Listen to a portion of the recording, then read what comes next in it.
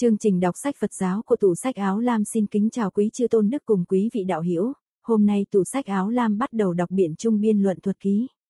Sa môn phiên dịch kinh khuy cơ soạn Việt dịch, Linh Sơn Pháp Bảo Đại Tạng Kinh hội Văn hóa Giáo dục Linh Sơn Đài Bắc xuất bản. Kính thưa quý chư tôn đức cùng quý vị đạo hữu, tủ sách áo lam chúng con phát nguyện đọc hàng ngàn cuốn sách Phật giáo để góp phần lưu truyền chánh pháp đến với người hữu duyên. Chúng con kính xin quý vị vui lòng trợ duyên cho chúng con bằng cách subscribe like và chia sẻ xe video này đến với mọi người. Xin vui lòng xem toàn bộ link ở dưới phần mô tả tức video description. Sự yểm trợ của quý vị là động lực giúp chúng con sớm ngày hoàn thành tâm nguyện. Và bây giờ chúng con xin bắt đầu đọc. Biện Trung Biên Luận Thuật Ký Quyền Thượng Một sau khi Đức Phật diệt độ khoảng 900 năm, Bồ Tát vô trước thị hiện ở đời, liền đến chỗ Bồ Tát Di lạc thỉnh Ngài thuyết về đại luận mà nhân duyên như nhiều sách đã nói. Bồ Tát Di Lặc vì Ngài vô trước mà nói bản luận tụng này, gọi là biện trung biên tụng. Ngài vô trước nhận rồi liền trao cho Ngài Thế Thân để giải thích rộng.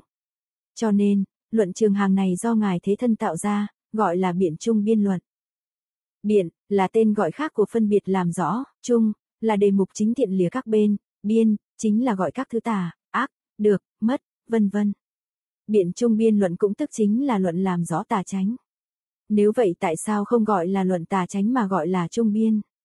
Này gọi là trung biên vì làm rõ nghĩa trung đạo, xa lìa chấp nhị biên, khế hợp với tránh, lý, cho nên nêu ra tên này. Hơn nữa, phân biệt giáo thiên về nói có, thiên về nói không, tuy đó là tránh thiện mà không phải là trung, cho nên nói trung biên mà không nói tà tránh. Nói trung biên là nói rõ tên của lý, lại nói biện tức là tên gọi chủ thể năng, hiển giáo, nghĩa là luận giáo này nói rõ ràng lý tà tránh, biện biệt đầy đủ biên trung đạo.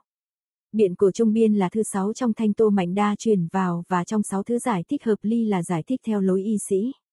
Xưa nói luận này do ngài thế thân tạo ra là sai. Còn trung biên phân biệt luận thì nói không thuận với luận này. Gọi là tướng phẩm vì lấy sở thuyên làm danh, tức là tướng của ba tánh được giải thích đầy đủ ở trong phẩm này. Tuy vậy, trong phẩm này cũng chẳng phải chỉ có tướng. Như bài tụng quy kính và kế là tụng nêu chung bảy nghĩa đều chẳng phải là tướng. Từ phần gốc nhiều lấy lập làm tên phẩm, cho nên gọi là phẩm tướng. Như phẩm vô thượng thừa cũng có phần giải thích tên. Bảy phẩm này trước sau đều có gia giảm, xem phần dưới sẽ rõ. Tuy nhiên, hai phẩm đầu là nói về cảnh, ba phẩm kế là nói về hạnh, và hai phẩm cuối nói về quả. Đó là dụng ý chính của bảy phẩm.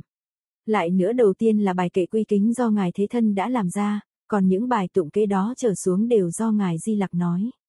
Ngài Di Lặc nói vốn có 113 bài tụng, bài tụng đầu là nhiếp chung, bài tụng cuối là tổng kết những cái đã giải thích, phần giữa là tránh tông. Ngài Thế Thân làm luận giải thích có 700 bài tụng, đều lấy 8 chữ làm thành một câu, không dài không ngắn, và cứ 32 chữ làm thành một bài tụng. Tuy nhiên theo bản cựu dịch của Ngài chân đế thời nhà Lương, thì kệ tụng của Thế Thân lại dùng 14 chữ làm một câu, tức một bài tụng gồm có 56 chữ. Những điểm khác nhau về văn và nghĩa trong các bản dịch vẫn còn tồn tại cho đến ngày nay. Đến các phần sau sẽ nói rõ. Luận rằng, từ câu, kính lễ bậc tạo luận, cho đến, gắng làm rõ nghĩa này. Thuật rằng, bộ luận này bao gồm có 3 phần. Những bài kệ tụng gốc của Ngài Di Lặc bắt đầu ở phần tránh tông, cùng với bài tụng cuối giải thích tổng kết. Phần đầu của bản luận này do Ngài Thế Thân nói, tức là phần tựa riêng biệt tự, đầu tiên bày tỏ lòng tôn kính, nhưng các kinh luận khác thì thông cả phần này gọi là phần tựa chung, riêng bản luận này thì không. Trong đại luận quyền 6 và luận đối pháp quyền thứ nhất nói rằng, vốn giải thích chỗ sở y và năng khởi ở luận này của hai vị sư, do đó lược bỏ không có tựa chung quy kính tam bảo. Trong tựa riêng, văn có hai ý, ba câu đầu là riêng tỏ lòng quy kính riêng đối với luận sư, câu thứ tư hiển bày ý quy kính, nói rõ việc sẽ tạo luận, trong ba câu trước hai chữ đầu hiển bày tướng quy kính, 13 chữ kế là nói đối tượng quy kính.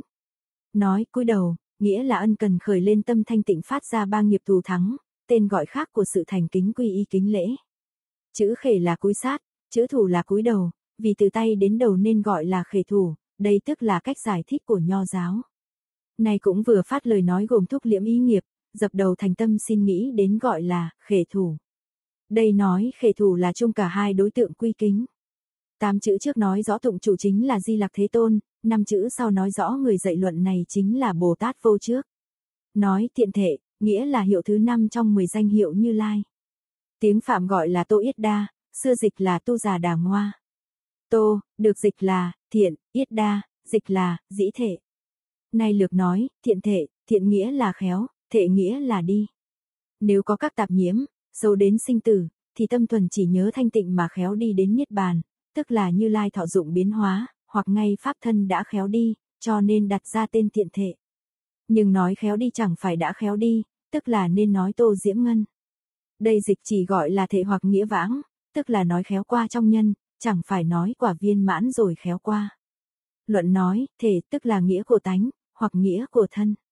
Luận đối pháp nói, nghĩa thân với thể không sai biệt, là giải thích theo lối y sĩ, thể của thiện thể gọi là thiện thể thể, thể tức là pháp thân, thiện thể tức là thọ dụng biến hóa, hoặc là giải thích theo lối chỉ nghiệp, thì thể tức là thiện thể, gọi là thiện thể thể.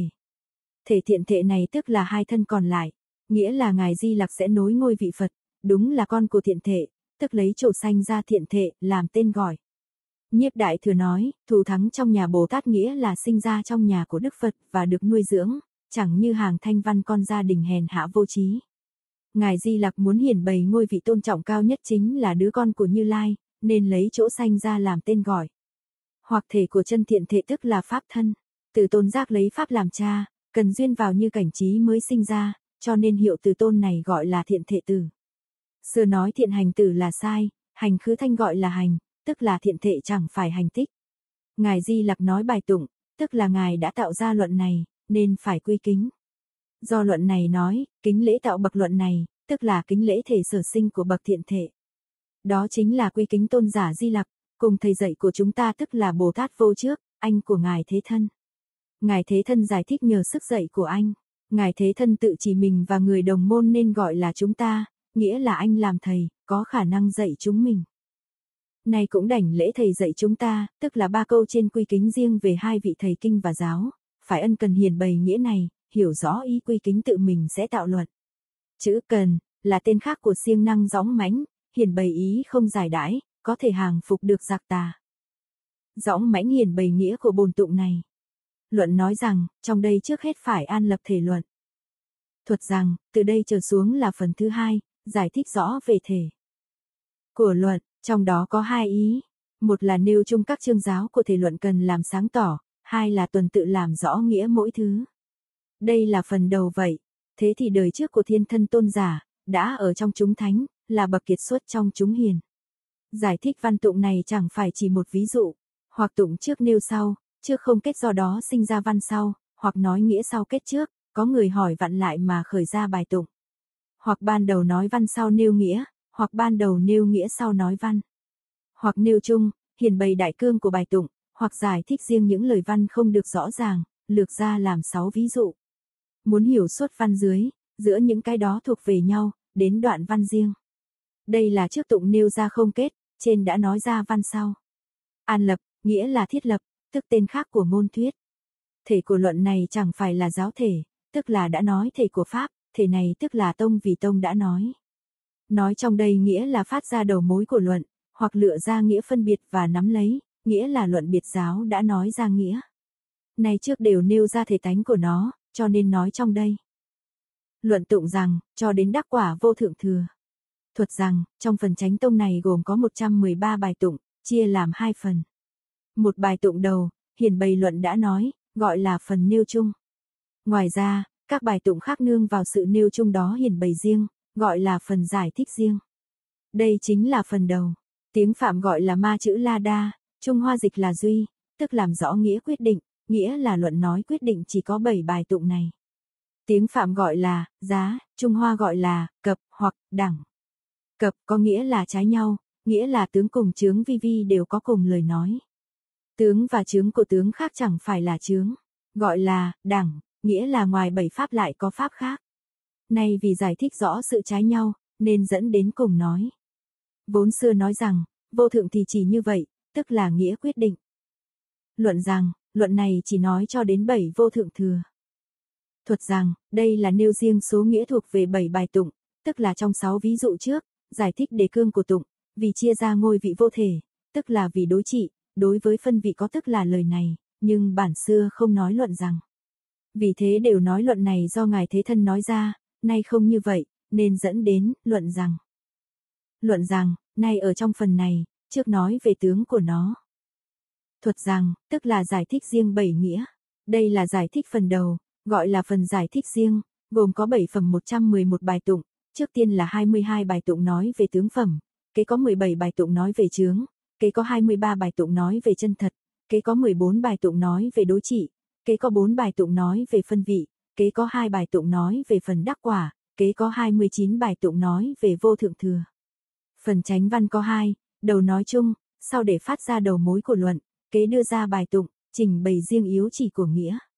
Đây tức là phần đầu, tức là thí dụ thứ nhất trong 6 ví dụ, danh tự khác nhau không thể chép ra đầy đủ, cứ chiếu theo đó thì biết rõ. Phẩm thứ nhất, nói về tướng. Luận tụng rằng, phân biệt hư vọng dẫn đến đối với kia cũng có đây. Thuật rằng, đó là trình bày riêng yếu chỉ của nghĩa. Trong phẩm thứ nhất này có 22 bài tụng, 11 bài tụng đầu nói về sự phân biệt của vọng, 11 bài tụng sau nói về viên thành thật. Thế thì do biến kế sở chấp vốn không có thật thể nên không có tụng giải thích mà nó chỉ có tên để lập tánh riêng. Nhưng đã cùng nương vào phân biệt hư vọng nên có tánh này. Này ở trong đây cũng do đó giải thích phi, hiểu. Trong 11 bài tụng đầu có hai phần, phần đầu giải thích riêng chín tướng, phần sau là tổng kết. Đối với phần giải thích tướng riêng trong 11 bài tụng, hai câu tụng đầu nói nương vào phân biệt hư vọng để nói lên tướng có không của ba tánh, hai bài tụng kế nói về vọng phân biệt tự tướng, một bài tụng kế nói về tướng nhiếp, hai bài tụng kế nói về tướng nhập vào vô tướng phương tiện, kế có nửa bài tụng nói về tướng sai biệt, kế có nửa bài tụng nói về tướng dị môn, kế có một bài tụng nói về tướng sinh khởi, kế có hai câu tụng nói về tướng tạp nhiễm. Từ bài tụng này trở xuống nói về tướng hữu vô. Bài tụng sau tổng kết và liệt kê tướng hữu vô, nói về tướng khế hợp với trung đạo. Luận rằng, từ phân biệt hư vọng về hiểu cho đến chấp thủ phân biệt. Thuật rằng, trong đây một đoạn, phần đầu điệp văn, phần sau trình bày nghĩa. Năng thủ, sở thủ, biến kế sở chấp, duyên vào phần phân biệt chính là y tha. Vì năng duyên không phải sở chấp, chẳng phải hoàn toàn không có tự tánh, nên gọi là hiểu, tức là phân biệt năng thủ và sở thủ. Giải thích tên theo lối y sĩ, chẳng phải hai thủ là lập ra tên phân biệt trí nghiệp, nhưng đây chỉ căn cứ vào phần nhiễm nói vọng phân biệt là có tức là y tha, chẳng phải trong y tha chỉ có vọng phân biệt, vì phân biệt có tịnh là y tha.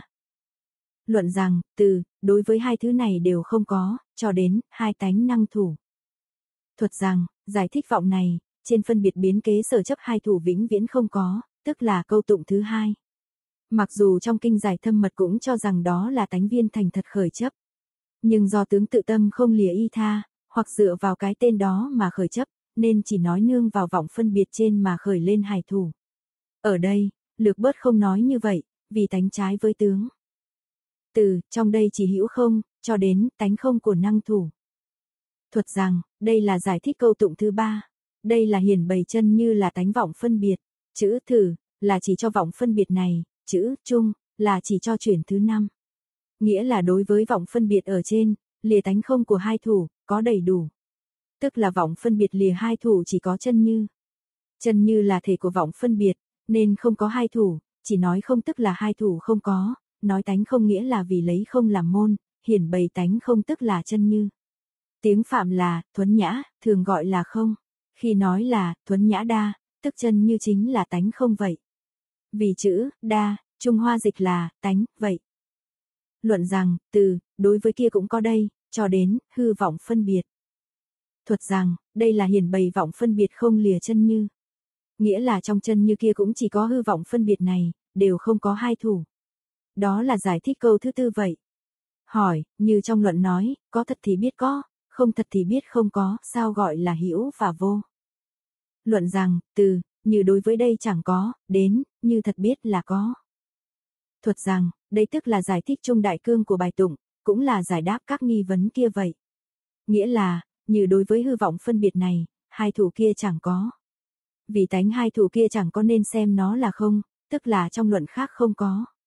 Vọng phân biệt này cũng có chân như kia, trên chân như có y tha khởi.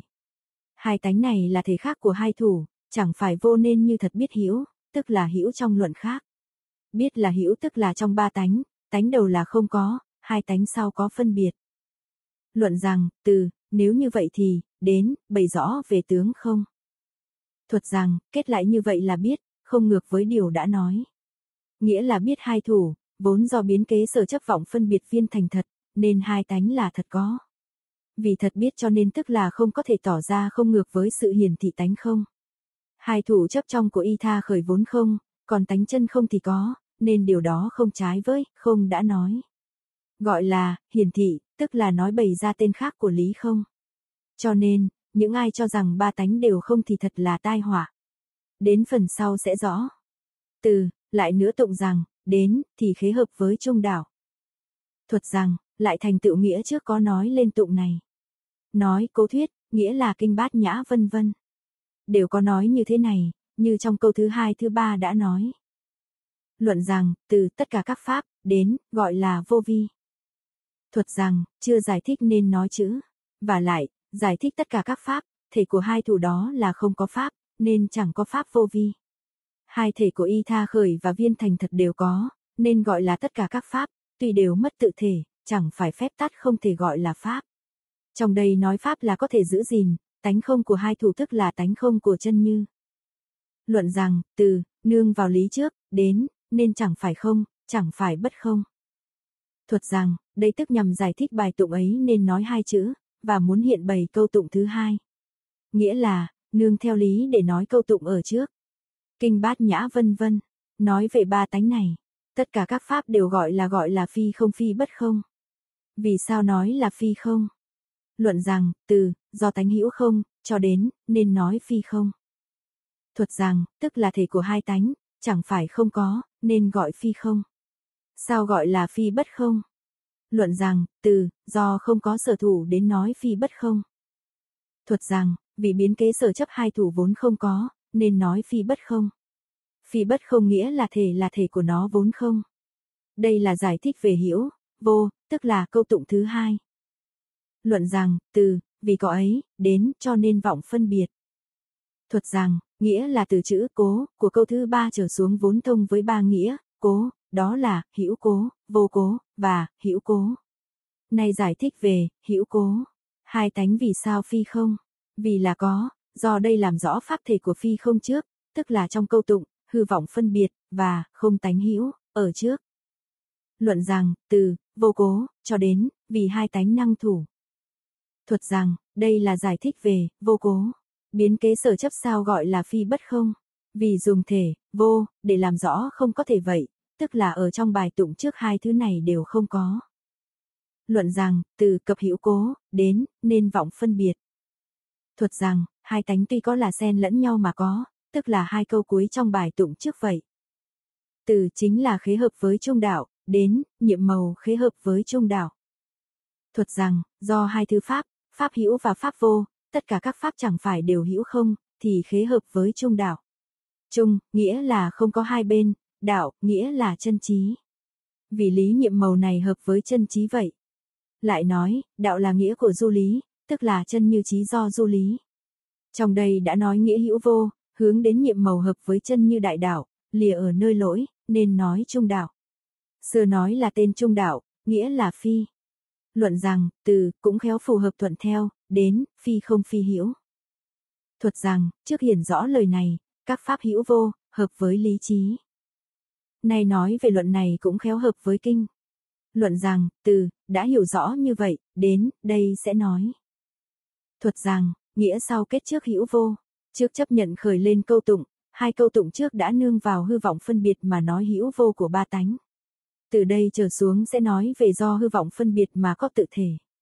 Ở đây có hai bài tụng, bài tụng đầu nêu ra tướng, bài sau giải thích về thành tựu. Luận tụng rằng, cảnh không có nên thức không có. Thuật rằng, hai câu trên nói về vọng phân biệt, cảnh của sở truyền, có dụng của y tha. Hai câu dưới nói về y tha khởi chấp vào cảnh thức là không rõ. Sơ nói căn, trần, ngã thức là bốn thức sinh cũng không giống vậy là không đúng. Vì sao như vậy? Vì đó chẳng phải do bổn thức năng duyên mà biến thành ngã và thức vậy. Nếu chấp nhận biên truyền tức là trái với luận trường hàng xưa kia. Trường hàng tự giải thích rằng, tự ngã nghĩa là vì ý thức và ngã biến, vô minh tương ưng với nhau. Tợ thức nghĩa là sáu thức, đây thì không như vậy, nên nói biến chuyển là sở liễu. Sở liễu nghĩa là tướng thô của sáu cảnh.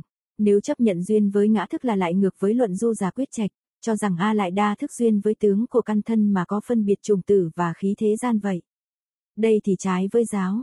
Nếu trái với lý, tâm sở duyên không thể duyên lự, vì tướng phân biệt của tâm. Như hóa tâm, lại duyên với ngã và bổn thức thứ tám sẽ chấp nhận cùng với kiến si tương ưng, lúc nhập vào kiến đạo, lúc quán vô lậu, thức này sẽ chuyển và trái với vô lậu. Do lý này mà tụng xưa cho rằng trái, còn trường hàng cho là phải. Nhưng Pháp Sư chân đế giống như chấp nhận ý của sư một thức, cho nên trong câu tụng này, chỉ nói về bổn thức, trường hàng là khai riêng, giải thích văn tụng khác. Trường hàng là thuộc về mình không phải mệt nhọc. Luận rằng, từ, nghĩa của biến tợ ấy, cho đến, hiện bày tánh của năm căn.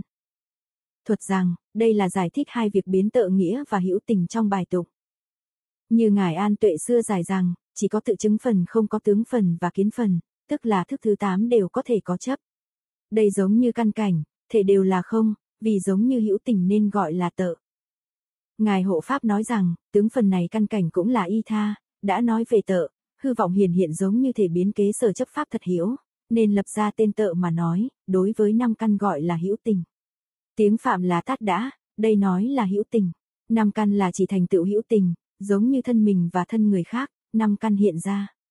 Trong đây có hai thuyết, như luận duy thức quyền thứ ba đã có nói. Hỏi, do luận xưa biến chuyển căn cảnh của mình, chính là nói về bổn thức, nay thì không có. Đáp, vì hai thứ chấp vốn là không có. Lại Ngài An Tuệ nói, không giống như thức thứ bảy và thức thứ sáu là nêu ra tên của nó, thức thứ tám do cảnh thì thô, thức thì tế, nên không nói về kiến phần của nó mà chỉ nói về tướng phần của nó. Kiến phần và tướng phần của thức thứ bảy và thức thứ sáu tự nó là thô, chỉ tùy theo nói kiến phần mà nói kiến phần của nó thay đổi. Tuy nhiên trong bài tụng nói, thức sinh ra biến đổi giống như nghĩa, nên hợp thì có thức. Ở đây do các dịch sư đã lược bớt, ba bổn văn tiếng phạm, đối chiếu với nó đều đồng. Luận rằng, từ, biến tợ ngã, đến, luôn tương ưng. Thuật rằng, đây là giải thích thức thứ hai trong bài tụng, sinh ra biến chuyển giống như ngã cùng với tâm sở, cũng có nghĩa nhiều ít như thành duy thức. Luận rằng, từ, hiểu rõ được biến tợ, đến, rõ được tướng thô. Thuật rằng, đây là nói về thức thứ ba sinh ra biến chuyển tợ như để rõ ràng. Tuy rằng hai thức trước cũng biến chuyển đã rõ ràng, vì tương của nó vi tế, do đây được tên. Tuy thức thứ sáu cũng biến chuyển làm ngã và ngã si v, v, nhưng vì chẳng thường cùng nên chỉ riêng thức thứ bảy được tên. Dù sáu thức khác cũng biến chuyển căn khí, nhưng chẳng phải là gốc, vì không tương tục, vì hành tướng thô, nên chỉ thức thứ tám được tên. Luận rằng, từ cảnh này thật chẳng có, đến, đều chẳng phải thật có. Thuật rằng, đây là giải thích cảnh của ba thức trước đều chẳng phải thật có. Trong đây có hai tỷ lượng, thức thứ tám đã biến chuyển, giống như nghĩa và căn. KCC pháp hữu này đều chẳng thật có, vì mỗi pháp ấy đều thông với hai lượng. Riêng phần sau là nói về nhân, vì không có hành tướng. Vì hai thể nào không thể duyên pháp nên không có hành tướng. Vì các bản dịch xưa nói chẳng phải hình thức nên phiên dịch nó bị sai lầm. Dụ rằng, như lông rùa vân vân, song chân như thanh tịnh tuy không có hành, đối với thật thể chẳng phải thật có, nên không có lời bất định. Như Ngài An Tuệ, vân vân, nói, nên lấy văn này để quyết định tướng phờ, vì tướng phần nhất định là biến kế sở chấp, trong đây luận rằng, vì chẳng phải thật có. Ngài hộ pháp vân vân, cho rằng nương vào thức thứ tám biến chuyển, nương vào căn cảnh của y tha khởi chấp làm thật có, thể chẳng phải thật có, chẳng phải thể tướng phần của thức thứ tám là không có. Lượng thứ hai nói rằng, tợ ngã, và tợ liễu, đều chẳng thật có, đó là cái căn bản vậy. Nhân đó mà cho là chẳng phải là chân hiện lượng vậy. Xưa cho rằng vì không giống như cảnh và dụ rằng, như rừng thỏ vân vân. Nhưng ngã nhất định là nhất thường, hiện thấy có sự sinh diệt khác nhau, đã rõ ràng nghĩa là thường thật, không lâu đều thấy vô thường, như tâm sở duyên không gọi là sở kiến, như vì duyên với cảnh mộng, nay đều lấy nhân chẳng phải chân hiện lượng thành ra phi thật hiểu, không có lỗi bất định, tùy theo một mặt thành. Lại nhân tương tự này lẽ ra thành lập lại, trong văn thiếu chữ lẽ ra đưa đến chấp nhận rằng, vì tự mình chấp nhận là chẳng phải chân hiện lượng, như hoa đốm giữa hư không. Nếu là chân hiện lượng sẽ là pháp thường, trong đây sẽ có hai cách giải thích, đồng với trước. Luận rằng, từ cảnh không có nên thức không có, đến cũng chẳng thật có. Thuật rằng, trước thành lập cảnh chẳng phải có, đây thành lập tâm không có. Chữ, ý, của luận xưa là trước trừ bỏ sở chấp, sau trừ bỏ y tha, đều không có. Trong đây cũng trừ bỏ sở chấp, như luận dưới nói, vì đối với đây chấp nhận diệt thì được giải thoát. Nhưng như noãn, đành trừ bỏ cảnh nhãn trừ bỏ tâm, chẳng phải trừ bỏ y tha, nương vào tâm năng duyên, chấp có năng thủ là trừ đi thức này. Lượng nói rằng, thức thật của năng duyên, thể cũng là không. Nhân nói rằng, ông nói hai tâm và cảnh, vì trong thập pháp, tùy theo một sở nhiếp một chỗ. Như bốn cảnh của ông, trước chẳng có nên được làm dụ. Nhưng nói tâm cảnh tùy theo sở nhiếp, e rằng có chân như là lỗi bất định, nên ngăn nhân này. Luận rằng, từ, lại nữa, tụng rằng, đến, vì chấp nhận diệt là giải thoát.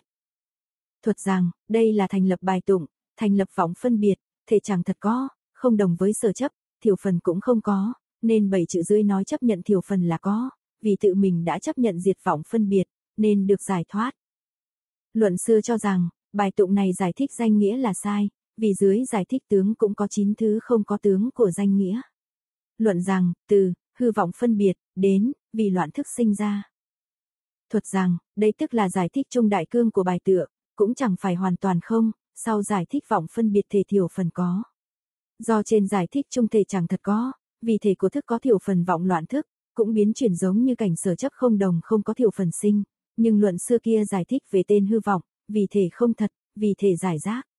Này đối chiếu bản tiếng phạm đây là lời của người, chẳng phải là bậc thánh nói, vốn không phải đây. Luận rằng, thế nào là không chấp nhận tánh này hoàn toàn không có. Thuật rằng, đây tức là giả lập lời hỏi.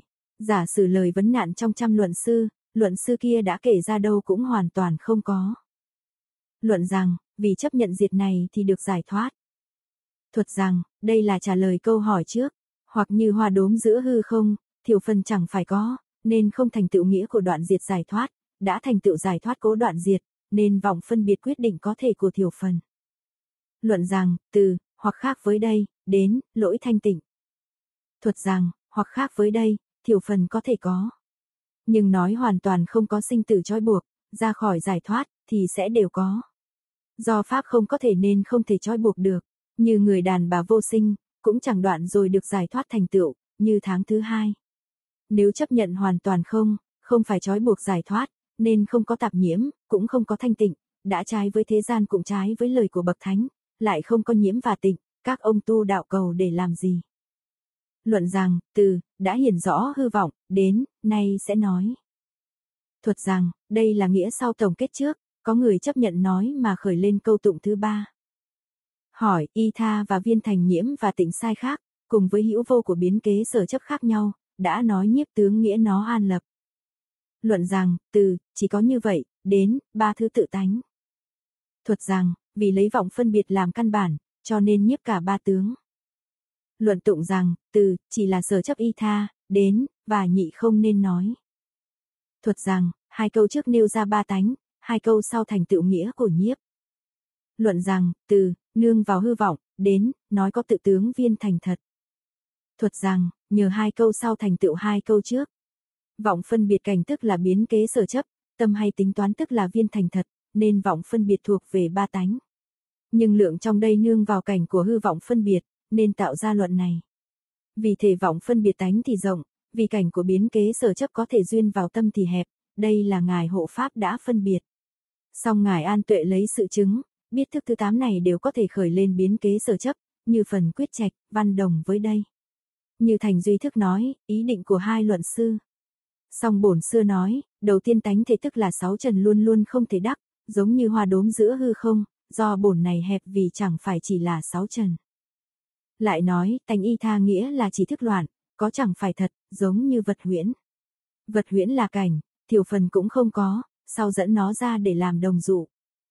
Lại nói, tánh chân thật nghĩa là hai thủ không có sở hữu, vì chân thật là hiểu, vô giống như hư không, hư không đại thừa chẳng có, đồng dụ đã lập không thành tựu, do đây chuẩn theo mà biết. Tuy thiểu phần có tỷ lượng nhưng bất thiện có thể lập. Tuy thiểu phần là phân biệt mà tăng trưởng bổn văn, nên nay tạo luận nương vào bổn gốc thì không lầm. Luận rằng, từ, đã hiển rõ hư vọng, đến, nhập vào tướng, vô tướng phương tiện. Thuật rằng, đây là nghĩa sau tổng kết nghĩa trước, có chấp nhận nói mà nói ra là môn thứ tư. Nhưng nhập vào vô tướng phương tiện, nhật định lấy phân biệt ta để quán tâm, vì cũng cho là cảnh, tức là đối với vọng phân biệt mà nói là nhập vào phương tiện. Luận tụng rằng, từ, nương vào thức có sở đắc, đến, thức vô sở đắc sinh ra. Thuật rằng, ở đây có hai bài tụng. Bài tụng đầu giải thích phương tiện đạo, sở thủ, năng thủ không có, Bài tụng sau giải thích về căn bản đạo, hai thứ bình đẳng, tức là kiến đạo. Đây tức là bài tụng đầu. Hai câu trên chấp nhận tâm thì có, nhưng cảnh thì không, tức là noãn, đảnh vị hai câu dưới nói cảnh thì không, thức thì cũng không tức là địa vị nhẫn. Luận xưa nói, do trần không có thể bổn thức liền không sinh, là không đúng. Vậy thì đâu có chấp nhận thức thứ bảy sinh. Luận rằng, từ, nương vào duy thức, đến, sao có ở trong thức, vô sở đắc sinh ra. Thuật rằng, đây là giải thích trung đại cương của bài tụng, tùy theo câu tụng giải thích bằng văn xuôi, văn đó dễ hiểu, đều trừ sở chấp, như các nơi nói. Luận rằng, từ, đó là phương tiện, đến, năng thủ vô tướng. Thuật rằng, đó là kết thành nghĩa ở trên vậy. Luận rằng, từ, lại nữa, tụng rằng, đến, vô đắc tánh bình đẳng. Thuật rằng, bài tụng này giải thích hai thứ không bình đẳng. Hai câu trên giải thích lý bình đẳng, hai câu dưới kết thành bình đẳng. Luận rằng, từ, khi trí thức sinh, đến, gọi là hữu sở đắc. Thuật rằng, đây là giải thích câu tụng đầu, nói nguyên do của thức có đắc. Luận rằng, từ, vì cảnh sở đắc, đến, cũng không được thành lập. Thuật rằng, đây là giải thích câu thứ hai. Do cảnh vốn không nên thức cũng không. Chữ cũng, này ý nói cảnh cũng không vậy. Luận rằng, từ, do năng đắc thức, đến, vô sở đắc tánh. Thuật rằng, vì năng đắc thức đồng với cảnh không, năng thủ và sở thủ trước có đắc, nay đều thành không có, chẳng phải riêng một cái không có, nên gọi là bình đẳng. Luận rằng, từ, hiền nhập hư vọng, đến, nay lần lượt sẽ nói. Thuật rằng, đây là kết trước sinh sau nghĩa của hai môn. Sai biệt là căn cứ vào danh giới mà lập luận, dị môn là căn cứ vào hàng ngang mà nói. Luận tụng rằng, từ, ba giới của tâm và tâm sở, đến, cũng gọi riêng là tâm sở. Thuật rằng, hai câu trên là giải thích tướng sai biệt. Luận xưa cho đây là tướng chung là không đúng. Hai câu trên là giải thích dị môn. Luận xưa nói đó là tướng riêng cũng không đúng. Tâm vương và tâm sở đồng tên là sai biệt, tâm vương và tâm sở khác tên là dị môn. Luận rằng, từ, hư vọng phân biệt, đến, các tâm và tâm sở. Thuật rằng, đây là giải thích tướng sai biệt của hai câu tụng trên, tám thức đều như vậy. Luận rằng, từ, tướng dị môn, đến, các pháp tâm sở. Thuật rằng, đây là giải thích về tướng dị môn của hai câu dưới nói về tướng sở hành đồng dị của tâm vương và tâm sở. Vô chỉ lấy chung, thần thì lấy chung và riêng. Như luận du già quyền thứ ba và hiển dương quyền 18, duy thức quyền thứ năm có nói, song một hư vọng phân biệt ban đầu, dụng thông với hai môn, văn khác có thể biết. Luận xưa chỉ nói tâm sở duyên riêng, không nói duyên chung, thì trái với lời của luận du già. Luận rằng, nay lần lượt sẽ nói tướng sinh khởi này. Thuật rằng, kể từ môn thứ 8 chấp nhận nói ra. Luận tụng rằng, từ, một là gọi duyên thức, đến, phân biệt suy ra tâm sở. Thuật rằng, hai câu tụng trên nói về thức sinh khởi, hai câu tụng dưới nói về tâm sở sinh khởi. Luận rằng, từ, duyên thức, đến, nền sinh ra duyên. Thuật rằng, đây là giải thích câu thứ nhất trong bài tụng, tức là ban đầu điệp văn, sau trình bày nghĩa. Đây là nói về tướng hiện hành sinh khởi, chẳng phải thức của trùng tử. Nếu nói trùng tử, thì không hợp với lý có thể trái, do đó căn bản không gọi là thọ. Luận rằng, từ, tàng thức làm duyên, đến, gọi là thọ. Thuật rằng, đây là giải thích câu thứ hai trong bài tụng, tức là trước nêu ra nghĩa, sau thì điệp văn. Tức là bảy thức chuyển đều gọi là thọ, do thọ dụng cảnh, thọ số dụng thắng, thức từ nơi thọ của cùng thời lập ra tên thọ, tức là lâm cận thích, đều chẳng phải là căn bản, đều gọi là thọ. Luận rằng, từ, trong các thức này, đến, nên gọi là tâm sở. Thuật rằng, đây là giải thì hai câu dưới trong bài tụng. Trong các thức thứ hai và thứ ba này đều có thể thọ dụng cảnh, đó là công lực của thọ, có tác dụng phân biệt tướng mạo của cảnh, đó là công năng của tường, có thể có cái dụng của các hành tướng, đó là công lực của tư, của tác ý vân vân. Vậy, luận xưa nói, hay khiến cho tâm suy ra, xả cái này thủ cái kia, đó là công lực của tư vậy. Bà uẩn thọ, tưởng, hành này, giúp cho việc tâm duyên vào cảnh, nên gọi là tâm sở. Giải thích tên của tâm sở này, như nhiếp luận vân vân.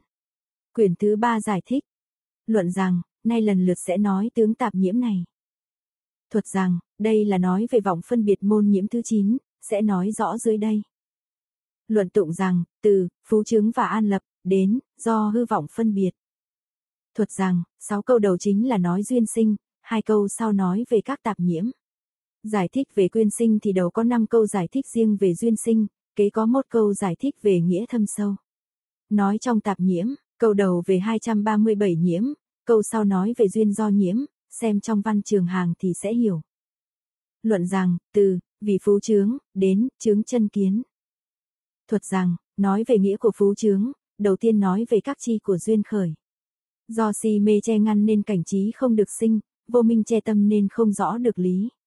Chính hai thứ che ngăn này nên gọi là phú trướng. Luận xưa chỉ nói che ngăn kiến là không đúng. Trong đây thông với thuyết nhất thiết vô minh thuộc về hai thứ nghiệp chẳng phải là sở chi chướng, chướng chân kiến là chi vô minh, hoặc phiền não chướng cũng là chướng kiến. Ở đây là nói chung, còn các thuyết đối pháp nói có hai thứ ngu, còn thuyết du giả nói về bảy thứ vô trí thức khác với đây vậy. Luận rằng, từ, vì an lập, đến, nên nghiệp huân lập. Thuật rằng, tức là chi của hành, nghĩa là do ba hành huân tập ở thức thứ tám, ở trong bổn thức gieo trồng tập khí của nghiệp, nên gọi là an lập.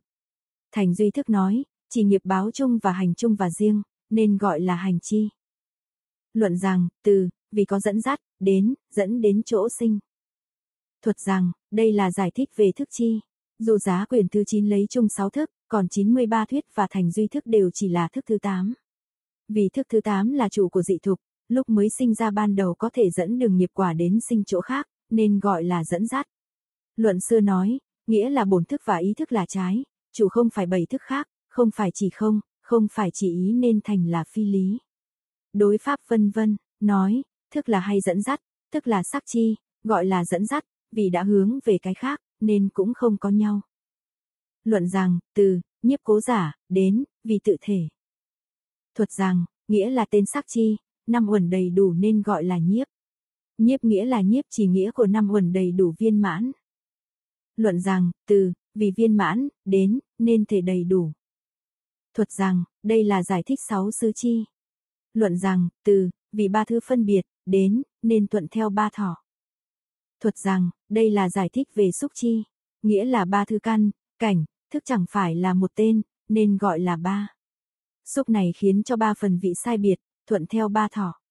Hoặc có khi là lạc thọ đến bất khổ lạc, từ nơi công dụng của xúc mà lập tên nó, gọi là ba phân biệt, thì ở đây xúc đồng với nghĩa xúc của các nhà đối pháp giải thích, không đồng với duy thức, vì đã hướng về chỗ khác, nhưng bổn văn của đối pháp tướng trạng đồng với duy thức. Nhà giải thích tướng tợ và đồng ở chỗ này. Luận rằng, từ, vì thọ dụng, đến, nên chẳng phải hai cảnh. Thuật rằng, đây là giải thích thọ chi, như văn có thể hiểu. Nhưng 93 thứ vân vân, thọ được chia làm hai, một là dị thục, hai là cảnh giới. Như Duy Thức nói, như năm chi trên thể tánh chung và riêng, không có tạp loạn nhau, tất cả các lời hỏi đều như Duy Thức. Luận rằng, từ, vì dẫn khởi, đến, sau thì có đắc khởi. Thuật rằng, đây là giải thích ái chi, như nước thấm ướt. Các thuyết đối pháp cho đây là chi năng sinh nên lập tên đó. Tuy duyên vào hữu chi nhưng cũng có thể sinh đó là xuất phát từ thắng nghĩa mà lập tên vậy. Luận rằng, từ, vì liên phược, đến, nên liên phược sinh. Thuật rằng, đây tức là thủ chi, nghĩa là do sức của thủ khiến cho hiện thức vân vân. Duyên với dục, ngã ngữ giới kiến thủ, ở vị lai liên tục ràng buộc sinh ra hữu, khiến cho nó không đoạn dứt. Thủ gọi là liên phược, dục, ngã ngữ vân vân, là nhân hữu lậu, không trái, nên có thể chiêu đến đời sau, nên gọi là thuật Thủ khiến cho thức liên tục ràng buộc nên có. Luận đối pháp nói hữu thủ thức nghĩa là thức hữu lậu. Vì thủ là lậu nên các luận sư đối với kia tạo ra đầu mối khác, đều là tà thuyết, hữu thủ thức đều biết như đây. Luận rằng, từ, vì hiện tiền, đến, nên được hiện tiền. Thuật rằng, đây là giải thích về hữu chi. Xưa lúc lập ra hành, thủ và hữu là quả nên gọi là thủ nghiệp. Quả khiến cho khởi lên hành gọi là giữ nghiệp. Do sức ái thủ khiến cho nghiệp trước đã tạo tác, thủ cùng với sau thì có. Vì quả dị thục trên được hiện tiền, nên hữu gọi là hiện tiền. Luận rằng, từ, vì quả khổ, đến, nên báo đáp nhân trước. Thuật rằng, hai cách giải thích hai chi đây là hiện tiền, nên gọi là khổ quả. Tánh của nó bị bức bách nên gọi là khổ nghĩa. Đối lại với nhân trước nên gọi là quả nghĩa. Luận rằng, từ, chỉ đây đã nói, đến, khiến cho không được an ổn. Thuật rằng, đây là giải thích câu thứ sáu trong bài tụng, và thâm nghĩa của duyên sinh. Luận rằng, từ, ba tạp nhiễm, đến, nói các chi khác. Thuật rằng, đây là đồng với luận du giả trái với đối pháp. Duy thức thì hợp. Luận rằng, từ, hai tạp nhiễm, đến, nói các chi còn lại. Thuật rằng, đây là căn cứ vào hai nhiễm để nói về nhân quả. Lại căn cứ vào dị thục và phi dị thục để nói rõ quả nhân. Năm tạp nhiễm là nhân, bảy chi là quả. Năm 16 thuyết, năm chi thức vân vân. Là khổ của thai tạng nên lập ra tên quả. Căn cứ vào nhân quả thế gian, 10 chi là nhân, căn cứ vào tánh quả nhân thì 7 chi là quả. Các luận có sai khác cũng không trái nhau. Luận rằng, từ, bảy tạp nhiễm, đến, nói sinh, lão, tử. Thuật rằng, trói buộc 12 chi là bảy tạp nhiễm. 12 chi trước làm 11 nghĩa, này buộc làm 7 thức, căn cứ vào huân tập trùng tử hiện hành ở trước, gọi là nhiếp thực, căn cứ vào quả sẽ hiện hành ở sau, gọi là khiên dẫn. Nói nhiếp năm uẩn thể là danh sắc, đối với cảnh có thể thọ dụng, sáu sứ tạo ra dụng, hợp lại gọi là nhân nhiếp thọ, căn cứ vào năm uẩn trước địa vị lúc sáu sứ sinh riêng gọi là biệt lập. Này căn cứ đều là tự thể của nhiếp thọ, đều gọi là nhiếp thọ. Trước là căn cứ ở nơi cảnh, đối với căn sử dụng của xúc thọ riêng, mỗi mỗi gọi là biệt lập.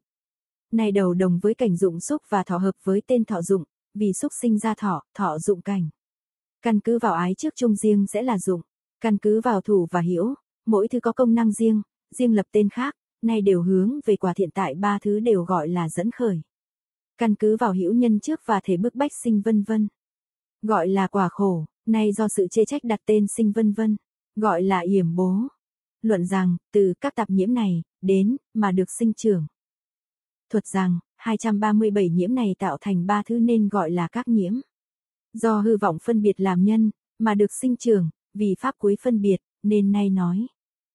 Luận rằng, từ, đây trước hiển bày cái chung, đến, chín tưởng tạp nhiễm.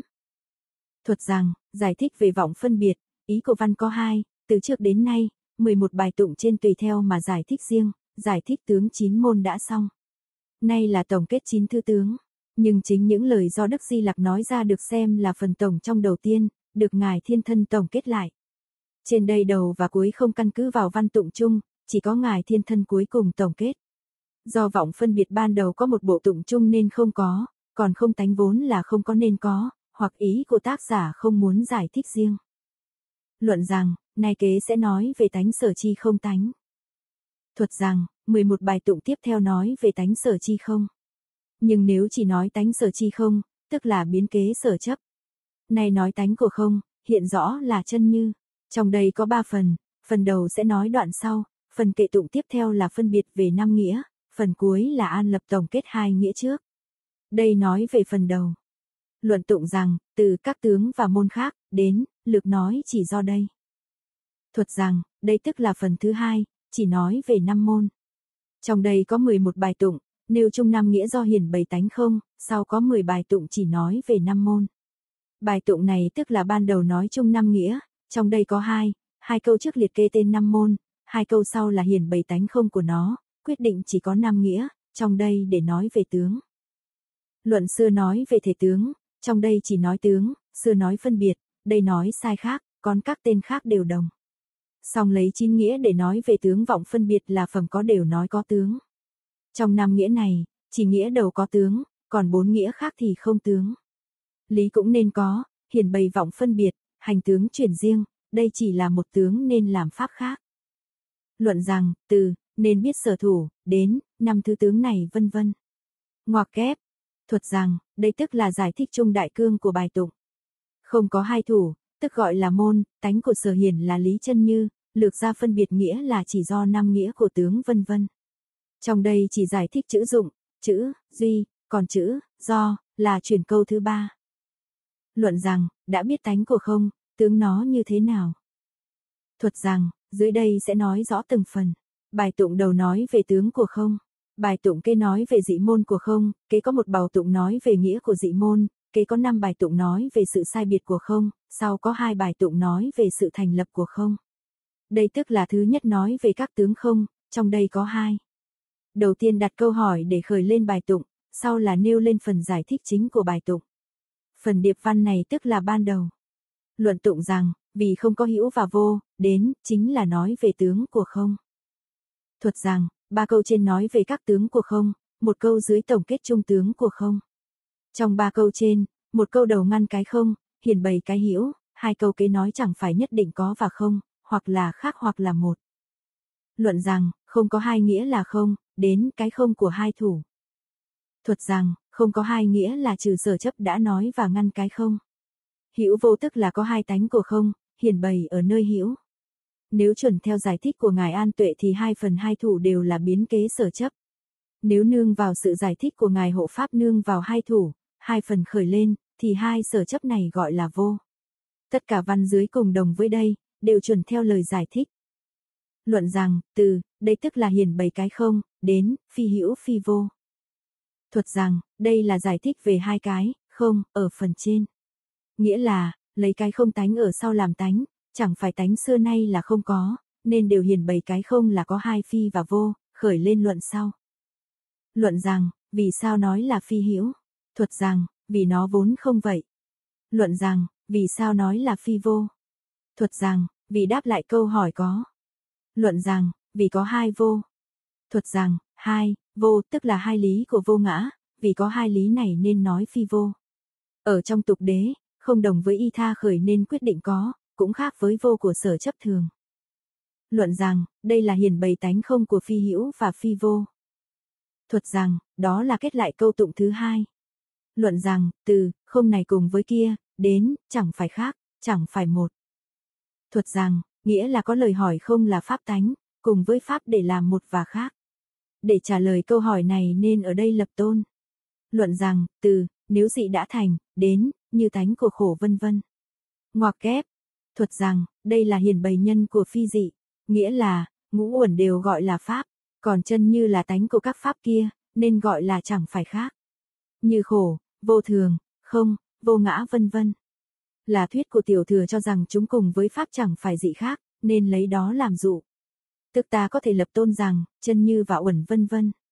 Chẳng phải quyết định khác, nhân nói rằng, vì nó là tánh của pháp, dụ nói rằng, như tánh của khổ vân vân. Ngoặc kép, luận rằng, từ, nếu một thì nên, đến cũng chẳng phải cùng tướng. Thuật rằng, đây là hiển bày nhân chẳng phải một, nghĩa là năm uẩn vân vân.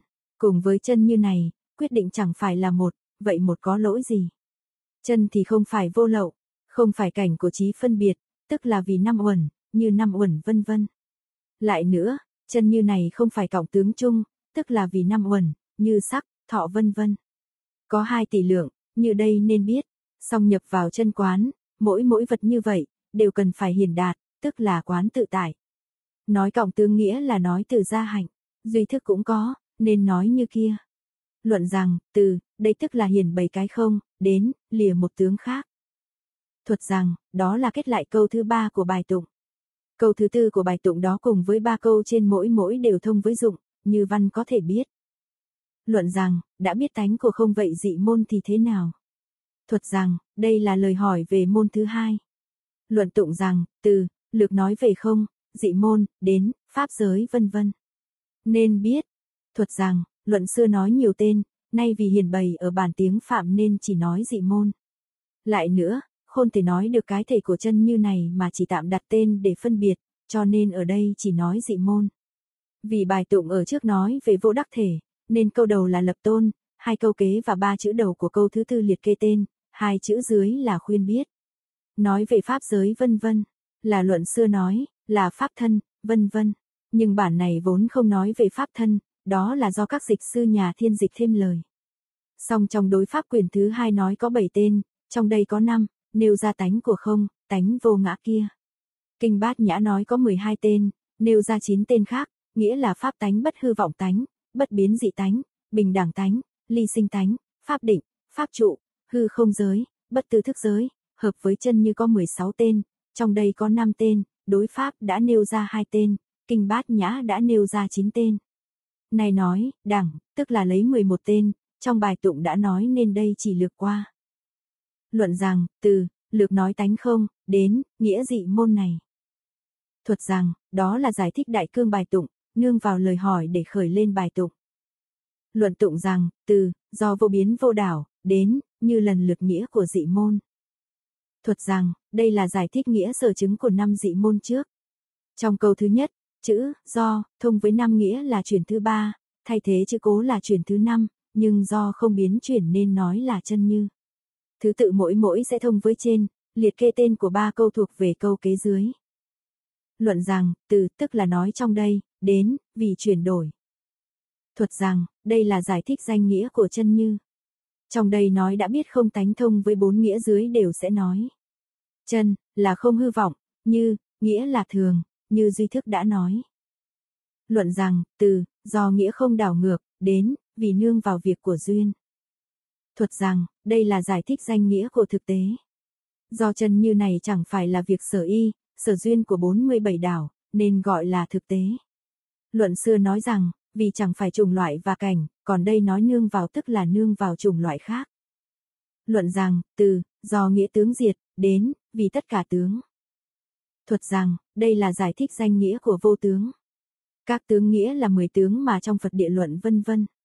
Đã nói, nghĩa là sắc, thanh, hương, vị, xúc, sinh, dị, diệt, nữ, tướng. Vì lìa tên của các tướng này, nên lập ra tên vô tướng. Luận rằng, từ, do thánh trí cảnh nghĩa, đến, vì đã hành nghĩa. Thuật rằng, chỉ có duy thức quyền tám và từ đây trở đi sẽ nói. Thắng nghĩa có ba, một là nghĩa thắng nghĩa, tức là chân như, này căn cứ theo lối giải thích của luận chủ, ở đây chỉ nói lại. Hai là đắc thắng nghĩa, nghĩa là niết bàn, giải thích theo lối chỉ nghiệp. Ba là hành thắng nghĩa, nghĩa là thắng đạo, giải thích theo lối hữu tài, vì lấy thắng làm nghĩa. Luận rằng, do thánh pháp nhân nghĩa. Thuật rằng, pháp thì như quả, nghĩa là pháp của các bậc thánh, vì đây là nhân khác, nên gọi là pháp giới. Vậy giới thì có nghĩa là gì? Tức là nghĩa của nhân vậy. Luận rằng, vô ngã đẳng nghĩa như lý nên biết. Thuật rằng, khi giải thích chữ, đẳng của câu tụng, luận xưa dùng nhiều tên, tuy có chữ, đẳng, nhưng trong nghĩa không giải thích. Này giải thích, cũng như đối pháp vân vân, giải thích tên khác vậy. Luận rằng, vì sao nên biết không tánh sai biệt. Thuật rằng, đây là sẽ giải thích môn sai biệt thứ tư, nương vào lời hỏi khởi lên. Luận tụng rằng, từ tạp nhiễm và thanh tịnh này, đến tịnh nên chấp nhận là tịnh. Thuật rằng, trong thành tựu sai biệt có 5 bài tụng. Một bài tụng đầu là nói về nhiễm tịnh sai biệt, bốn bài tụng kế là nói về sở chi sai biệt, đây tức là ban đầu. Câu thứ nhất chính là giải thích sai biệt, câu thứ hai giải thích về nhân sai biệt, câu thứ ba hiển bày dụ của sai biệt, câu thứ tư kết thành nghĩa của tịnh. Do chân như này vì tự tánh thanh tịnh, nên gọi là nghĩa của khách nhiễm, chấp nhận tính là lựa chọn, một lỗi của bất cực thành và tùy nhất bất thành vân vân. Luận rằng, từ, không tánh sai biệt, đến, hai thứ thanh tịnh. Thuật rằng, đây là giải thích câu tụng thứ nhất, lập ra tôn sai biệt. Luận rằng, từ, thành tựu nhiễm tịnh này, đến, nói là thanh tịnh. Thuật rằng, đây là giải thích câu thứ hai, thành tựu nhân sai biệt. Luận rằng, từ, tuy tạp nhiễm, đến, thành tựu lỗi vô thường. Thuật rằng, đây là giải thích thêm để trả lời câu hỏi, hiển rõ tánh là thường, sinh ra nước vân vân. Là dụ của câu thứ ba, nghĩa là, có lời hỏi, nay trả lời không như vậy, không phải là lỗi của vô thường. Luận rằng, như thủy, giới vân vân, lìa khách trần. Thuật rằng, đây là giải thích lỗi bất thành và lỗi vô thường vì tô và nhân ban đầu đồng với dụ của phá. Như trong nước có bẩn, trong vàng có lẫn thau, như hư không có mây, thảy đều là khách trần, chẳng phải tánh thành nhiễm. Sau bỏ bụi bặm rồi, chẳng phải vì thế mà tánh thanh tịnh, nên gọi là vô thường. Lại như trong nước tuy tạm có chất bẩn, nhưng chẳng phải thể bất tịnh, mà vì tôn và nhân trước đồng với dụ của Pháp vậy. Luận rằng, không tịnh cũng như vậy, chẳng phải tánh chuyển biến. Thuật rằng, đây là nêu ra Pháp hợp, nghĩa là nói về lập tôn. Đã biết không tánh có thể thành tựu được nhiễm tịnh sai biệt, vì có chất bụi. Chữ, do, trong bài tụng tức là nhân, các cõi cấu và vô cấu đều không thể thành tựu được nhiễm tịnh sai biệt. Như nước, giới, vàng, không tánh là tánh chẳng phải nhiễm mà chỉ tạm có khách trần. Như vàng trống rồng, lại không tánh chẳng phải là vô thường, vì thanh tịnh như là trống không vân vân. Trong ba ví dụ này có rộng có hẹp, nhưng tùy giới là nước lớn, nhưng nước và vàng đều là vô thường, chẳng phải tánh không cấu bẩn, nay lấy thiểu phần làm dụ nên không có mất lỗi. Luận rằng, từ, không sai biệt này, đến, vô tánh và tự tánh không. Thuật rằng, từ đây về sau nói căn cứ vào sở trị sai biệt. Không, được chia thành 16 thứ, văn dưới sẽ giải thích. Trước là nói về năng trị, song đây cũng hiển bày cái không của thứ 15 và 16 đồng nhau. Kinh bát nhã hội đầu nói có 20 không, ở đây thêm tán không, tự tướng không, cộng tướng không, bất khả đắc không, tự tánh không. Vô tán không ở luận này chính là vô biến dị không của kinh trên. Do các thiện căn đến hết mé vị lai tương tục không gián đoạn, nên gọi là vô biến dị, tên thì khác nghĩa thì đồng. Nhưng luận này chỉ thêm tướng không, còn 77 thuyết thì nói có 17 không, nghĩa là nhất thiết pháp không, tướng không, vô tế không, nội không, vô sở đắc không, ngoại không, nội ngoại không, bồn tánh không, đại không, hữu vi không, tất cánh không, vô tánh không, vô tánh tự tánh không, thắng nghĩa không, vô vi không, vô biến dị không, không không. Ở đây thêm một cái nữa là vô sở đắc không. Nhưng hội thứ hai kinh đại bát nhã nói thêm 18 không, hội thứ ba nói 16 không. Song cùng với luận du già sở chỉ hơi khác. Vì sao? Luận rằng, ở đây lược nói nghĩa vì sao nên biết. Thuật rằng, từ trước đến nay phần thứ nhất liệt kê các, không, còn từ phần thứ hai trở xuống, là giải thích riêng nghĩa của, không. Trong đây có 16, không, còn các kinh luận khác có nói thì dùng chữ, đẳng. Kinh Đại Bát Nhã hội thứ nhất nói có 20, không, nghĩa là nội không, ngoại không, nội ngoại không, không không, đại không, thắng nghĩa không, hữu vi không, vô vi không, tất cánh không, vô tế không, tán không, vô biến dị không, bổn tánh không, tự tướng không, cộng tướng không, nhất thiết pháp không, bất khả đắc không, vô tánh không, tự tánh không, vô tánh tự tánh không. Hội thứ hai nói có 18, không, nghĩa là nội không, ngoại không, nội ngoại không, không không, đại không, thắng nghĩa không, hữu vi không, vô vi không, tất cánh không, vô tế không, tán vô, tán không, bổn tánh không, tự cộng tướng không, nhất thiết pháp không, bất khả đắc không, vô tánh không, tự tánh không, vô tánh tự tánh không. Trong phần thứ ba quyển thứ nhất nói có 19, không, tức 16, không, ở trên, thêm sở duyên không, tăng thượng không, lạc vô không vân vân. Trong phần thứ 3 quyển thứ 10, trang 488, nói có 16, không, tên đồng với đây, Phật từ đó giải thích rộng, hơi khác với đây, phải so sánh. Nên so sánh hội thứ nhất và hội thứ hai, ở đây tương đương với xứ, trong đây các văn ly hợp có khác, nghĩa cũng không tăng. Trong phần giải thích có 4 bài tụng, phân làm hai đoạn, ba bài tụng đầu nói về 14, không, một bài tụng sau nói về 2, không.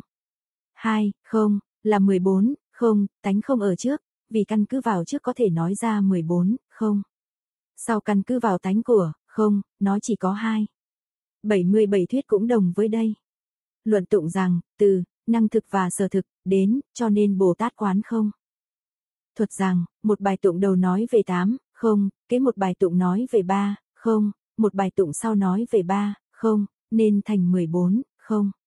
Song cuối bài tụng thứ nhất có một chữ, không, thấu suốt tám xứ, câu thứ hai, câu thứ ba cùng câu thứ tư, mỗi câu kết lại ba không trên, đều chuẩn theo đây. Luận rằng, từ, năng thực không, đến, tức là ngoại không. Thuật rằng, trước điệp văn sau trình bày nghĩa. Hai, không, này, căn cứ vào xứ làm ra luận, dầu cho ở trong ngoài thân, tùy theo xứ mà nói lập ra hai, không. Năng thực nghĩa là thọ dụng, sở thực là ngược lại vậy. Luận rằng, từ, nương vào thân này, đến, tên nội ngoại không. Thuật rằng, đây cũng là điệp văn sau trình bày nghĩa. Căn cứ hai, không, trước mà phân ra sáu xứ. Nay, không, này, căn cứ vào một thân chung, nhóm hợp hai pháp trước để thành thân. Luận rằng, từ các khí thế gian nói là sở trụ, đến, tên là đại không. Thuật rằng, chỉ căn cứ vào khí thế gian bên ngoài tức là ở bốn xứ, trước trình bày nghĩa nhưng sau điệp văn. Từ trước đến nay bốn, không, đều là cảnh của chân trí, kế có một không, không này có thể quán tâm. Luận rằng, từ, năng kiến này, đến, gọi là không không. Thuật rằng, trong xứ này vân vân, bốn không là sở kiến, kiến không trí này, gọi là năng kiến, năng kiến là trí của không, cũng là không nên nói không không. Nhưng trí nương vào không mà sinh khởi, nên chỉ nói là không, trí này cũng không nên gọi là không không. Năm không trên này đều giải thích theo luận chủ, còn không của trong thân cho đến không của không thì gọi là không không, đồng với luận du già. Luận rằng, từ, như lý, đến, gọi là thắng nghĩa không. Thuật rằng, thể của như lý tức là thắng nghĩa, thắng nghĩa tức là pháp tánh chân như, vì nghĩa của thắng. Này nói như là nghĩa, nên ở nơi thắng, vì xứng với lý mà biết nên gọi là như thật hành, hành là hữu vi, vì lược ra pháp vô vi nên gọi là như thật. Lại nói, lý tức là nghĩa, nên ở nơi nghĩa là như thật hành, cảnh của sở quán. Như lý này tức là không, nên gọi là như lý không, đó là giải thích theo lối chỉ nghiệp. Nếu chỉ nói như lý là giải thích theo lối thắng nghĩa. Vì là nghĩa của thắng nên gọi là thắng nghĩa không, cho nên giải thích theo lối chỉ nghiệp, cũng đồng với luận du già. Căn cứ vào đây mà nói ra, gọi là thắng nghĩa không. Căn cứ vào nghĩa khác mà nói, gọi là vô tánh tự tánh không. Luận rằng, từ, Bồ Tát tu hành, cho đến, vô vi không. Thuật rằng, đây là căn cứ vào việc làm của Bồ Tát, đắc pháp thiện hữu vi, nên giải thích theo lối quán không. Căn cứ vào luận đô già thì vô sắc giới vốn không có tướng. Căn cứ vào không tướng mà giải thích hữu vi không. Căn cứ vào nghĩa riêng của mỗi thứ, thì vô vi đồng với đây. Hai tên này cũng giải thích theo luận chủ. Vì hữu vi thảy đều không, tức quán cả hai đều không. Vì hai thứ này quán riêng đều không, nên nay giải thích như vậy. Luận rằng, từ, vì đối với hữu tình, đến, tất cánh không. Thuật rằng, vì hữu tình nên chỉ quán ở nơi không, quán các việc làm của hữu tình là không. Vì các hữu tình này vân vân, cuối cùng không thể đắc, tất cánh, tức là không, nên gọi là tất cánh không. Ý của văn luận du giả thông với hai lối giải thích này, nhưng không nói việc làm của hữu tình. Luận rằng, từ, sinh tử triền miên, đến, gọi là vô tế không. Thuật rằng, luận sư gọi là tiền hậu không, đây là giải thích theo lối của luận chủ, nên gọi là vô tế không. Luận rằng, từ, không quán là không, đến, sinh tử là không. Thuật rằng, đây là giải thích nguyên do quán vô tế là không. Như hàng nhị thừa không quán sinh tử, là không, liền nhanh chóng nhàm chán xả bỏ mà nhập vào niết bàn. Bồ Tát đại sĩ không nhàm chán sinh tử, nên khởi lên tâm đại bi lợi ích hàm thức. Vì Bồ Tát quán thể tánh của sinh tử cũng là không, không nhàm chán, không dính mắc. Luận du giả nói, nếu rõ biết an lập chân như, vốn có tánh sinh, diệt, trụ, dị tương tục tùy theo mà chuyển tướng, nên tướng dùng không và vô tế không để đối trị. Này căn cứ vào tổng tướng của sinh tử nên nói quán của sinh tử không. Ở kia là căn cứ biệt quán, cho rằng ở trong chân như có tướng sinh diệt, nhưng biệt quán đó cũng không sai trải. Luận rằng, từ, vì đã tu thiện, đến, gọi là vô tán không. Thuật rằng, luận xưa gọi là bất xã không, vì khiến cho pháp thiện không xả bỏ nên quán không. Ở đây nói, tán tức, là nghĩa của xã. Vì làm thiện nên quán không, hoặc quán thiện là không, đều là không của bất xã.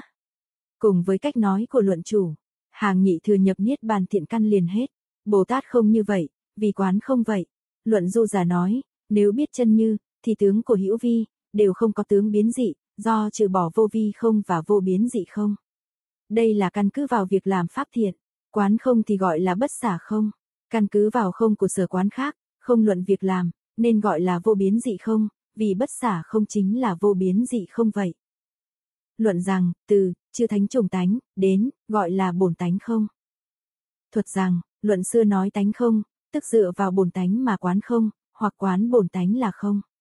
Luận du giả nói rõ, biết nghĩa của thọ dụng, thì việc thừa sự của nam, nữ đều như nhau, đều có tướng bên trong an lạc, tướng bên ngoài tịnh diệu. Đây là do xả bỏ nội ngoại không và bổn tánh, tức ở đây căn cứ vào hành vi, còn kia căn cứ vào sở trị. Chính cái thiện của sở trị, khiến cho tính thanh tịnh. Lúc khiến cho tính thanh tịnh, tức là có sở trị, nên không trái nhau, vì đã hướng về riêng. Luận rằng, từ, Bồ Tát vì đắc, đến, gọi là tướng không. Thuật rằng, Đức Phật có 32 tướng tốt, 80 vẽ đẹp. Luận xưa nói là tiểu tướng, mà quán đây là không, hoặc vì đây chỉ quán không. Luận du giả nói, nếu biết rõ nghĩa chân như, có sinh, trụ vân vân.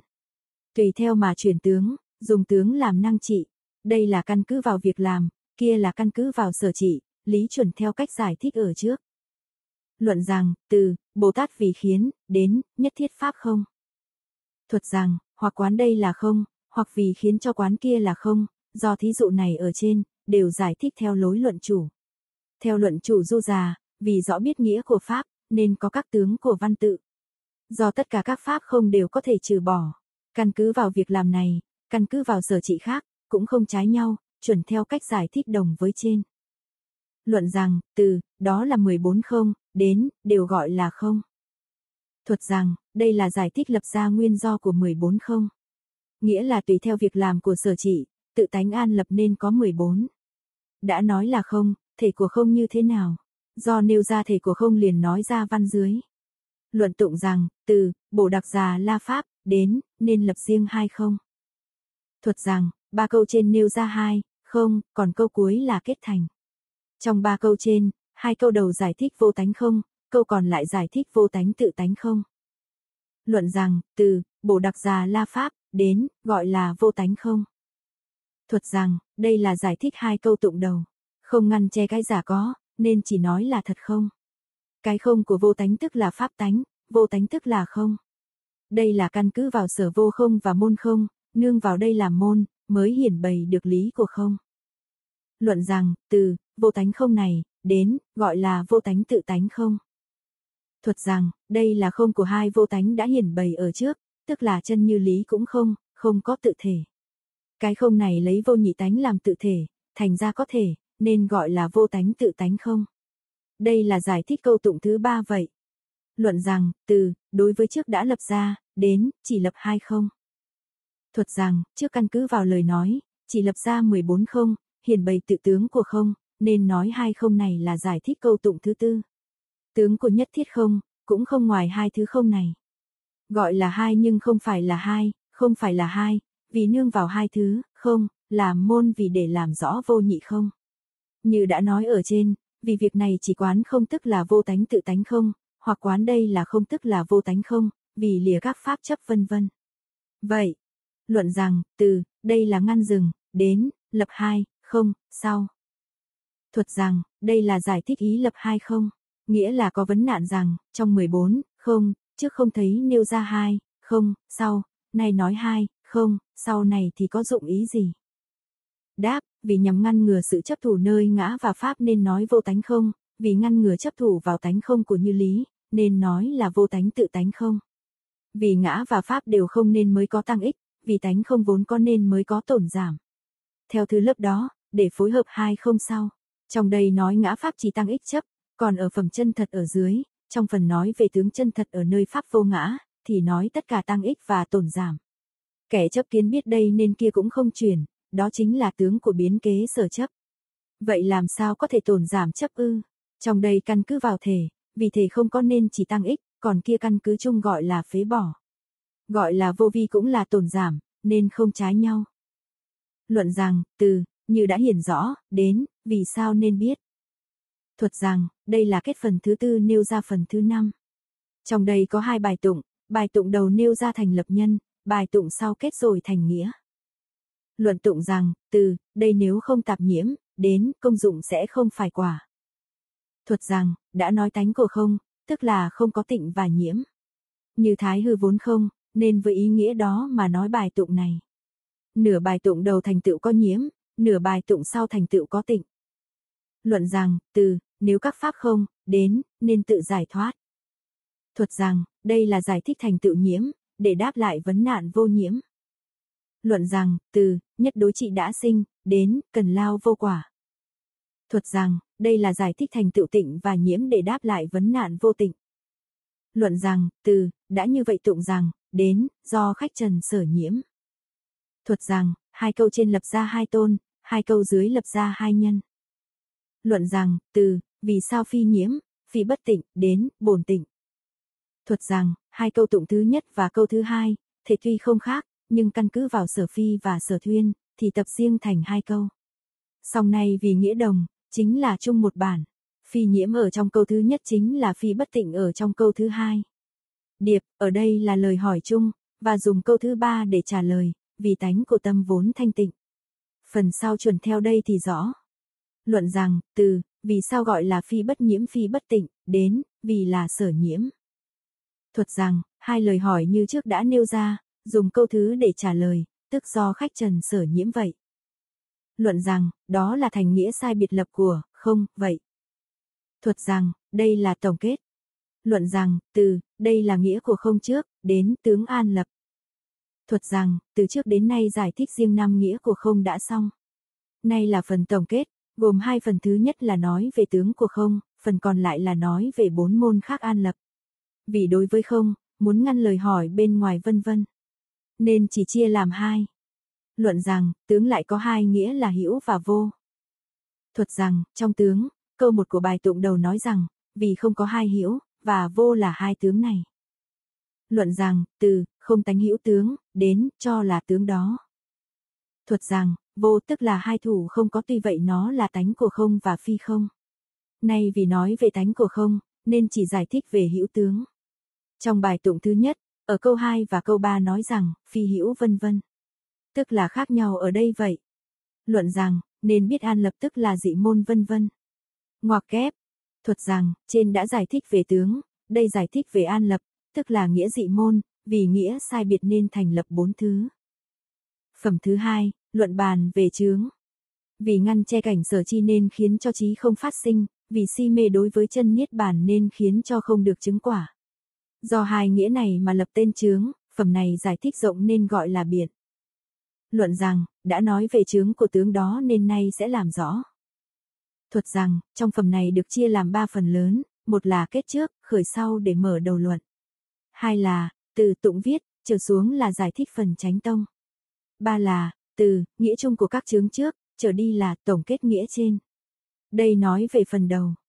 Luận tụng rằng, từ cụ phần và nhất phần, đến, nói hai loại tánh của chướng. Thuật rằng, đây tức là phần thứ hai giải thích về chánh tông. Trong phẩm này cả thầy có 17 bài tụng. Trong phần, thập năng tác, tuy có hai bài tụng, nhưng do ngài thế thân giãn thêm, nên chẳng phải là căn bản. Trong 17 bài tụng này hợp chia làm năm. Một bài đầu nói đủ về năm chướng, kế có hai bài tụng nói về chướng của tránh gia hạnh, tức là chín kết, kế có sáu bài tụng nói phân nửa về chướng riêng của giác phần, lục độ, thập địa, sau có một bài tụng kết về hai chướng, vì chấp nhận diệt là giải thoát nên phải nói về y. Nhưng phần tổng kết văn dưới lấy đoạn phần của nghĩa nên là 11. Vì thể của năng chướng và sở chướng mỗi mỗi khác nhau, nay cái mà phán xét này do văn nghĩa hợp rõ ràng. Đoạn kế là luận nên chia làm năm. Nay là bài tụng đầu nói về năm thứ chướng của cụ phần vân vân. Ba câu trên nêu ra thể của năm chướng, một câu dưới nêu ra người sở chướng. Tuy nêu ra chướng có thể nhiếp hết cụ phần, nhưng căn cứ vào nghĩa riêng, lại chia ra bốn thứ khác. Luận rằng, từ cụ phần chướng, đến, vì trùng tánh pháp. Thuật rằng, luận xưa, đầu nói khắp tất cả, sau nói một phương, đối với kiến đạo của Bồ Tát và địa vị như Lai.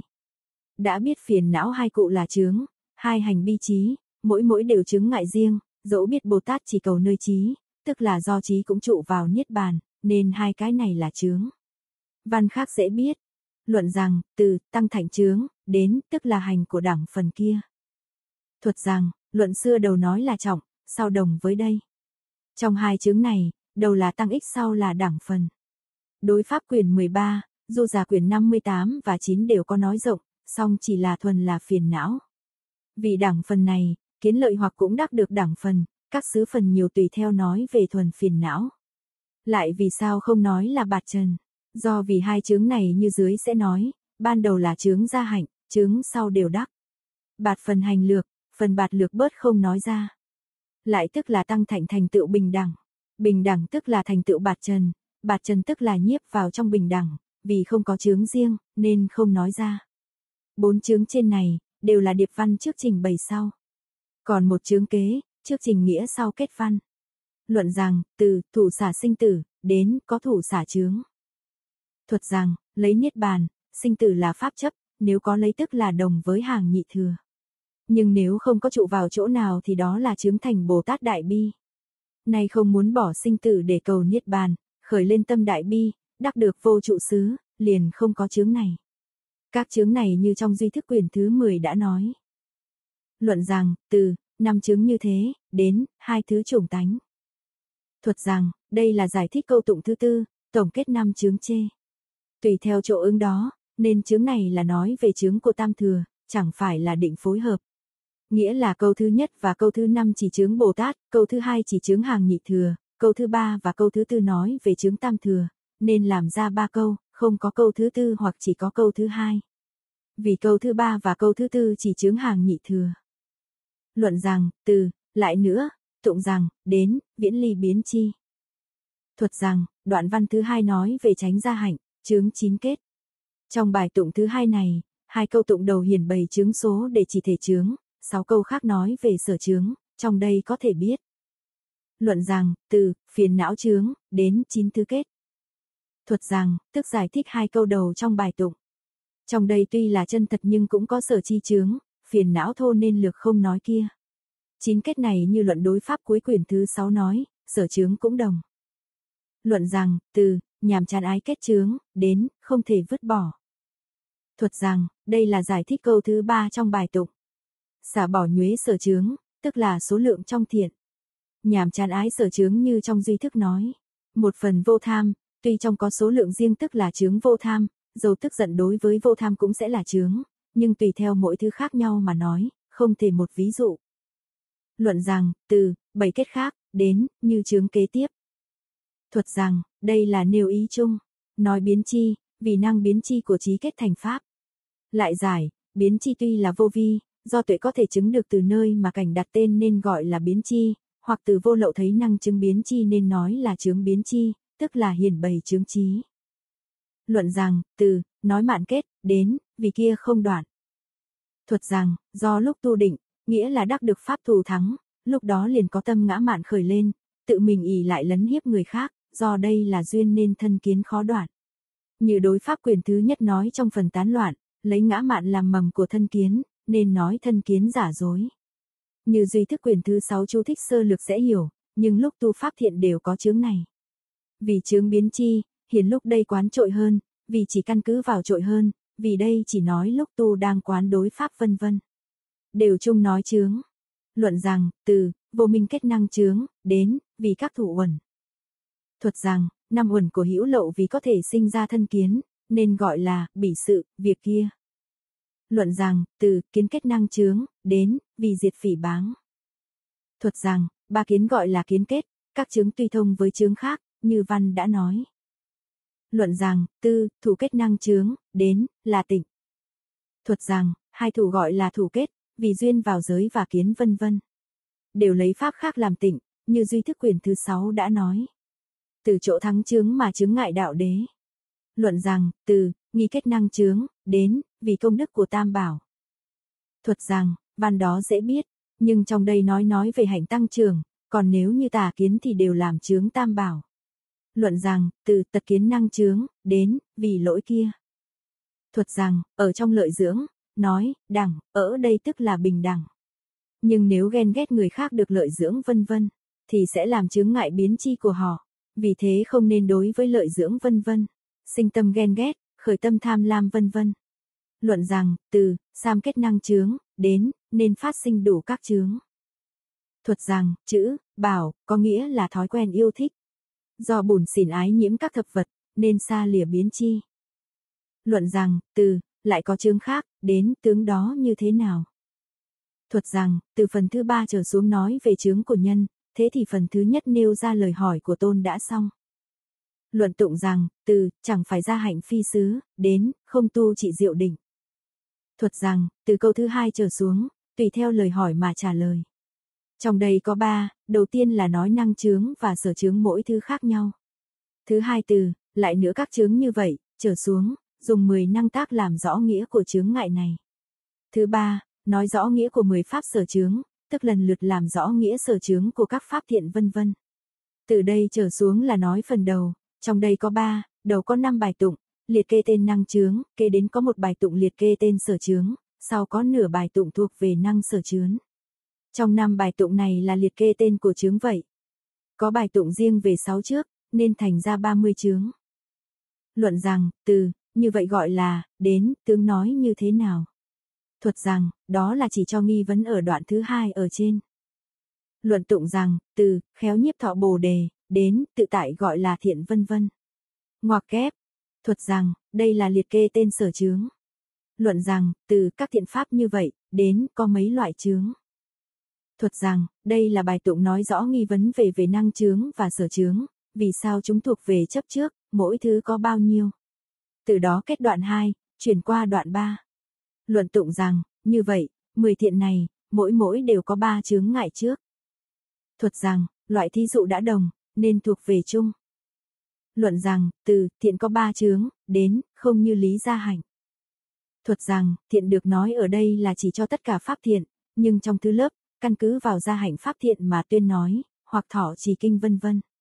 Có sinh đắc có thiện cũng là tên gia hạnh. Nói phi xứ là đối với thế gian học theo nghiệp tà, đều gọi là phi xứ. Coi là phi thiện xứ, thực đối với đây gia hạnh tạo tác, nên không như lý. Ở trong pháp thiện tuy gia hạnh tạo tác, nhưng không như lý. Nói tính của đại thừa đối với tiểu thừa gia hạnh tạo tác, tức là không phải gia hạnh vân vân. Là chướng ngại chẳng phải chỉ có thể của chướng. Phần sau đều tùy theo, nên chuẩn theo đây để rõ tướng đó, không thể nêu ra đầy đủ. Luận rằng, từ, ba chướng bồ đề, đến cuối cùng viên mãn. Thuật rằng, nghĩa này dễ hiểu. Luận rằng, từ, phát tâm bồ đề, đến, tánh của tâm rất mệt mỏi nhàm chán. Thuật rằng, vì tâm bồ đề nhiếp phục hết các pháp thiện, có thể nhiếp phục các pháp thiện mà lãnh thọ nó. Vì tâm bồ đề có thể giúp ích cho mình nên cũng gọi là nhiếp thọ. Nhiếp thọ rốt giáo là việc của Phật quả, nên cũng gọi là nhiếp thọ. Ban đầu thiếu tránh hạnh và thiện, chứng đầu có gì khác nhau. Đây tuy có gia hạnh nhưng chỉ một phần phần không đủ, nên gọi là khuyết, nó hoàn toàn không có, nên gọi là vô gia hạnh. Chướng đầu và chướng thứ hai có thể biết, còn chướng thứ ba tuy đầy đủ tính tốt, nhưng đối với việc làm thiện nếu làm hết mức liền sinh ra tâm mệt mỏi nhàm chán thì không thể tu hành, nên cũng gọi là chướng. Luận rằng, từ, người có trí tuệ, đến, người xấu cùng ở chung. Thuật rằng, Bồ Tát được gọi là người có trí tuệ, đối với tánh của Bồ Tát rõ biết, có ba thứ chướng. Tánh tức là chân như, là thật tánh của Bồ Tát, hoặc tức là trí tuệ, vì Bồ Tát là giác ngộ cho hữu tình. Luận rằng, từ, người thô bỉ trong đây, đến, gọi là người xấu. Thuật rằng, đây là chọn người thô bỉ và người xấu, hai hạng người sai khác. Đầu tiên tức là người ngu si, sau tức là căn cứ vào vật, nghĩa là hủy bỏ. Đây là nói vì đối với người khác nói lỗi của họ, thích phá hoại việc thiện của người khác. Đức của họ thì ẩn giấu điều ác của họ thì hiện bày nên gọi là người xấu. Luận đều nói thích hủy báng người khác, nghĩa là đồng với hai hạng người này. Luận rằng, từ, vô loạn có ba chướng, đến tánh không thuần thục. Thuật rằng, điên đảo thô trọng, tức là bốn đảo, bảy đảo, thấy tâm tưởng đảo. Trong ba chướng của phiền não V, V, tức là nghiệp của phiền não sinh ra ba thứ, tùy theo mỗi thứ mà có tánh khác. Tức là ở trong ba chướng, tùy theo khởi lên một thứ, còn hai thứ kia tánh không khởi. Hoặc hai thứ tuy không có, tùy theo có ở một thứ, là vì hai thứ đó khác với tất cả, nên gọi là tùy theo một thứ có tánh khác. Năng thành thục vân vân, nghĩa là tuệ có thể thành thục có thể giải thoát, hoặc tuệ này đối với sự giải thoát có thể thành thục. Vì chưa được thành thục, nên không thể không loạn. Do đó, ba thứ này đều là chứng của kiến đạo. Luận rằng, từ, chứng đoạn diệt gọi là vô chứng đến tánh buông lung. Thuật rằng, đây là chứng của tu đạo vậy. Nói cùng sinh thô và trọng, tức là tất cả phiền não của tu đạo. Hai thứ đó có thể biết, tùy đó mà nói thêm cũng không thừa. Luận rằng, từ, hồi hướng có ba chướng, đến tánh cổ tâm hạ liệt. Thuật rằng, do ba chướng này mà khiến cho tâm hướng về ba chỗ khác, không hướng về vô thượng chánh đẳng bồ đề, mà lại khởi lên tâm thấp hèn ưa thích niết bàn. Đoạn văn đó dễ biết. Luận rằng, từ, không sợ hãi có ba chướng, đến, suy nghĩ về nghĩa. Thuật rằng, không kính người tức là Phật và Tăng, không kính Pháp tức là giáo Pháp. Cho dù có kính Pháp nhưng tự mình không suy nghĩ lựa chọn, tùy theo lời mà hiểu rõ, do đó mà không thể không sợ hãi. Sợ hãi vì giáo Pháp quá mênh mông. Luận rằng, từ, không keo kiệt có ba chướng, đến tâm không có thương xót. Thuật rằng, đầu tiên là keo kiệt Pháp, thứ đến là keo kiệt về của cải, sau là vì không có lòng thương xót, thành ra chướng không keo kiệt. Luận rằng, từ, tự tại có ba chướng, đến thắng tam ma địa. Thuật rằng, thứ nhất là người thiếu thốn, do lúc xưa sinh tâm ganh ghét và tăng thêm, có thể cảm được nghiệp thiếu thốn Pháp, do đó thời nay đối với Pháp không nghe được, không được làm đại Pháp sư tự tại. Hai là, tuy được nghe Pháp, nhưng rất ít tra xét. Ba là, tuy nghe rộng Pháp nhưng không tu thắng định, không đắc thần thông, không được uyên bác thuyết Pháp tự tại. Các chướng trên đây, phế lập liên vòng kế tiếp nhau. Như chướng thứ ba giải thích, đều nên suy nghĩ lựa chọn.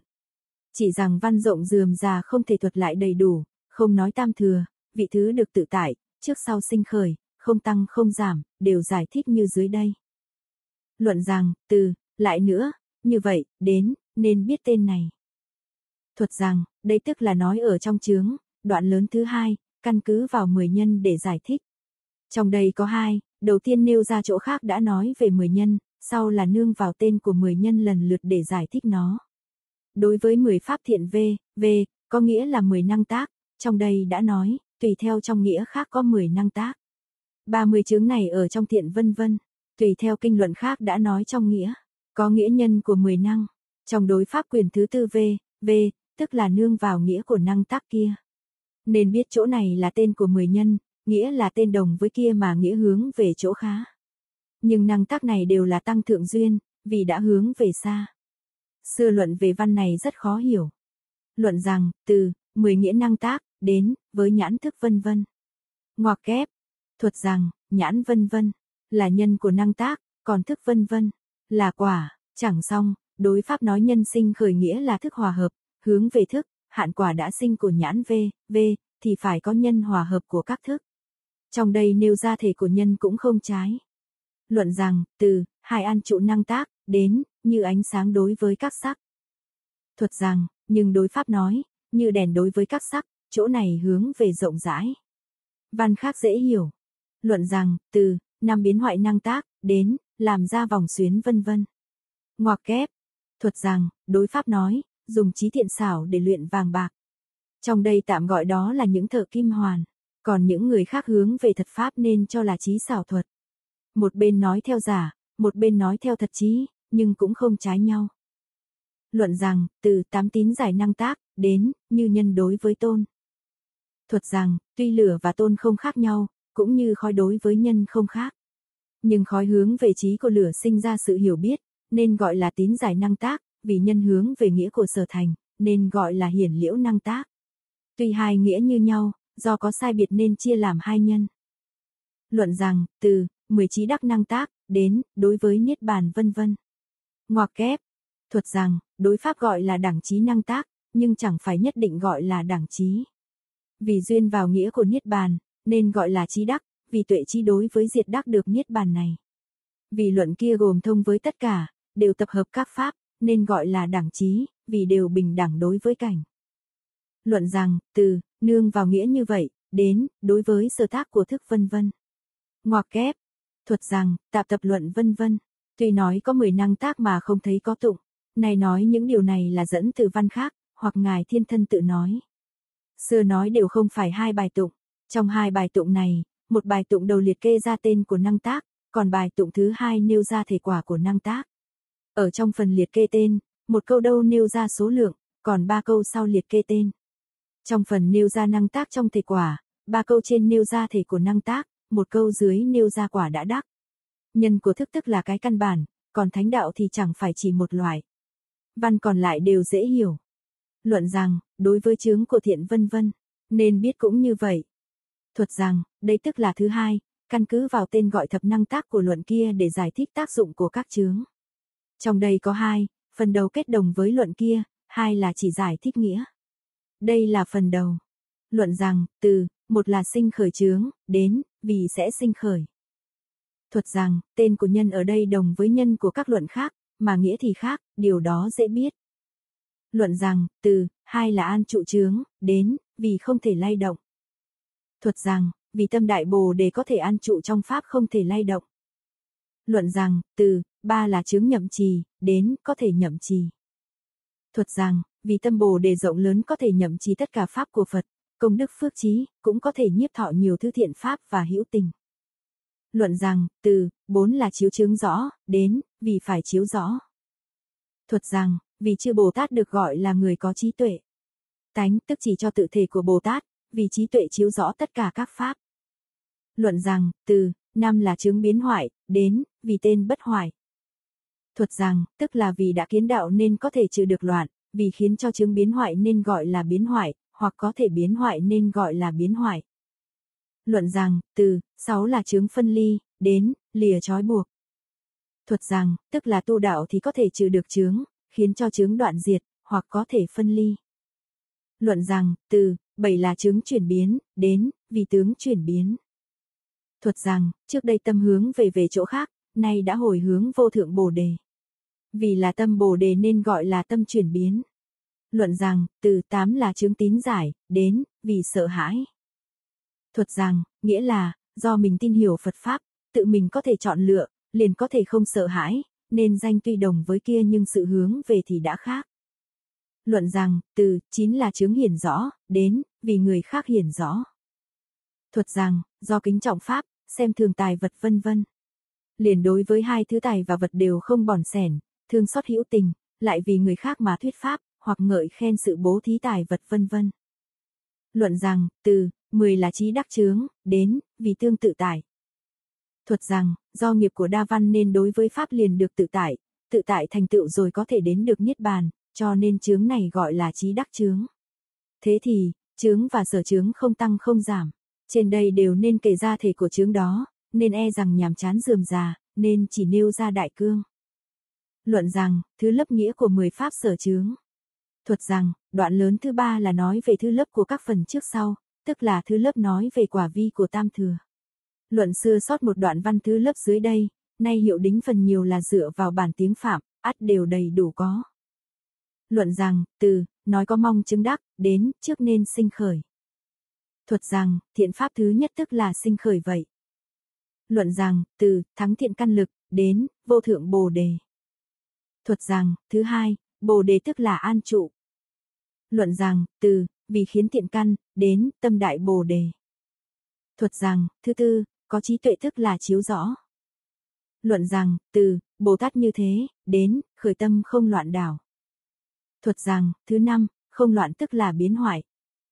Luận rằng, từ, do trong kiến đạo, đến, đoạn tất cả chướng. Thuật rằng, thứ sáu, vô chứng tức là phân ly. Luận rằng, từ, đã đoạn chứng rồi, đến, tránh đẳng bồ đề. Thuật rằng, thứ bảy, hồi hướng tức là chuyển biến. Luận rằng, từ, do sức hồi hướng, đến, liền không sợ hãi. Thuật rằng, thứ tám, không sợ hãi tức là tin hiểu. Luận rằng, từ, đã không sợ hãi, đến tuyên nói khai thị. Thuật rằng, thứ chín, không bùn xỉn tức là hiểu rõ. Luận rằng, từ, Bồ Tát như vậy, đến, đều đắc được tự tại. Thuật rằng, thứ mười, tự tại tức là trí đắc. Luận rằng, đó là thứ lớp mười nghĩa của Pháp thiện. Thuật rằng, tức là kết phần trên. Song chuẩn theo văn này, bốn vị đầu tức là phát tâm, kể từ địa vị sơ phát tâm và thập tín trở về trước thì chưa được vào địa vị tăng kỳ. Phải từ địa vị thế đệ nhất trở đi, hoặc là tư lương vị thứ ba, gia hạnh vị thứ tư, kiến đạo vị thứ năm, sở địa tu đạo thứ sáu, sau đó bỏ nó để đến thất địa, đệ bát địa. Bảy lời khuyên thỉnh chư Phật được gọi là hồi hướng. Tám là ở địa thứ chín, được trí tự tả. Chín là ở địa thứ mười, được nghiệp tự tại, làm đại thần thông, được mưa pháp lớn. Mười là ở Như Lai địa, đối với tất cả các pháp đầu tự tại. Tam thừa thông cục nghĩa là trong đây chỉ nói vị kế đại thừa. Vì chỉ nói vô thượng đại bồ đề, nên trừ hàng nhị thừa ra không nói. Luận rằng, từ tuy các pháp thiện vân vân, đến, các chướng sai biệt. Thuật rằng, từ đây trở xuống là đoạn lớn thứ tư nói về giác phần, và chướng sai biệt của các pháp thiện. Trong đây có hai, đầu là giải thích lời hỏi bên ngoài, sinh ra văn luận sau. Hai là, từ tụng rằng, trở đi, là chiếu theo nghĩa chính để giải thích. Đây là phần đầu, có người hỏi rằng, trước đã nói thiện pháp chướng tức là thuộc về giác phần và độ địa chướng. Vậy tại sao lại còn nói giác phần vân vân, gọi là biệt chướng ư? Vì giải thích lời hỏi này, mà luận đáp rằng, tuy biết là đã nhiếp rồi, nhưng tổng và biệt có khác, nên cần nói riêng. Bởi thiện là chung, giác phần là riêng. Vì muốn làm rõ cái riêng của chứng chung ở trước, nên nay phải nói riêng. Luận tụng rằng, đối với giác phần và độ địa, có chứng riêng nên biết. Thuật rằng, từ phần thứ hai này trở xuống là nương vào nghĩa chính để giải thích. Phần này có 6 bài tụng rưỡi, trong đó chia làm hai. Nửa bài tụng đầu nói chung về chướng riêng, 6 bài tụng sau nói chung ba chướng riêng. Đây tức là phần đầu. Luận rằng, từ, lại ở giác phần, đến, mỗi mỗi có chướng riêng. Thuật rằng, đây là giải thích chung đại cương của bài tụng, văn đó dễ hiểu. Luận rằng, từ, đối với bồ đề phần, đến, thấy lỗi của thô trọng. Thuật rằng, từ đây trở xuống có 6 bài tụng nói riêng về ba chướng, lại chia làm ba, một bài tụng đầu nói về chướng của pháp bồ đề phần, kế có hai bài tụng nói về chướng của độ, sau có ba bài tụng nói về chướng của mười địa. Đây tức là phần đầu. Luận rằng, từ, đối với bốn niệm trụ, đến, chứng bất thiện xảo. Thuật rằng, niệm trụ, là giải thích về nghĩa lân cận. Nói bốn niệm trụ tức là giải thích về số lượng. Nói thiện xảo tức là trí khéo léo, do ở trong việc không khéo léo. Kế thân, nghĩa là tịnh. Tịnh nếu nói rộng là chướng thể của tịnh, lạc, thường, ngã. Do chướng niệm trụ này, mà cần phải quán bất tịnh vân vân. Luận rằng, đối với bốn chánh đoạn có chướng giải đãi. Thuật rằng, chánh thể, tức là đoạn, đó là giải thích theo lối chỉ nghiệp. Nói, bốn tránh đoạn, tức là giải thích theo lối đối số. Vì thể tướng trái nhau, nên cũng gọi là tránh thắng vân vân. Như biệt có bản khác nói, chứng thể tức là giải đãi. Luận rằng, từ, đối với bốn thần túc, đến, tùy theo giảm một. Thuật rằng, thần, nghĩa là thần thông, túc của thần, tức là tam ma địa thiền định. Vì túc của thần là giải thích theo luận chủ. Bốn thần túc cũng là nghĩa đối số. Bốn thần túc này, gồm dục thần túc vân vân, là các pháp trợ giúp. Nếu thiếu một tức là chướng của thần túc. Đối với tám đoạn hành cũng tùy theo mà giảm một. Tám đoạn hành là như đối pháp quyền thứ 10 và quyền hạ vân vân. Nói rằng, gồm có dục, cần, tín, an, chánh niệm, chánh trị, tư và xả. Chứng thể tức là định chướng, vì chưa đoạn được liền khiến cho giảm bớt. Nếu chưa phải đạt được định chướng mà giảm một tức là chướng. Hỏi, phải dốc lòng siêng năng quán thần túc, nếu giảm một thì có thể là chướng. Vậy tám đoạn hành đó đối với thần thông có sức thù thắng gì mà thiếu một là chướng? Đáp, vì tu tập thần túc nhất định phải nương vào đoạn hành, nếu thiếu một thức là chướng của thần túc. Tám thứ này như thế nào? Gồm có bốn nghĩa là gia hạnh, nhiếp thọ, kế thuộc và đối trị, gia hạnh tức là ba thứ dục, cần, tín, nhiếp thọ tức là một thứ an. Kế thuộc tức là hai thứ chánh niệm, chánh trí. Đối trị tức là hai thứ tư, xã. Như đối pháp cuối quyển thứ 10 có nói, ba thứ trên này ở vị nào, vị này tự có phẩm bồ đề phần. Nhưng nay chỉ phán xét ở vị tư lương, mà chưa nói riêng ở tâm nào. Luận rằng, từ, đối với năm căn, đến, chứng của thắng thiện căn. Thuật rằng, dưới đây lại giải thích rằng, vì muốn giải thoát rốt giáo nên phải tu năm căn. Các luận nói như vậy là đối với noãn và đảnh vị. Nếu không phải là đảnh vị giải thoát viêm mãn thì không giữ được năm căn, tức là chướng vậy. Hoặc nói, trường ấy chính là bất tín luận rằng, từ, đối với năm lực, đến, có tánh yếu kém. Thuật rằng, các luận nói ở đây là chỉ cho đệ nhất pháp nhẫn. Khi năm căn do các chứng tạp nhiễm thì dùng hạ phẩm để nhiếp, và nó trở thành chứng của năm lực. Tuy phẩm hạ thiếu, thuận theo phần quyết chọn, cũng là chứng của lực. Có lúc lập ra, vì là chứng sở tạp, nên không nói, hoặc chứng thể đồng với căn. Luận rằng, từ, đối với bảy giác chi, đến, vì đã hiển bày. Thuật rằng, để kiến đạo tuy có các phiền não tham vân vân. Và nghiệp cùng quả, nhưng vì kiến là đầu, nên chỉ nói chướng của kiến. Hoặc vì sở trị của kiến đạo, nên gọi là thấy chỗ thiếu sót, tức là tất cả đều như vậy. Luận rằng, từ, đối với tám thánh đạo, đến, vì đã hiện bày. Thuật rằng, ở trong tu đạo, tuy có kiến vân vân. Nhưng vì thông với thô trọng, nên không nói riêng kiến vân vân. Hiện hành và trùng tử, vì sở chi chứng của các phiền não, đều gọi là thô trọng. Luận rằng, từ, đối với đáo bỉ ngạn, đến, thọ dụng pháp thành thục. Thuật rằng, từ đây trở xuống là phần thứ hai nói về chứng của 10 độ. Một bài tụng đầu nói về quả chứng của 6 độ, một bài tụng sau nói về quả chứng của 4 độ. Luận rằng, từ, đây nói 10 loại, đến, chứng của tự tại.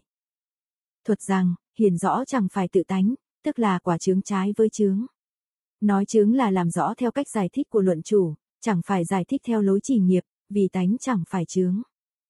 Luận rằng, từ, nghĩa là đối với bố thí, đến, nói thiện tú chướng.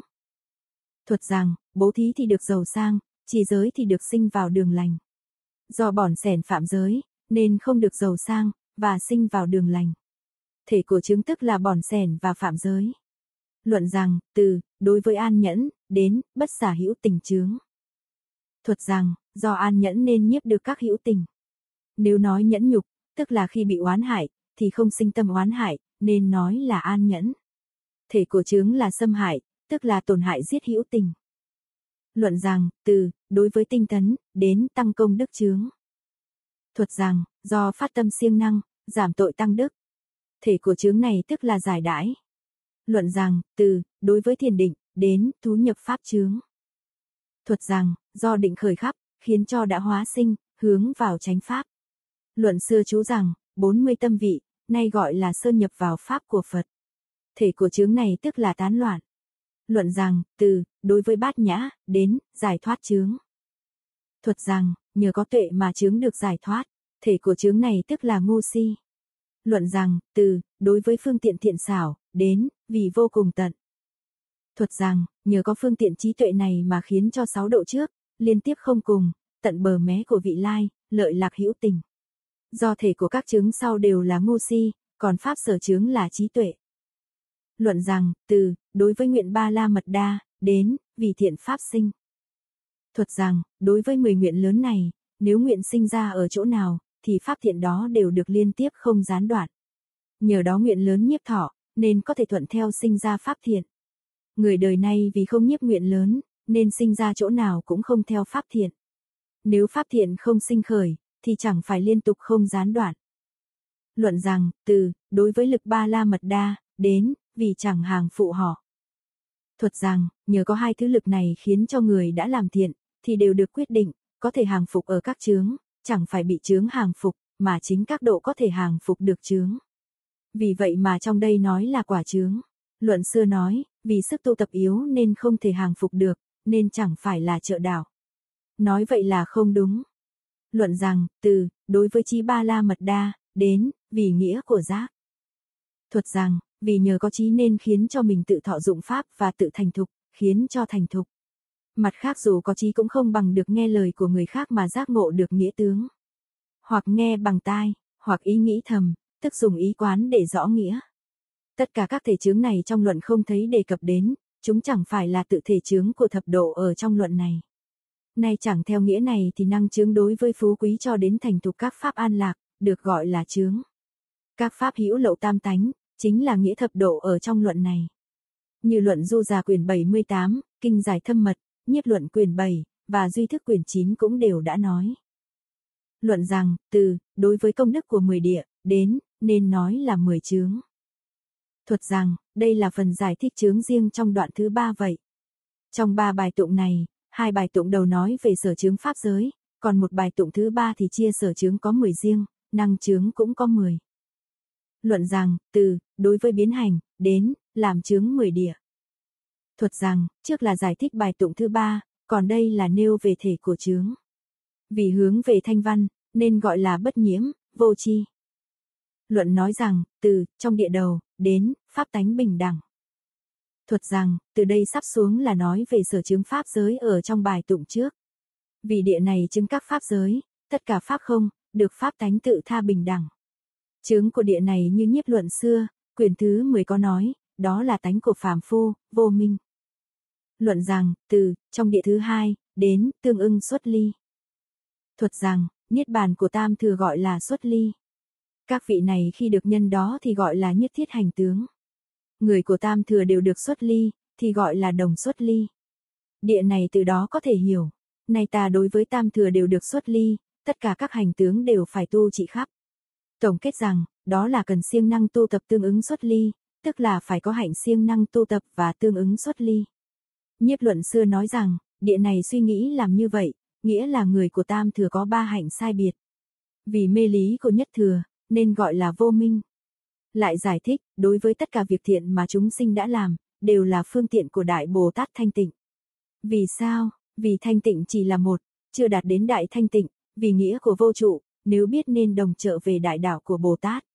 Tại sao cần phải tu phương tiện mà không tu tránh đạo? Vì khi chưa nhập vào địa này, tức là không có trí này, nên gọi là vô minh. Luận rằng, từ, trong địa thứ ba, đến, không cho là vấn nạn. Thuật rằng, nhiếp luận xưa nói rằng, tâm do dự lo lắng về vô minh, văn, tư, tu đều quên mất nên vô minh, chính là chứng địa này, vì chưa đạt trí căn, chậm trễ đối với diệu định của Bồ Tát nên gọi là khổ, vì chướng căn và tu nên gọi là vô minh. Các chướng văn, chỉ không được thuần thục, khiến cho sự suy nghĩ rồi tu quên mất, nên gọi là vô minh. Đây đều là lời nói thêm của người làm luận này. Luận rằng, từ, trong địa thứ tư, đến, cũng đều chuyển diệt. Thuật rằng, trong luận vô tánh nhiếp luận và các kinh đều có nói, vì pháp ái đã đoạn nên không xét đến ngã sở. Vì quán chân như này, chẳng phải thuộc về mình, chẳng phải thuộc về người khác, nên gọi là vô nhiếp nghĩa. Địa trước đã đoạn định ải, địa này đoạn pháp tham và ngã, điều này trong Phật địa luận vân vân. Cũng đã nói nhiều, nhiếp luận xưa nói rằng, các phiền não vi tế, thân kiến, vô minh chính là chướng của địa này. Phiền não hiện hành là pháp chấp, lấy phân biệt trùng tử làm thể. Vì sinh, trụ, diệt không dừng nên gọi là hành. Loại này làm nhân cho thân kiến, và cũng chính là thân kiến lấy nó để làm pháp phân biệt chủng loại. Tất cả phẩm cuối này có thể nói rộng hơn nữa. Đây đều là lời thêm vào, không phải là văn của luận. Luận rằng, từ, trong địa thứ năm đến, tâm thanh tịnh bình đẳng. Thuật rằng, luận vô thánh và nhiếp luận nói rằng, nếu rõ biết như vậy thì thấy sắc pháp chẳng phải là tương tục hay sai biệt, vì thể của các chân như chỉ có một. Cựu nhiếp luận nói rằng, đối với niết bàn của tiểu thừa chính là chướng của địa này. Cho đến nói rộng như ở trong kinh thập địa quyền thứ bảy nói rằng, nhờ có 10 tâm bình đẳng thanh tịnh này mà được nhập vào năm địa. Bản luận biện trung biên xưa có nói rằng, đó là 10 thứ tâm vui vẻ, thanh tịnh bình đẳng. Nay nói là 10 ý vui vẻ của tâm thanh tịnh bình đẳng. Ý vui vẻ tức là do tính dục hoặc dục giải làm thể, nên mới nói là 10 ý vui vẻ thanh tịnh bình đẳng. Thập địa luận giải thích rằng, tâm bình đẳng thanh tịnh là ở trong bình đẳng tâm được thanh tịnh. Kinh nói rằng, một Phật quá khứ tâm thanh tịnh bình đẳng, hai Phật vị lai, ba Phật hiện tại, giới thanh tịnh, năm tâm thanh tịnh, sáu trừ kiến nghi hối thanh tịnh, trí đạo và phi đạo thanh tịnh, tám hành đoạn trí thanh tịnh, suy lường tất cả các pháp bồ đề phần trước kia thanh tịnh, mười hóa độ tất cả chúng sinh thanh tịnh, tâm bình đẳng thâm tịnh. Luận kia giải thích rằng, đó là pháp của chư Phật và tùy thuận các pháp của chư Phật. Vì sao? Vì mười lực của ba đời chư Phật là Phật Pháp, còn bảy đời Phật còn lại đều tùy thuận vào Pháp của Phật. Các Pháp của Phật nhờ đó mà thành tựu, và đều nhờ vào giới định, tuệ để hóa độ chúng sinh. Giới tức là Pháp tịnh thứ tư, định là Pháp tinh thứ năm, còn Pháp tịnh thứ sáu, thứ bảy, thứ tám và thứ chín là trí tuệ thanh tịnh. Trong đó, đệ bát thực hành đoạn trí, tư lương tất cả các Pháp bồ đề phần, dần dần chuyển lên quả vị cao hơn. Giáo hóa chúng sinh là Pháp tịnh thứ 10. Trong 10 pháp tịnh này, ba pháp trước thuộc về quả, 7 pháp còn lại là nhân. Trong 7 nhân ấy, 6 nhân trước thuộc về tự lợi, còn nhân thứ 7 thuộc về lời tha. Đó là giải thích rộng của luận trên. Luận rằng, từ, trong địa thứ 6, đến, vô nhiễm vô tịnh. Thuật rằng, luận vô tánh nói rằng, nghĩa là, biết tánh này vốn không tạp nhiễm cũng không thanh tịnh. Vì tạp nhiễm có trước, sau mới có thể thanh tịnh. Đây tức là vốn không có nhiễm, sau mới có thể tịnh. Cựu nhiếp luận nói rằng, tướng hành thô vô minh là chướng của địa thứ sáu. Và còn giải thích rộng nữa. Luận rằng, từ, trong địa thứ bảy, đến, trong các thứ pháp tướng. Thuật rằng, luận vô tánh nói rằng, như trong các kinh nói có vô vàn pháp sai biệt, đây thì không như vậy. Này đây giải thích rằng, do biết pháp không có tướng, nên không hành hữu tướng. Còn các pháp tướng ở trong khế kinh, xét đến cùng cũng là các pháp hữu tướng. Cựu nhiếp luận nói rằng, tướng hành vi tế vô minh là chướng của của địa thứ bảy. Cho đến nói rộng như kinh nói, Long Vương do 12 nhận duyên sinh hoặc sinh mà không sinh. Vì sao nói sinh? Vì xét theo tục đế. Vì sao nói là không sinh? Vì xét theo chân đế. Ở trong 12 nhân duyên, chưa có thể lìa được tướng của sinh, trụ ở tướng không sinh, nên không được vào địa thứ bảy. Luận rằng, từ, trong địa thứ 8, đến, có tăng có giảm. Thuật rằng, luận vô tánh nói rằng, vì pháp ngoài không dùng, cho nên không tăng, vì các pháp không tăng cho nên không giảm. Hoặc nhiễm pháp giảm thời đây không giảm, lúc pháp tịnh tăng đây thì không tăng. Đối với vô sinh pháp nhẫn, thì đã chứng đắc viên mãn, còn sơ địa thì chưa thể chứng đắc viên mãn. Chữ, nhẫn, có nghĩa là trí. Biết nhẫn là pháp vô sinh nên gọi là vô sinh nhẫn. Cựu nhiếp luận nói rằng, đối với vô tưởng tạo tác công dụng tâm vô minh, đó là chướng của địa thứ 8 luận rằng, từ, có bốn tự tại, đến, nghĩa của sở chướng nương vào. Thuật rằng, nay sẽ giải thích địa thứ 9 và địa thứ 10, mỗi thứ đều tự tại nên rộng sự thù thắng. Tự tại có bốn, không phân biệt nghĩa là vì không phải công dụng, tức là có thể nhập vào. Văn còn lại đều giải thích như thường. Luận rằng, từ, trong địa thứ 8, đến, nghĩa của chỗ nương vào. Thuật rằng, trước đã liệt kê bốn tên, nhưng chưa phối hợp với các địa. Nói rằng, hai tự tại đầu chính là hợp với tám địa trước. Song các kinh luận đều nói tám địa được hai tự tại. Luận vô tánh nói rằng, đối với tướng và cõi của tám địa đều được tự tại. Tùy theo tướng sở cầu liền được hiện tiền, nên gọi là tướng tự tại. Và đó chính là các thứ châu báu vàng bạc. Vì sao luận này gọi là không phân biệt tự tại? Trong 10 tự tại lại cũng không có tướng này, do vậy mà không nói tướng tự tại ư. Bổn luận xưa đồng với bổn luận này. Này kết hợp lại giải thích rằng, do chứng được trí vô phân biệt nên ở trong tướng mà được tự tại. Đây là nói ý căn bản trong địa thứ 8 được vô công dụng tự lơi tự tại. Trong địa thứ 9 được lợi tha tự tại. Các luận căn cứ vào quả mà nói nên nói tướng tự tại, cũng không trái nhau, tức là thuộc về một trí tự tại, nên gọi là vô phân biệt. Luận rằng, từ, trong địa thứ 9, đến, vô ngại giải. Thuật rằng, vì gồm nói cả hai thứ trước nên nói cũng có thể. Luận vô tánh nói rằng, phần chứng được trí ba la mật đa, cho đến nói rộng là được vô ngại giải, nên gọi là tự tại. Nhưng trí ba la mật đa này chưa được viên mãn. Cựu nhiếp luận nói rằng, đối với chúng sinh làm việc lợi ích mà không do dụng công, vô minh đó là chướng ngại của địa thứ 9. Luận rằng, từ, trong địa thứ 10, đến, vì việc hữu tình. Thuật rằng, luận vô tánh nói, nghĩa là, tùy theo sự mong cầu mà được thân, ngữ, ý nghiệp dụng tự tại. Nương vào năm thần thông tùy theo nghiệp tự tại đều có thể làm xong. Cho đến nói rộng, luận xưa nói rằng, ở trong pháp chúng sinh mà vô minh không được tự tại, đó là chướng của địa thứ 10. Cũng như luận vô tánh, luận này cũng nói các chướng và địa đó. Cựu luận quyền thứ 10, thập địa luận quyền thứ nhất, hai quyền tân nhiếp luận đều ở quyền thứ 7, duy thức quyền thứ 8 du giả quyền thứ 78. Giải thâm mật vân vân, đều cũng nói điều đó. Luận rằng, từ, lại lược tụng, đến, tất cả chướng giải thoát. Thuật rằng, từ đây trở xuống là đoạn lớn thứ năm, nói sơ lược về hai chướng. Trước là, nêu ra bài tụng, trong bài tụng này chia làm hai, hai câu tụng đầu là kết lại những điều đã nói ở trên vốn không ra ngoài hai chướng này, hai câu tụng sau giải thích hai nghĩa này để nhiếp chọn nghĩa của chướng. Luận rằng, từ, do hai thứ này, đến tất cả chướng giải thoát. Thuật rằng, đây là giải thích đại cương bài tụng, cũng như chư Phật Pháp khi nói tắt thì gọi là Phật vậy. Như luận nói, tất cả các chướng đều được giải thoát.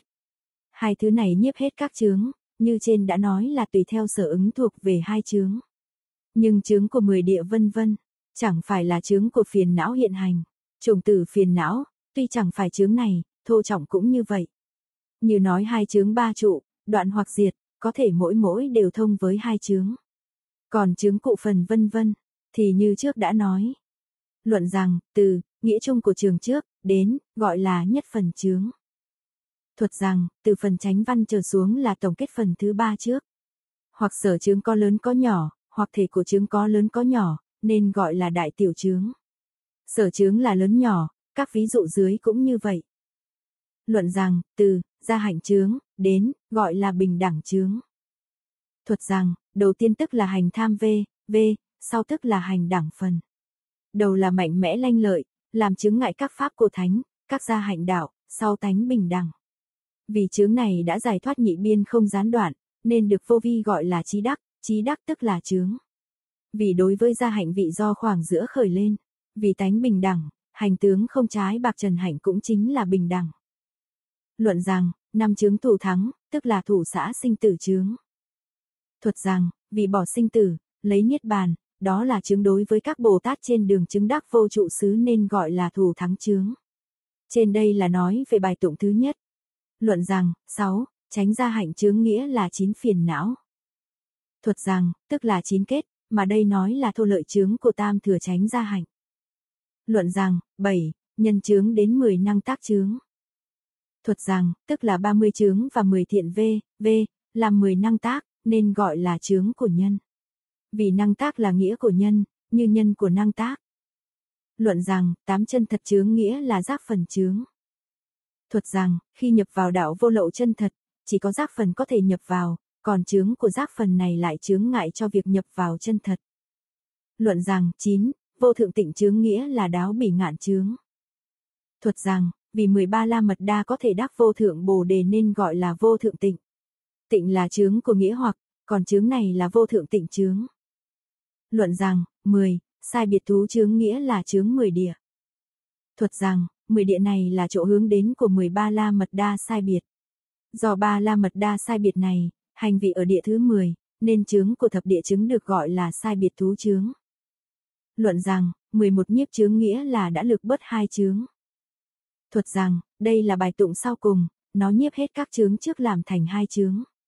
Nhưng trong luận xưa chỉ nói 10 chướng. Ở đây nói thêm phần nhiếp chướng ngoài 10 chướng đó. Này nói chướng trên này, chung có 11 nhưng không đồng với xưa. Lại nữa, đây tuy nhiếp là 11 chướng, nhưng vì đoạn phần không quá năm đoạn đã nói như trước, nên không thể do đây làm thành 11 chướng. Xét kỹ văn trên. Quyển trung. Phẩm thứ ba, biện luận chân thật. Không vọng gọi là chân, chẳng phải hư gọi là thật. Thể của nó vốn có 10 thứ, hoặc có hoặc không, tùy theo pháp đó mà luận nên gọi là chân thật. Phẩm này nên gọi là phẩm biện chân thật, tuy rằng trong phẩm biện tướng đã nói về ba tánh, nhưng đó chỉ nương vào cảnh để nói, còn nay phẩm này lại nói từ nơi cảnh đó mà khởi hạnh. Do vậy, ở đây nói ba tánh là nhằm làm rõ chính chân thật còn lại. Luận rằng, đã nói về chướng đó nên phải nói về chân thật. Thuật rằng, phẩm này có ba phần, phần đầu là kết trước khởi sau để phát ra đầu mối của luận. Phần 2 là từ tụng rằng, trở đi là biện giải thích về chính tông. Phần 3 là từ, nghĩa chân thật chung, lược có hai, trở đi, là nhằm nhiếp lại những gì đã nói ở trên, tổng kết giải thích thể vốn không tăng không giảm. Từ đó làm rõ 10 nguyên do. Luận tụng rằng, từ chân thật chỉ có 10, đến, đều là trừ ngã kiến. Thuật rằng, đây tức là phần thứ hai nói về tôn chính. Trong đây gồm có 23 bài tụng được chia làm hai, hai bài tụng đầu liệt kê tên của 10 chân thật, 21 bài tụng còn lại là giải thích riêng về 10 thật ấy. Trong đó, kế có một bài tụng nói về căn bản chân thật, kế có một bài tụng rưỡi nói về chân thật thứ hai, kế có hai bài tụng rưỡi nói về chân thật thứ ba, kế có hai bài tụng nói về chân thật thứ tư, kế có hai bài tụng nói về chân thật thứ năm, kế có nửa bài tụng nói về chân thật thứ sáu, kế nó nửa bài tụng nói về chân thật thứ bảy, kế có một bài tụng nói về chân thật thứ tám, kế có một bài tụng nói về chân thật thứ chín kế có 9 bài tụng nói về chân thật thứ 10. Đây tức là phần đầu. Trong đó, câu thứ nhất nêu ra tên và số, 7 câu kế liệt kê 10 tên, còn câu thứ 8 là nói về chân thật thứ 10. Đến đoạn dưới đây sẽ biết. Luận rằng, nên biết chân thật chỉ có 10 thứ. Thuật rằng, đây là giải thích câu tụng thứ nhất, chữ, duy, có nghĩa là quyết định, như trước đã giải thích. Luận rằng, từ, một là căn bản chân thật, đến, 10 thiện xảo chân thật. Thuật rằng, đây là giải thích 6 câu kế, nhằm liệt kê rõ tên của chân thật. Luận rằng, từ, lại nữa, 10 thứ này, đến, vì 10 ngã kiến. Thuật rằng, đây là giải thích câu tụng thứ 8, nói nguyên do của 10 thiện xảo. Luận rằng, từ, 10 thiện xảo, đến, pháp vô vi thiện xảo. Thuật rằng, đây là liệt kê tên thiện xảo. Luận xưa nói là thắng trí. Nếu nói là thiện xảo là duyên với trí kia, còn nếu nói là thiện xảo chân thật tức trí này là lý của sở duyên, nên có hai thứ riêng. Nghĩa là, tự uẩn thiện xảo cho đến pháp vô vi thiện xảo là giải thích theo cách của luận chủ. Chân thật thiện xảo, cũng đồng với cách giải thích này. Chân thật của căn bản là sự, hoặc căn bản tức là chân thật. Hai cách giải thích có thể biết. Luận rằng, trong đây thế nào là căn bản chân thật? Thuật rằng, trong này giải thích 10 chân thật. Đây là phần giải thích chân thật đầu tiên. Trong đó, trước là hỏi đáp về ba tên căn bản. Còn từ, điều nói ở đây, trở đi là giải thích căn bản thể. Đây là phần nghi vấn vậy. Luận rằng, vì nương vào đây để kiến lập các chân thật khác.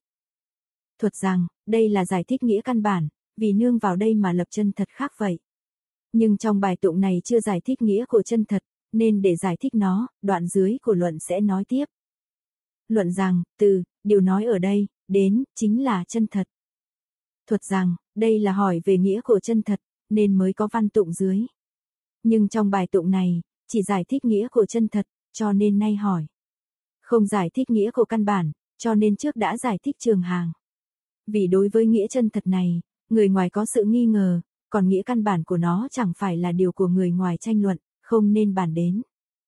Luận tụng rằng, từ, nó về ba tự tánh, đến, hữu vô chân thật.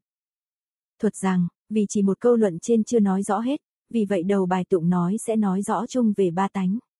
Còn ba câu dưới, mỗi câu cũng đều nhằm làm rõ điều đó. Xem đoạn dưới sẽ rõ. Luận rằng, từ, tức là đối với như vậy, đến, tướng thường chẳng có. Thuật rằng, ba tánh là chung, tánh đầu là riêng, vì nó được nhiếp trong truyền thứ năm, nên luận nói là trong. Chỉ một chữ đó là thông suốt cả ba tánh. Trong phần thứ nhất này, trước trình bày tánh không, vì tất cả thời tướng luôn luôn không có tức là nêu ra thể. Luận rằng, từ, chỉ thường chẳng có, đến, vì không có điên đảo. Thuật rằng, đây là giải thích về chân thật, nghĩa là có người hỏi rằng, tánh này như đã nói là do vọng phân biệt, mà nói là chân thật, đó há chẳng phải là vọng sao.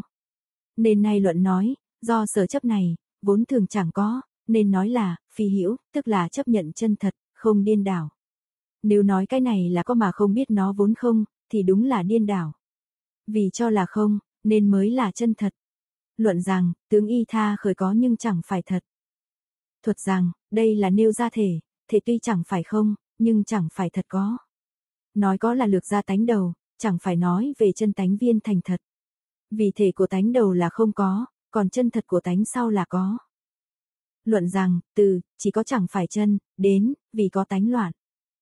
Thuật rằng, đây là giải thích chân thật, vì y tha khởi có tánh loạn thức, chẳng phải là hoàn toàn không, cũng chẳng phải thật có, nên nói là thật, cũng gọi là chân thật.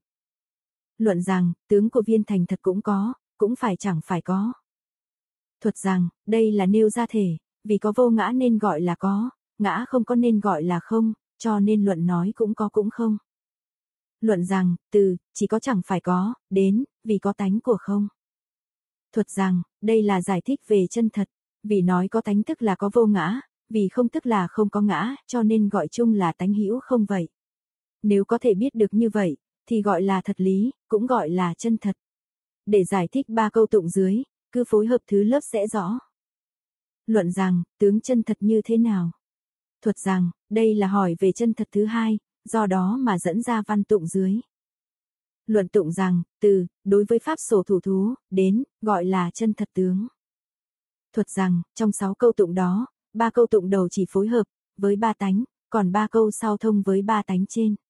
Nghĩa là, đối với pháp sổ thủ thú, có tăng ích tổn giảm kiến, biết đây nên không chuyển khởi, nên gọi là chân thật tướng. Cho đến nói rộng hơn là sổ thủ thú. Nghĩa của năm tướng xoay vòng không dừng nghĩ, trong phần liệt kê tên tướng tức là riêng, chân thật là chung. Trước nói về tướng chân thật, sau nói về tướng. Luận rằng, từ, đối với tất cả pháp, cho đến kiến tổn giảm. Thuật rằng, bộ đặc già la tức là sổ thủ thú. Đây không phải nói về người mà thuộc về loài khác.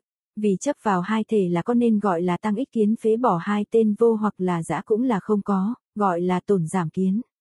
Như nhiếp đại thừa luận vân vân, cũng có nói nghĩa này. Đây chính là nêu ra ở vọng sinh này.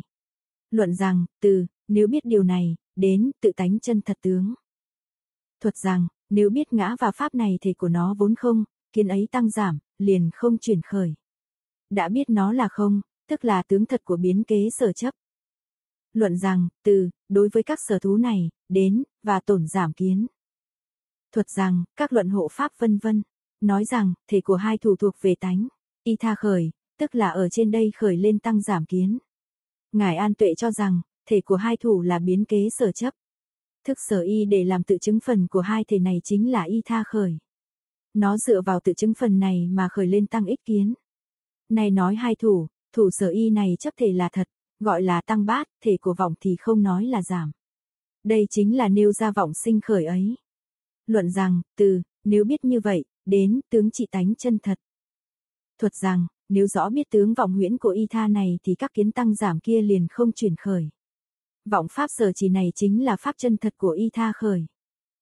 Luận rằng, từ, đối với hữu và phi hữu, đến, và tổn giảm kiến.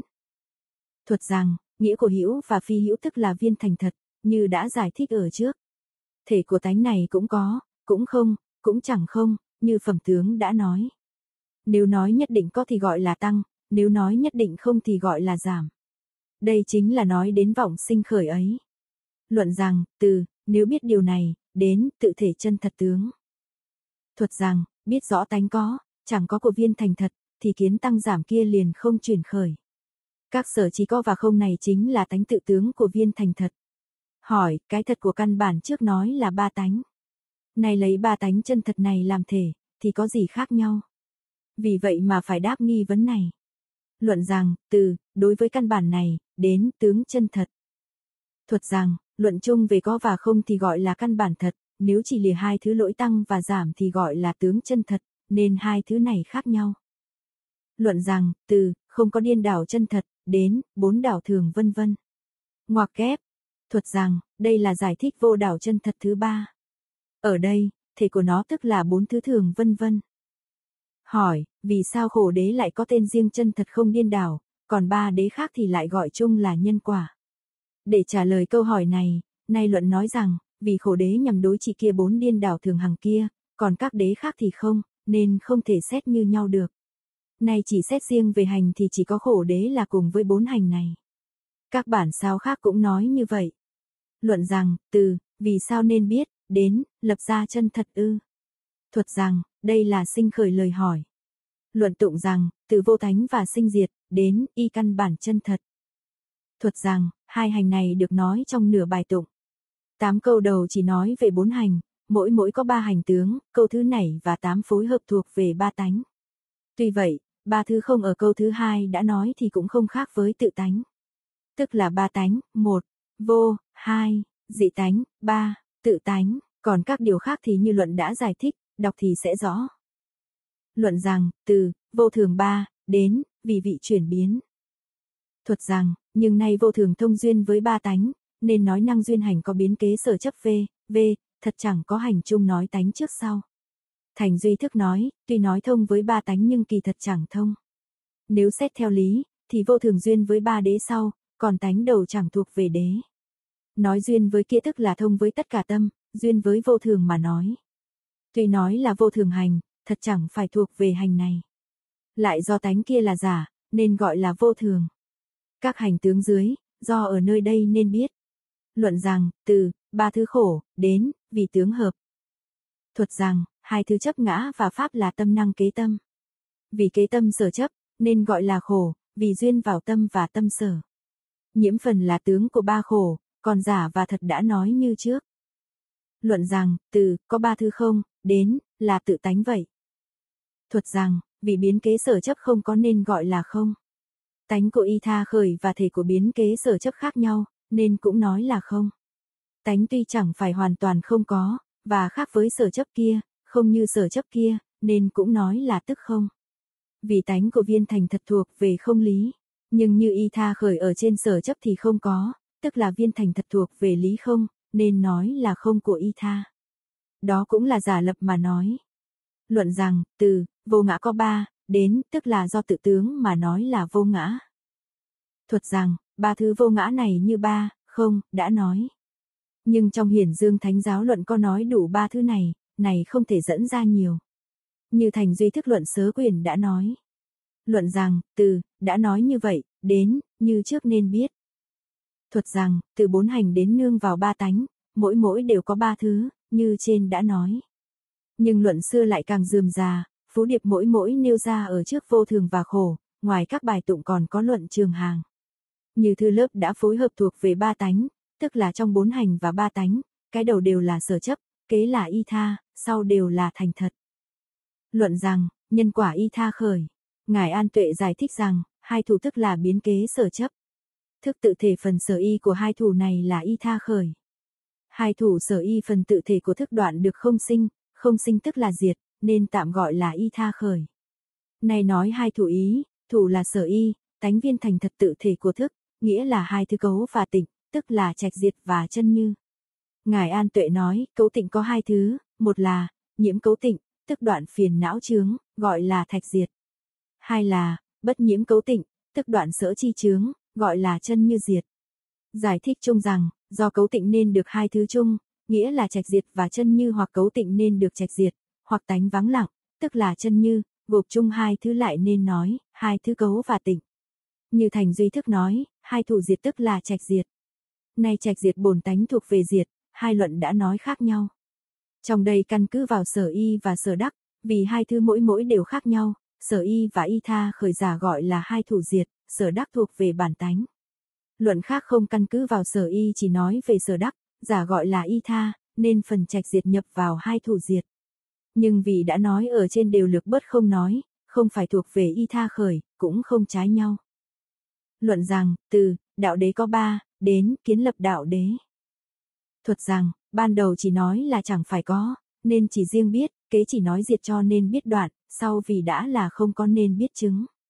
Xong vì trên đã nói, nên ở đây lược bớt không nói vô nhiếp y tha, chẳng phải thể là không có. Luận rằng, từ, thô tế chân thật, đến, căn bản chân thật. Thuật rằng, đây là giải thích phần thứ năm, nên mới dẫn ra văn này.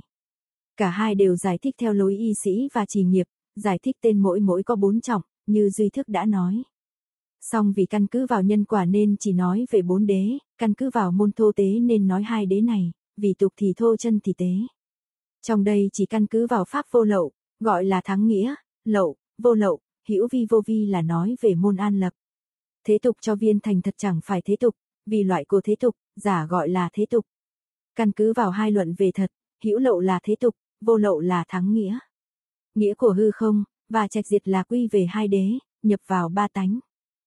Luận tụng rằng, từ, nên biết thế tục đế, đến, vô đảo hai viên thành. Thuật rằng, hai câu tụng này đầu nói về tục đế sau nói về thắng nghĩa. Trong phần nói về thắng nghĩa, câu thứ nhất nói về số, câu thứ hai liệt kê tên, còn hai câu dưới nói về thắng nghĩa này. Nương vào một căn bản tức là tánh viên thành thật, trong tánh viên thành thật có hai, một là hữu vi, hai là vô vi, cả hai đều nương vào đó. Trong ba tánh nương vào một tánh, trong hai thật cả hai đều nương vào nhau. Luận rằng, từ, thế tục đế có ba, đến, kiến lập chân thật. Thuật rằng, tánh đều không có thể, chỉ có tên giả, gọi là giả thế tục. Thứ hai là hữu vi, có nghĩa là rời đổi, gọi là hành thế tục. Tục của thứ ba là do tục thứ hai, hiển bày rõ cũng gọi là thế tục mà thể thật chẳng có. Luận rằng, từ, thắng nghĩa đế cũng có ba, đến, tên là thắng nghĩa. Thuật rằng, vô lậu quán tâm gọi là thắng trí, cảnh kia như vậy gọi là thắng nghĩa. Nghĩa tức là cảnh, là lựa ra hai thứ sau, nên thắng nghĩa gọi là nghĩa. Vì thắng nghĩa thứ bảy truyền nên giải thích tên nó theo lối y sĩ.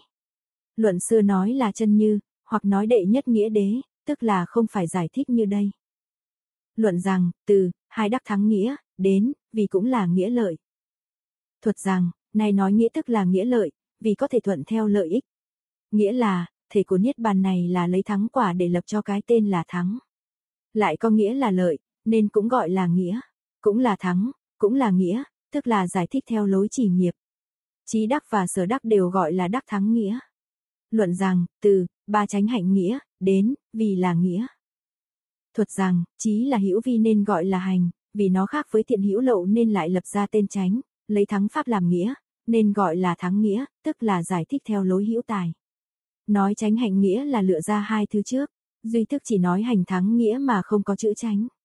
Nếu chỉ nói nghĩa của thắng nghĩa vân vân, tức là không bỏ đi chữ nghĩa ở trên v, v. Giải thích ba thứ này, đều giải thích theo lối chỉ nghiệp, đều bỏ đi chữ thượng, hiểu rõ ba cách giải thích như trên. Hợp uẩn gọi là thắng nghĩa, như duy thức sớ sao quyền thứ nhất đã nói. Luận rằng, từ, ba thắng nghĩa này, đến, lập viên thành thật. Thuật rằng, đây là giải thích ba chữ y, bản, nhất trong câu thứ bảy. Luận rằng, từ, viên thành thật, này, đến có sai biệt. Thuật rằng, đây là giải thích ba chữ nhị, viên, thật trong câu thứ tám. Luận rằng, từ, vô vi nhiếp chung, đến, gọi là viên thành thật. Thuật rằng, đây là giải thích hai chữ cuối câu 7 và hai chữ đầu câu 8. Ở trong hữu vi chỉ nói thánh đạo, vì đạo là chủ, trong vô lậu vị, vì trí thắng khác, như duy thức đã nói. Luận rằng, từ cực thành thật, đến thật lập kia. Thuật rằng, tiếng Phạm gọi là tất đà tức là nghĩa của cực thành. Xưa nói tất đàn tức là tên này vậy. Nhưng hai chân thật này và hai chướng sở hành sau, như luận du giả quyển 36, ở phẩm chân thật nghĩa, cũng đã nói rõ điều này. Nay nói cực thành tức là gọi tên khác vậy. Nay chia ra hai chỗ để giải thích, là muốn làm rõ chân thật thứ sáu, nên mới nói đến thể này. Luận tụng rằng, thế cực thành nương vào một, lý cực thành nương vào ba. Thuật rằng, hai câu này, mỗi một giống như văn dễ biết. Luận rằng, từ, nếu việc thế gian, đến, cực thành chân thật. Thuật rằng, nói là, sự, tức là chỉ cho pháp thế gian. Thế gian thì chẳng phải thánh, đó là giải thích tên thế gian. Cộng sở an lập, tức là tôn đã lập ra, đó là giải thích cực thành. Quán tập, tức chỉ cho tập khí từ vô thị đến này. Tùy nhập, nghĩa là nói giải thích do tập quán, tùy theo chúng, việc của chúng mà giải thích. Giác tuệ sở thú, nghĩa là cùng việc đã an lập. Tất cả thế gian đồng chấp vào việc này, tức là giải thích nghĩa chân thật. Trong đây ý nói, nghĩa là như trong một đại địa. Tất cả thế gian cùng đã lập ra, gọi nó là đất. Đất này là tập quán từ vô thì đến nay, tùy theo duyên vào tuệ hiểu biết của bậc thánh. Tất cả thế gian đồng chấp vào việc này là đất chẳng phải lửa. Cho đến nói rộng tất cả pháp khác cũng vậy. Này đây lại nêu ra năng tạo trong đất và sở tạo trong sắc luôn luôn, tất cả pháp đều như lý mà biết. Đây là giải thích ba chữ thế, cực, thành trong câu thứ nhất của bài tụng. Luận rằng, từ, ở căn bản này, đến, sở chấp mà lập. Thuật rằng, trong bài tụng này, câu thứ nhất nương vào chữ thứ một và ha. Nhưng trong thế gian cũng có tâm thiện hoặc tâm vô ký vân vân. Nói đất chẳng phải lửa. Phi hữu chấp, nghĩa là nay trong chân đạo lý cực thành này thuộc về chân thật. Song lý luận này cũng thuộc về y tha khởi, tức là thông với ba tánh. Luận này căn cứ vào phần một sở chấp, luận du giả căn cứ vào một phần y tha, còn thành duy thức hợp duyên vào nó. Luận rằng, từ, nếu có lý nghĩa, đến, cực thành chân thật. Thuật rằng, nếu có lý nghĩa tức là có nghĩa của đạo lý. Đây là giải thích hai chữ đạo lý, các ngoại đạo vân vân, gọi là người thông minh sáng suốt, các pháp bên trong vân vân. Gọi là bậc hiền thiện, tất cả sinh ra khác gọi là tầm tư. Luận du già phẩm chân thật nghĩa nói, tuy có người nhiếp hết ba hạng này, vân vân. Cũng chính là nghĩa cực thành này vậy, nương vào ở trong ba lượng, bốn thứ đạo lý, chứng thành đạo lý, lập ra lý này. Kiến lập ra lý này, gọi là đạo lý cực thành chân thật. Nương vào ba lượng vân vân, để giải thích nghĩa của chân thật, đây là giải thích chung ba chữ đầu của câu thứ hai trong bài tụng. Luận rằng, đây là nương vào căn bản lập ra ba chân thật. Thuật rằng, đây là giải thích hai chữ cuối của câu thứ hai trong bài tụng. Nếu tâm đã biến chuyển chỉ có y tha khởi, nếu chân như vân vân. Tức là thuộc về tịnh sở hành, nếu chấp tâm duyên tức là thuộc về thế gian. Luận du già nương vào đây để nói chỉ là y tha. Trong đây đã thành tựu có thể thông với ba tánh, nên thuộc về ba tánh. Do đây mà duy thức nói, là gia hội này. Vì lý thông với chấp, vô chấp, tạp nhiễm, và thanh tịnh. Tánh của hai thể này, như luận du giả vân vân. Đã nói, này không thể dẫn ra nhiều.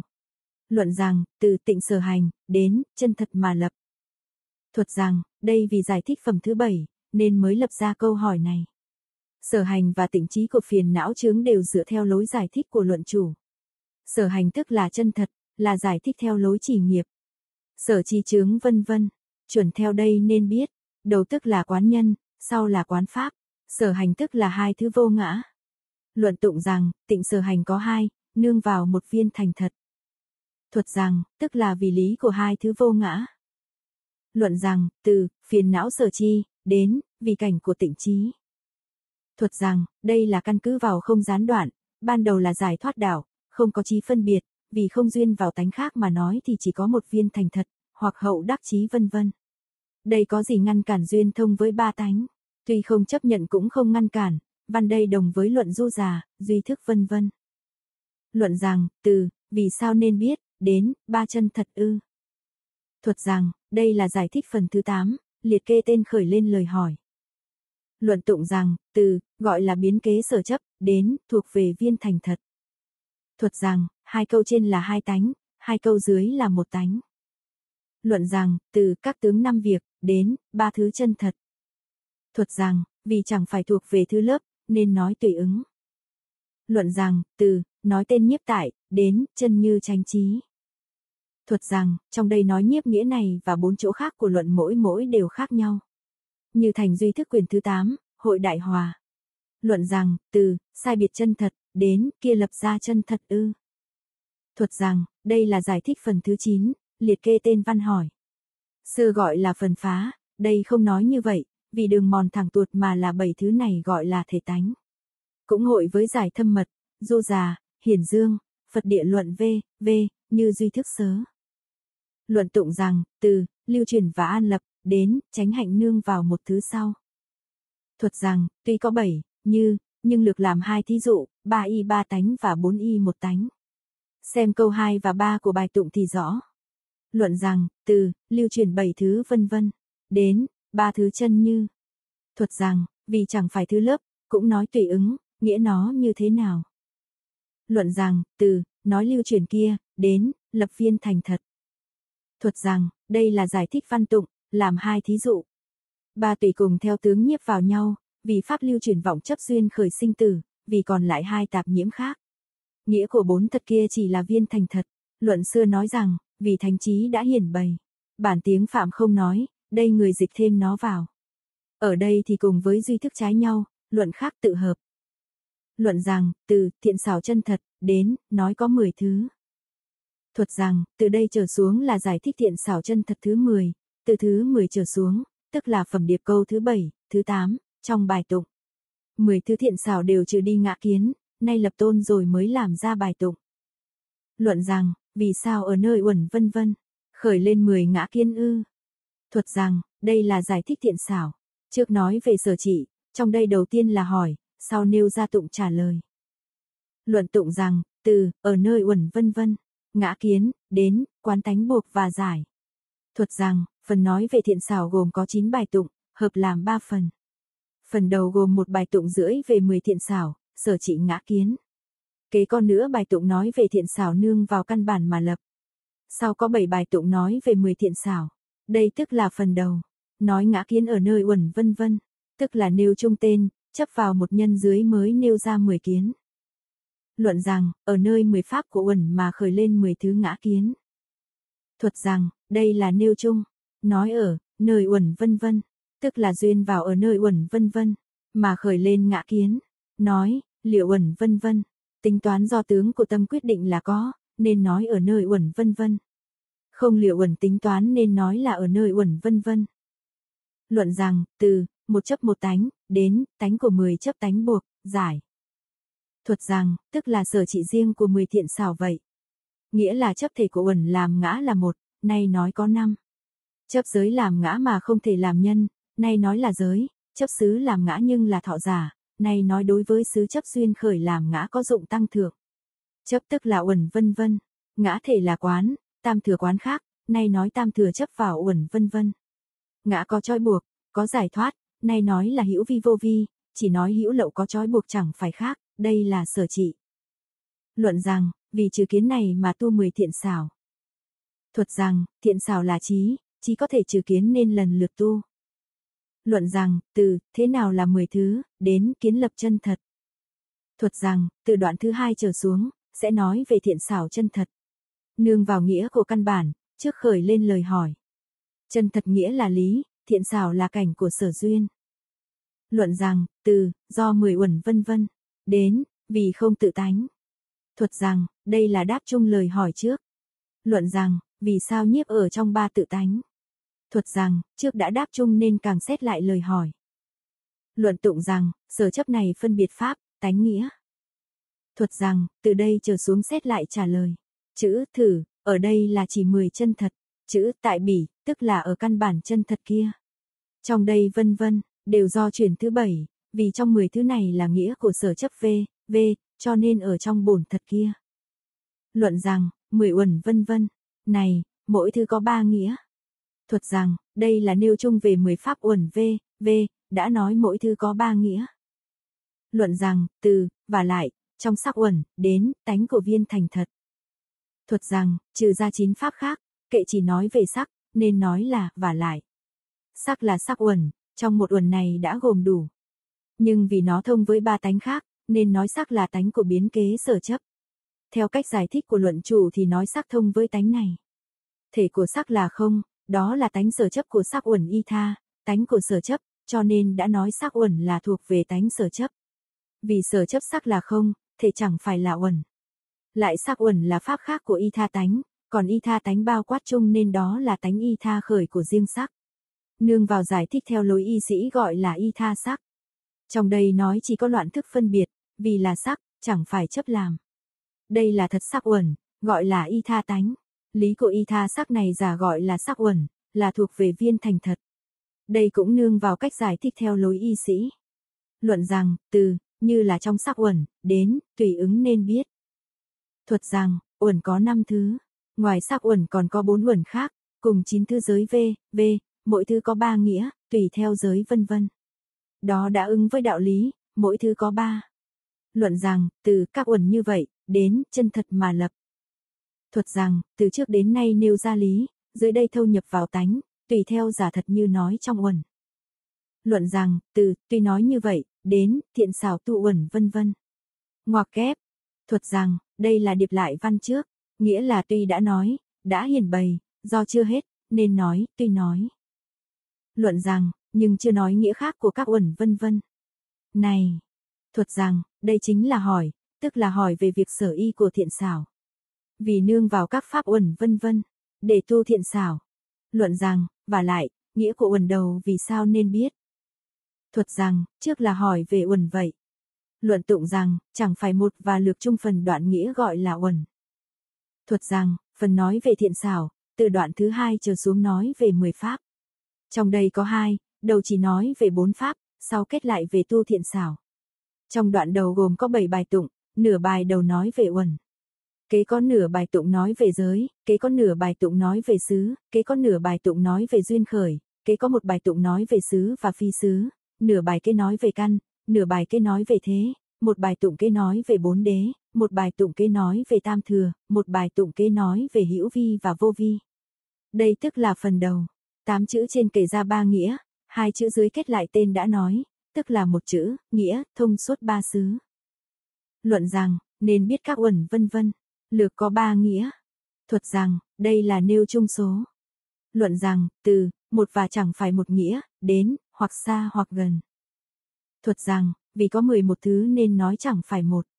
Trong luận đối pháp quyền thứ hai, luận câu xá quyền thứ nhất, đều có văn này, không biết kinh gì hoặc nói nhiều giới kinh. Luận rằng, từ, hai là lược chung nghĩa, đến, lược làm một tụ. Thuật rằng, lược chung 11 sắc gọi là một uẩn, nên gọi là lược chung. Luận rằng, từ, ba phần đoạn nghĩa, đến, nói tên sắc uẩn vân vân. Ngoặc kép. Thuật rằng, có thể phân đoạn thành sắc uẩn, thọ uẩn. Luận rằng, mỗi thứ đều an lập riêng vì tướng của sắc vân vân. Ngoặc kép. Thuật rằng, giải thích nghĩa của phần đoạn, mỗi thứ an lập riêng, vì tướng của sắc, thọ, tưởng vân vân. Hỏi rằng, xứ cũng nên gọi là uẩn, vì mỗi thứ an lập riêng, gọi là nhãn xứ vân vân. Đáp, đây không như vậy. Tất cả 11 biến ngại sắc gọi là sắc uẩn, vì chẳng phải tất cả biến ngại cựu vi sắc đều gọi là nhãn xứ. Kinh này nói, tất cả các sắc hoặc quá khứ cho đến hoặc gần, tất cả như vậy lược làm một tụ. Đó là kinh thuyết danh sắc uẩn vân vân. nay luận chủ lấy làm ba nghĩa, nhưng luận khác chỉ làm hai nghĩa, không nêu lên sự phân biệt, đây là nghĩa thứ ba. Luận rằng, từ, do tụ nghĩa này, đến tụ, nghĩa tên uẩn. Thuật rằng, vì ba nghĩa này, tụ nghĩa gọi là uẩn, đây là kết nghĩa thành tựu, lại dẫn ra thí dụ như tràng mạch uẩn vân vân. Luận rằng, đã nói về nghĩa của uẩn, nghĩa của giới như thế nào? Thuật rằng, đây là kết trước sinh ra sau. Luận tụng rằng, năng thủ và sở thủ kia, lấy nghĩa của trùng tử nên gọi là giới. Thuật rằng, câu trên nêu ra ba thể, câu dưới giải thích nghĩa giới, tức là nghĩa của trùng tử thông với ba thủ. Luận rằng, từ, năng thủ nghĩa của trùng tử, đến, sáu thức giới. Thuật rằng, sáu thức gọi là bỉ thủ, bỉ hoặc bỉ sở thủ sắc, vì bỉ sở thủ sắc vân vân. Rõ được năng thủ, bỉ hoặc bỉ năng thủ vì năng y của bỉ năng thủ rõ được cản. Bỉ hoặc bỉ căn cảnh, năng y của bỉ năng thủ căn, năng thủ của bỉ sở thủ cảnh. Vì rõ được hai thứ kia chỉ là thủ, bỉ thuộc về căn v, v, thủ thuộc về thức vân vân. Đó là giải thích theo lối y sĩ, hoặc nương vào thể của của bỉ thức là thủ gọi là sáu thức, là không phải sở y của căn vân vân. Nên không gọi là năng thủ, bỉ thủ, bỉ rõ biết năng thủ, tức là giải thích theo lối chỉ nghiệp. Đây gọi là trùng tử, trùng tử là nghĩa giới, hiện hành cũng gọi là trùng tử. Luận rằng, từ, đã nói nghĩa của giới, đến, nghĩa dụng môn gọi là xứ. Thuật rằng, đây là kết lại lời hỏi ở trước. Luận rằng, từ, trong đây năng thọ, đến, là sáu xứ ngoài. Thuật rằng, thọ dụng tức là thức, năng thọ là sáu căn. Vì sáu căn là môn thọ dụng của sáu thức, nên nói là nghĩa của môn năng thọ dụng. Cảnh chuẩn theo đây có thể biết, môn nghĩa là trụ vào căn cảnh của nguyên do, vì thức sinh ra cảnh của nguyên do, nên gọi là môn, hoặc từ nơi dụ đặt tên. Luận rằng, từ, đã nói nghĩa của xứ, đến, quả dụng không tăng giảm. Thuật rằng, nghĩa của duyên khởi là nêu ra sự rõ ràng này. Đối với dụng của nhân quả, hiển bày rõ nơi ba pháp. Không tăng không giảm là nói về ba pháp đều như vậy. Luận rằng, từ, đối với dụng của nhân quả, đến, nghĩa là duyên khởi. Thuật rằng, tức nêu trung ý đại cương đã nói. Luận rằng, từ, trong đây tăng ích duyên, đến, chấp kia không nhân. Thuật rằng, vì chấp vào đại tự tại, tự nhiên, bản, tế, có ngã tạo tác nên lấy đó làm nhân. Đối với nhân của hành vì thế mà vô minh càng tăng, nên gọi là tăng ích nhân.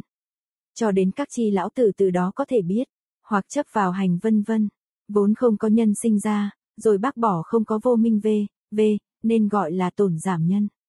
Như đối pháp quyền thứ tư, du giả quyền thứ 10 v, v, đã nói, hữu vi ngăn che sự tính toán lập ra duyên sinh vân vân.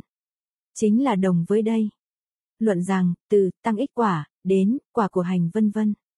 Ngoặc kép, thuật rằng, hành là quả của vô minh, trong hành thật không có ngã, nay chấp trong hành có ngã là quả vô minh, nên gọi là tăng ích quả. Tổn giảm từ đó có thể biết, cho đến lão tử cũng như vậy. Luận rằng, từ tăng ích dụng, đến, hoàn toàn không có công năng. Thuật rằng, thể của vô minh và dụng của vô minh không khác không một. Dụng đối với thể không có pháp thật khác. nay chấp vào dụng này lìa thể thật có và thể nhất định khác, nên gọi là dụng tăng ích. Nhưng thể vô minh có ít công năng sinh ở nơi hành. Nói hoàn toàn không có công năng là bác bỏ không có dụng. Gọi là tổn giảm tức là duyên khởi tự tác, tha tác, phối hợp trong bốn câu giải thích. Luận rằng, từ, nếu không như vậy, cho đến, duyên khởi thiện xảo. Thuật rằng, đã lìa hai chấp thì thiện xảo được sinh. Luận rằng, từ, đã nói nghĩa của duyên khởi, đến, nghĩa là xứ phi xứ. Thuật rằng, ba câu tụng trên trong bài liệt kê bảy thứ, câu thứ tư kết nghĩa đã nói. Luận rằng, từ, nghĩa của sứ và phi sứ đến, nên biết tướng nó. Thuật rằng, kể ra chung đã nói ở bảy thứ sứ ngã vô tự tại. Luận rằng, từ, một là đối với phi sứ ái, đến cụ thời xuất hiện. Thuật rằng, đây là bốn thứ không được tự tại, văn đều dễ biết, không giải thích dườm già lặp lại. Vì sao không có hai Phật Luân Vương? Một là vì không dùng, hai là do Luân Vương vân vân. Lúc tạo tác nghiệp không có tạo tác tướng nghiệp canh chạy nhau. Giả sử có cùng một lúc phát nguyện tu hành, tức là ở giới địa khác nguyện sinh ở đây, cũng không thể được, vì lý nhất định không có. Phật xuất hiện tuy có thể đồng, vì e rằng thế gian nhàm chán, nên cũng không đều sinh. Giả sử có chúng sinh, hai vị Phật đã giáo hóa một lúc thuần thục, nhưng có thể mật giáo hóa, không làm Phật để giáo hóa, cũng nhất định không có hai vị Phật ra đời để giáo hóa cho hữu tình. Luận rằng, từ, năm đối với thắng chủ đến chuyển luân vương vân vân. Ngoặc kép, thuật rằng, ở đây nói, đẳng, là đồng lấy cả đế thích và phạm vương vân vân.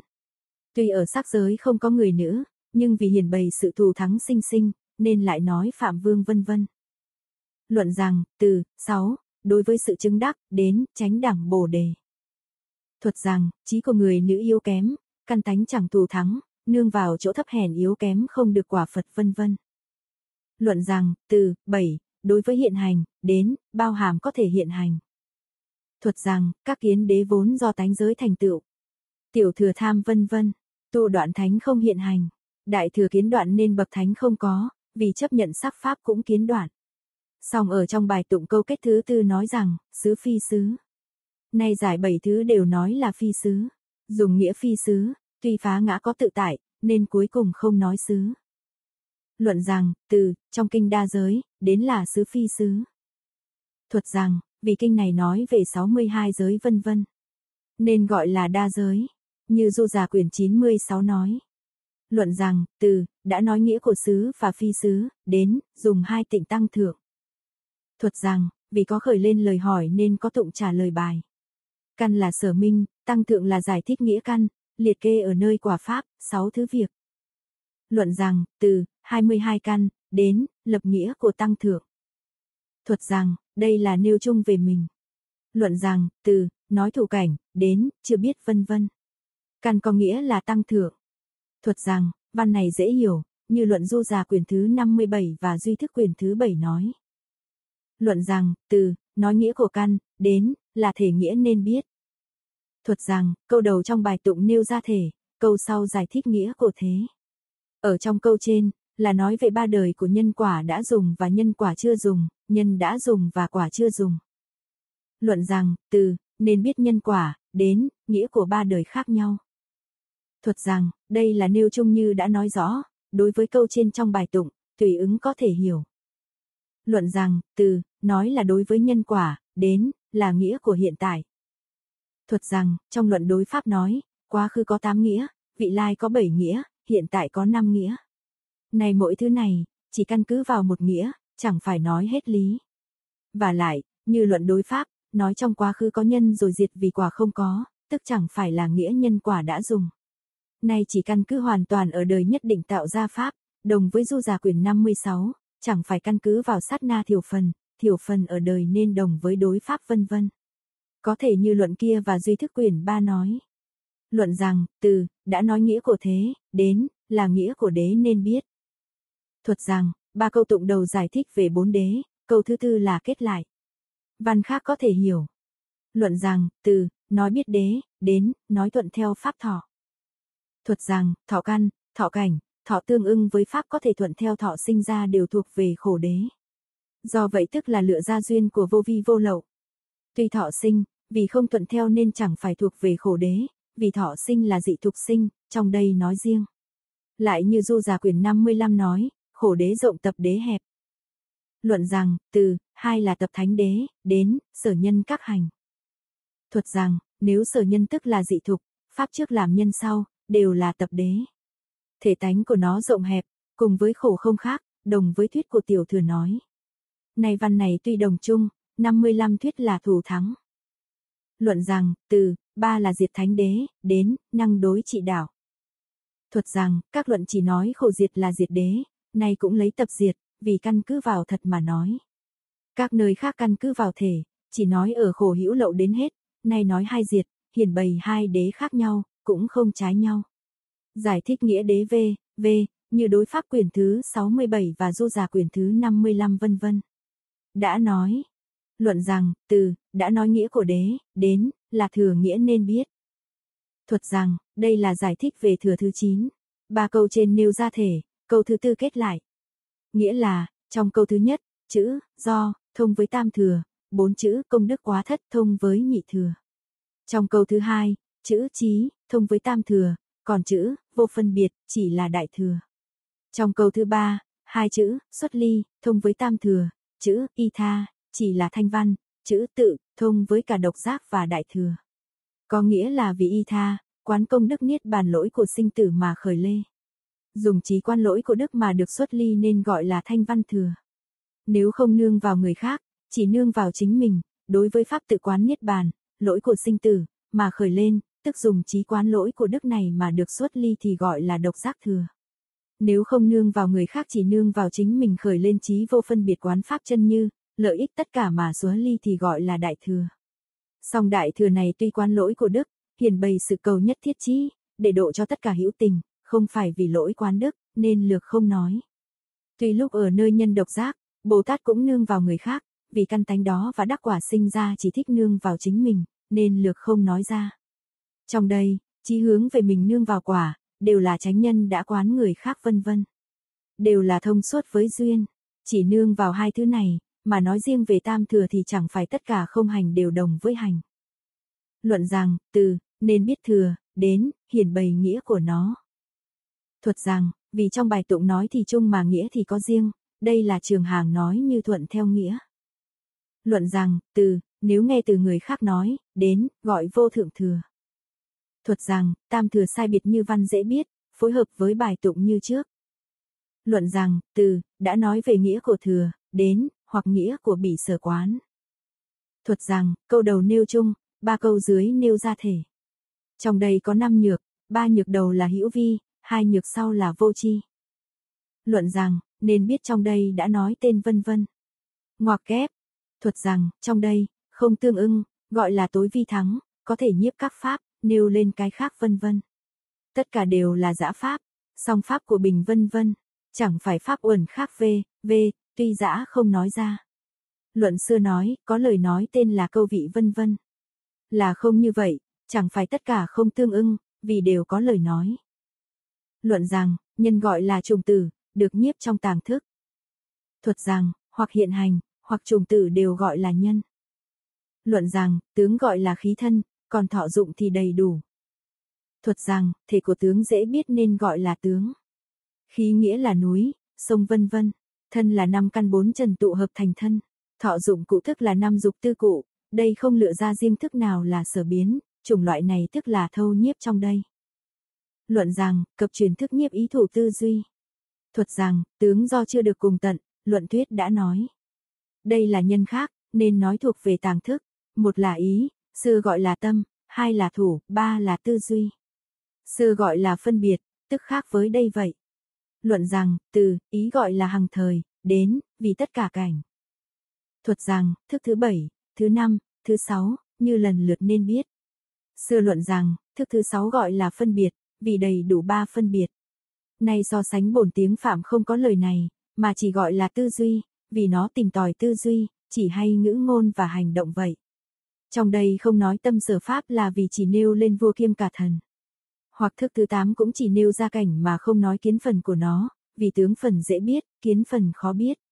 Còn các thức thứ bảy thứ năm thứ sáu không nêu ra cảnh đó vì thức dễ biết. Từ trước đến nay đã bàn về nó quá nhiều. Ở đây nói không có tâm sở. Vì đây là phẩm nói về tâm vương vậy. Luận rằng, từ, nếu giả lập như vậy, đến, chung gọi là hữu vi. Thuật rằng, đây là kết trên nói về các pháp hữu vi. Này nói tương ưng pháp, tức là thuộc về tâm vân vân. Vì đối với bảy thức vân vân, thể tướng dễ biết, tuy chung gọi là tướng, vì cùng với pháp khí V, V, hành tướng khác nhau. Trong đây lại nói riêng về tương ưng pháp. Luận rằng, từ, hoặc tịch tịnh, đến, vì cảnh sở duyên. Thuật rằng, trạch diệt vô vi, vắng lặng, vì dứt được sự ồn náo xen lẫn nhau. Chân như không như vậy, nên chỉ nói riêng, nghĩa khác có thể biết. Luận rằng, từ, đã nói như vậy, đến, chung gọi là vô vi. Thuật rằng, đây là tổng kết phần trên, nhưng văn luận xưa không có nghĩa sở quán, lại cho rằng năng tịch chính là cảnh tịch tịnh, đây nói trái vậy. Nhưng có thể chứng đạo vì làm chủ, nhiếp chung tất cả vô lậu hữu vi. Này nói vô vi là vì chẳng phải do nghiệp phiền não gây ra. Nhưng đây có thể nói thông với hữu vi và vô vi, như đối pháp quyền thứ hai đã nói. Luận rằng, từ, nên biết trong đây, đến, gọi là thiện xảo của uẩn vân vân. Ngoặc kép chấm. Thuật rằng, trước nay đã nói về 10 cảnh của uẩn từ đây trở đi là nói duyên với trí, nên gọi là thiện xảo. Luận rằng, nghĩa chung của chân thật đến sở hiển chân thật.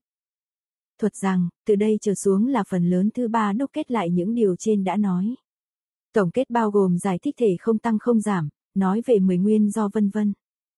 Luận rằng, từ, năng hiển chân thật, đến, hiển thị. Thuật rằng, gồm có hai thứ là tổng năng hiển và biệt tổng hiển. Luận rằng, sở hiển có chín. Một là, lìa tăng thượng mạn sở hiện chân thật. Thuật rằng, luận xưa nói sở hiển sau có mừa. Mạn, nghĩa là độc giác nương vào xuất ly. Này nói tức là đồng với thanh văn, vì xuất ly này phân biệt sinh ra, tức là tướng chân thật, biết sở chấp không phải y tha vọng có, lìa tăng thượng mạn. Luận rằng, hai là, đối trị điên đảo sở hiện chân thật. Thuật rằng, ba vô thường vân vân, không ngược với chân thật, vì đối trị bốn điên đảo. Luận rằng, từ, ba là, thanh văn thừa, đến, vì vi tế có thể giải thoát. Thuật rằng, nhân quả bốn đế chân thật nghĩa là hàng thanh văn xuất ly thô tế hai đế chân thật, đại thừa xuất ly, do vì tục thô, có thể thành tục hữu tình, thực hành hạnh lợi tha, do thắng nghĩa vi tế, có thô tự giải thoát, thực hành hạnh tự lợi, chẳng phải hàng thanh văn thừa có việc như vậy, nên mỗi thứ đều khác nhau. Sư luận nói rằng, thô thành tục hữu tình và pháp, tế giải thoát chúng sinh và pháp đều là trái. Luận rằng, từ, năm là, có thể hàng phục luận khác, đến, hiểu rõ đại thừa sở hiện chân thật. Thuật rằng, trong cực thành thật chứng thành đạo lý, nương vào dụ đạo lý thành tựu nghĩa đã nói, có thể hàng phục được người khác. Hai tịnh đã hiện hành gọi là hiền đại thừa, vì hai chứng hai đoạn thành tựu đại thừa. Luận rằng, nhập vào tất cả sở chi sở hiện chân thật. Thuật rằng, tức là thuộc về chân thật, tất cả những gì đã biết không ngoài năm việc, do ba thứ nhiếp năm thứ khiến cho hiểu rõ năm thứ, nên lập tên nhập. Luận rằng, tám là, hiền bày không hư vọng chân như, sở hiện chân thật. Thuật rằng, tức là thật sai biệt, bảy thứ chân như. Luận rằng, chín là, nhập vào ngã chấp sự, tất cả bí mật sở hiện chân thật. Thuật rằng, tức là mười thiện xảo thật, ngã kiến của uẩn vân vân, gọi là ngã chấp, ngã chấp tức là sự, nên gọi là ngã chấp sự. Tất cả bí mật tức là bốn bí mật, tức là đối trị vân vân. Vì giải trừ ngã chấp nhập vào tất cả bí mật, nói mười thiện xảo đối trị ngã kiến, nên gọi là đối trị bí mật. Khiến cho nhập vào chánh pháp nên gọi là linh nhập bí mật, tùy theo nghĩa như vậy, như luận nhiếp đại thừa, luận đối pháp vân vân. Đã nói, hoặc ngã chấp, nghĩa là 10 ngã kiến sự, tức là kiến sở y sự, nghĩa là 10 pháp uẩn vân vân. Là nhập vào ngã chấp này, vì sự của sở y và tất cả bí mật. 10 thiện xảo chân thật này, luận xưa sở hiện 10 thứ sau, chuẩn theo nghĩa biết chẳng phải, vì có khả năng hiển bày cái khác là một, chỉ là 10 chân thật, nên biết chẳng phải. Phẩm thứ 4, biện luận tu đối trị, Nhiễm và thiện ngược nhau nên gọi đó là đối. Thiện xảo trừ đi nhiễm, lập ra tên trị. Đây chẳng phải tự sinh ra, cần phải tu tập mới khởi lên, vì vậy gọi là phẩm đối trị. Luận rằng, từ, đã nói chân thật, đến, pháp bồ đề phần. Thuật rằng, phẩm này có ba phần. Đầu là kết lại điều đã nói ở trước và nêu tên phẩm để nói. Hai là, từ, trong đây, trở đi là nói về giác phần. Ba là, từ tu đối trị tổng nghĩa, trở đi là kết lại nghĩa tu ở trước. Đây tức là phần đầu. Đối trị là gì? Tức là tu tất cả pháp bồ đề phần, nêu ra thể của đối trị. Nhưng đối trị lại có rất nhiều, đây rộng nhiếp cái khác nên chỉ nói đây. Luận rằng, trong đây trước nên nói tu niệm trụ. Thuật rằng, từ đây trở xuống là phần thứ hai nói về giác phần. Ở trong phẩm này có 14 bài tụng, gồm chia làm ha, phần đầu có 12 bài tụng chỉ nói về đạo phẩm. Còn bài tụng thứ 13, 14 nói về các tướng sai biệt của tu giác phần. Trong 12 bài tụng được chia làm 6, đầu có một bài tụng nói về tu niệm trụ, kế một bài tụng nói về tu tránh đoạn, bốn bài tụng kế nói về tu thần túc, kế có hai bài tụng nói về tu căn lực. Đã hiểu rõ trong căn lực rồi, lại có nữa bài tụng nói chung về địa vị của căn lực, cho nên không phân biệt căn lực thành hai môn. Kế có hai bài tụng nói về tu giác chi, kế có hai bài tụng nói về tu đạo chi. Song giác phần của bảy vị tuy lai không đồng, nên để tu đối trị đạo thì trước phải tu niệm trụ. Luận đối pháp quyền thứ mới nói, vì thế đầu tiên là tránh quan sát sự tướng của chân như, kiến lập niệm trụ. Như kia nói rộng, nên trước nói đây. Trong đây có hai, phần đầu là từ, chọn chung giữ gìn, trở đi là làm rõ, phần sau là từ, tụng rằng, trở đi là nương vào nêu lên giải thích chính. Đây tức là phần đầu. Luận tụng rằng, từ, do thô trọng ái nhân, đến, tu niệm trụ nên biết. Thuật rằng, hai câu tụng trên nói về sở trị của niệm trụ, hai câu tụng dưới nói về ý tu niệm trụ. Luận rằng, từ, thô trọng do thân, đến, nhập vào khổ thánh đế. Thuật rằng, hữu lậu thô trọng do thân hiền bày nó, vì quán thân mà biết thô trọng. Vì thân biết thô trọng, nên thân là quả của khổ, quán nhập vào khổ đế. Luận đối pháp quyền thứ 10 nói, tất cả sắc thân đều là tướng của hành khổ, thô trọng đã hiển bày, nên quán ở nơi thân chính là đoạn được thô trọng. Luận rằng, thân có thô trọng là do các hành làm tướng. Thuật rằng, đây là giải thích thô trọng vì do thân. Luận rằng, từ, do các thô, đến, hữu lậu đều khổ. Thuật rằng, thô trọng nghĩa là không phải tên khác của điều nhu. Hữu lậu sắc thân do có thô trọng này, lấy các hành làm tướng của thể, tức là hành khổ, nên quán là khổ. Đối pháp nói rằng, vì thế lúc tu quán hành thì đối trị được nó, do thân được khinh an vậy. Song thô trọng chỉ có nhiễm, có thông với dị thục, có thông với vô lậu. Như xem du già quyền thứ hai, duy thức sớ sau thì rõ. Luận rằng, từ các hữu lậu thọ, đến, nhập vào tập thánh đế. Thuật rằng, đối pháp đồng với đây, văn dễ có thể biết. Nhưng trước hiển rõ trong đế, thọ là khổ đế, vì sao nay quán nhập vào tập đế? Vì đã hướng về cái khác, như hướng về nhân thành thục tức là khổ đế, nếu sinh nghĩa của ái quán nhập vào tập đế, vì nhân của tập đế, ái là thọ quả, quán nên nhập vào khổ, vấn nạn như đây, như lý nên suy nghĩ.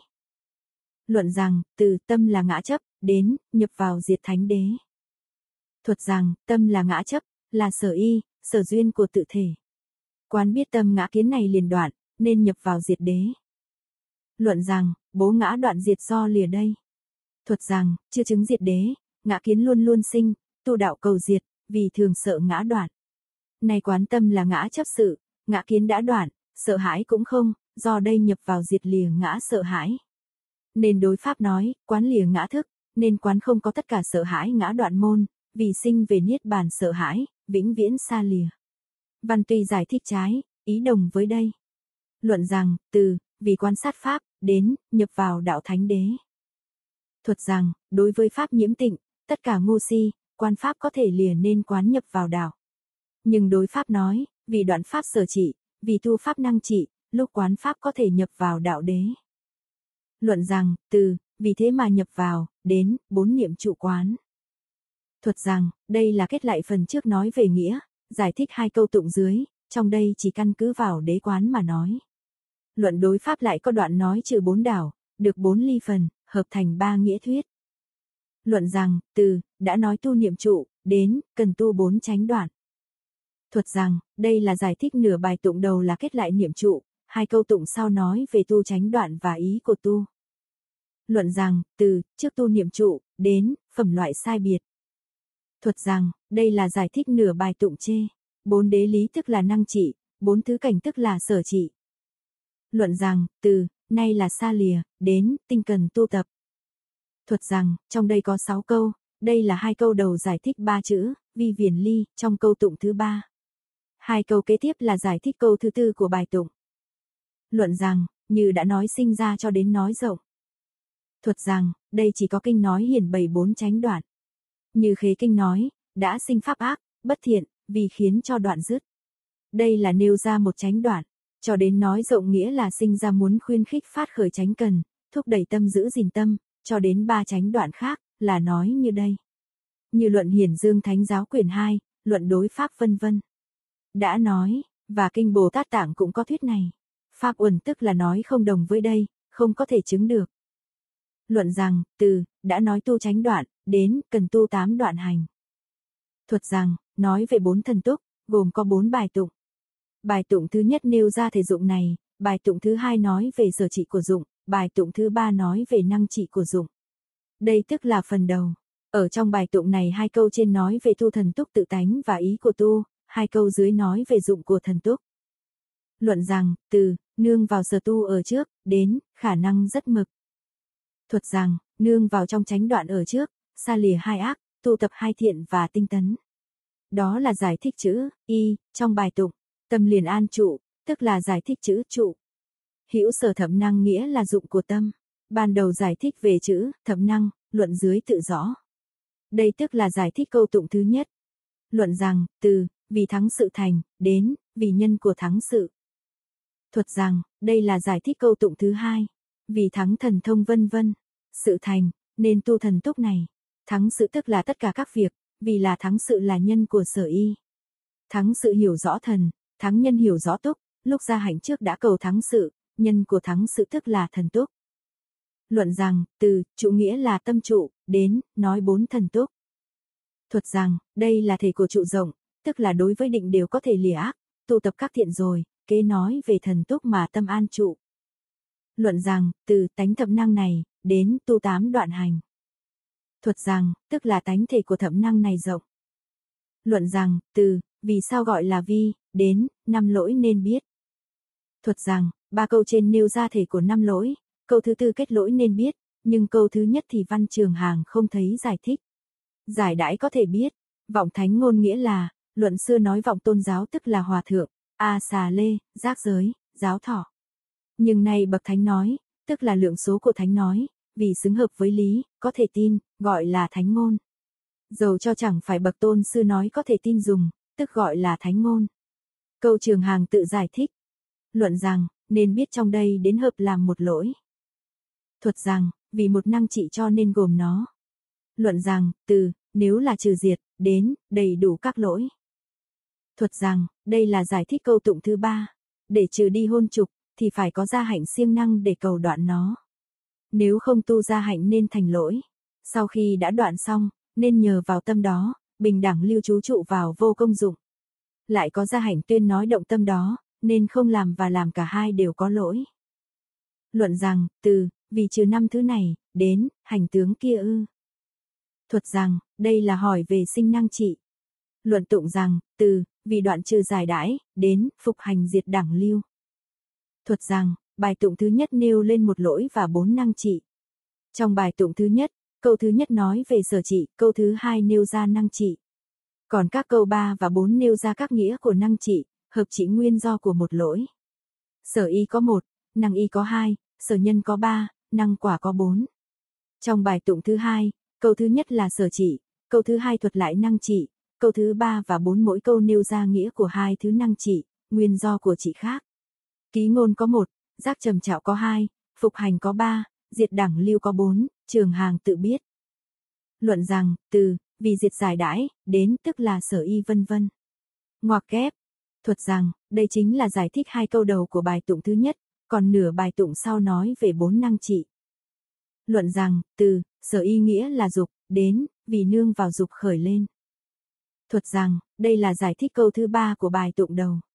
Luận đối pháp nói, dục là siêng năng dựa vào do muốn cầu, vì được nghĩa này nên phát tâm siêng năng tinh tấn. Luận rằng, từ, sở nhân nghĩa là tín, đến, liền vì hy vọng. Thuật rằng, vì tin tam bảo liền khởi lên sự mong muốn, nên tin là muốn sinh khởi gần gũi với nhân. Luận đối pháp nói, muốn cầu như vậy, không lìa tín thọ, vì có thể vân vân.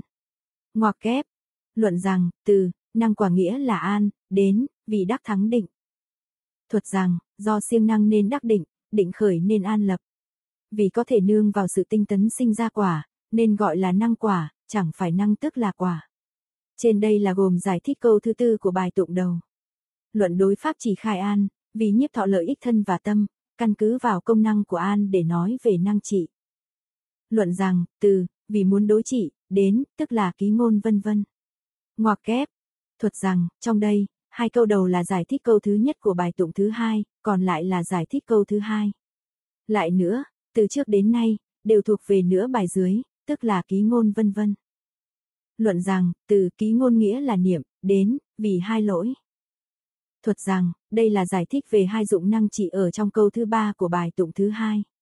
Tùy theo khởi lên trầm trảo, tức là năng tùy giác nên nói là tùy giác.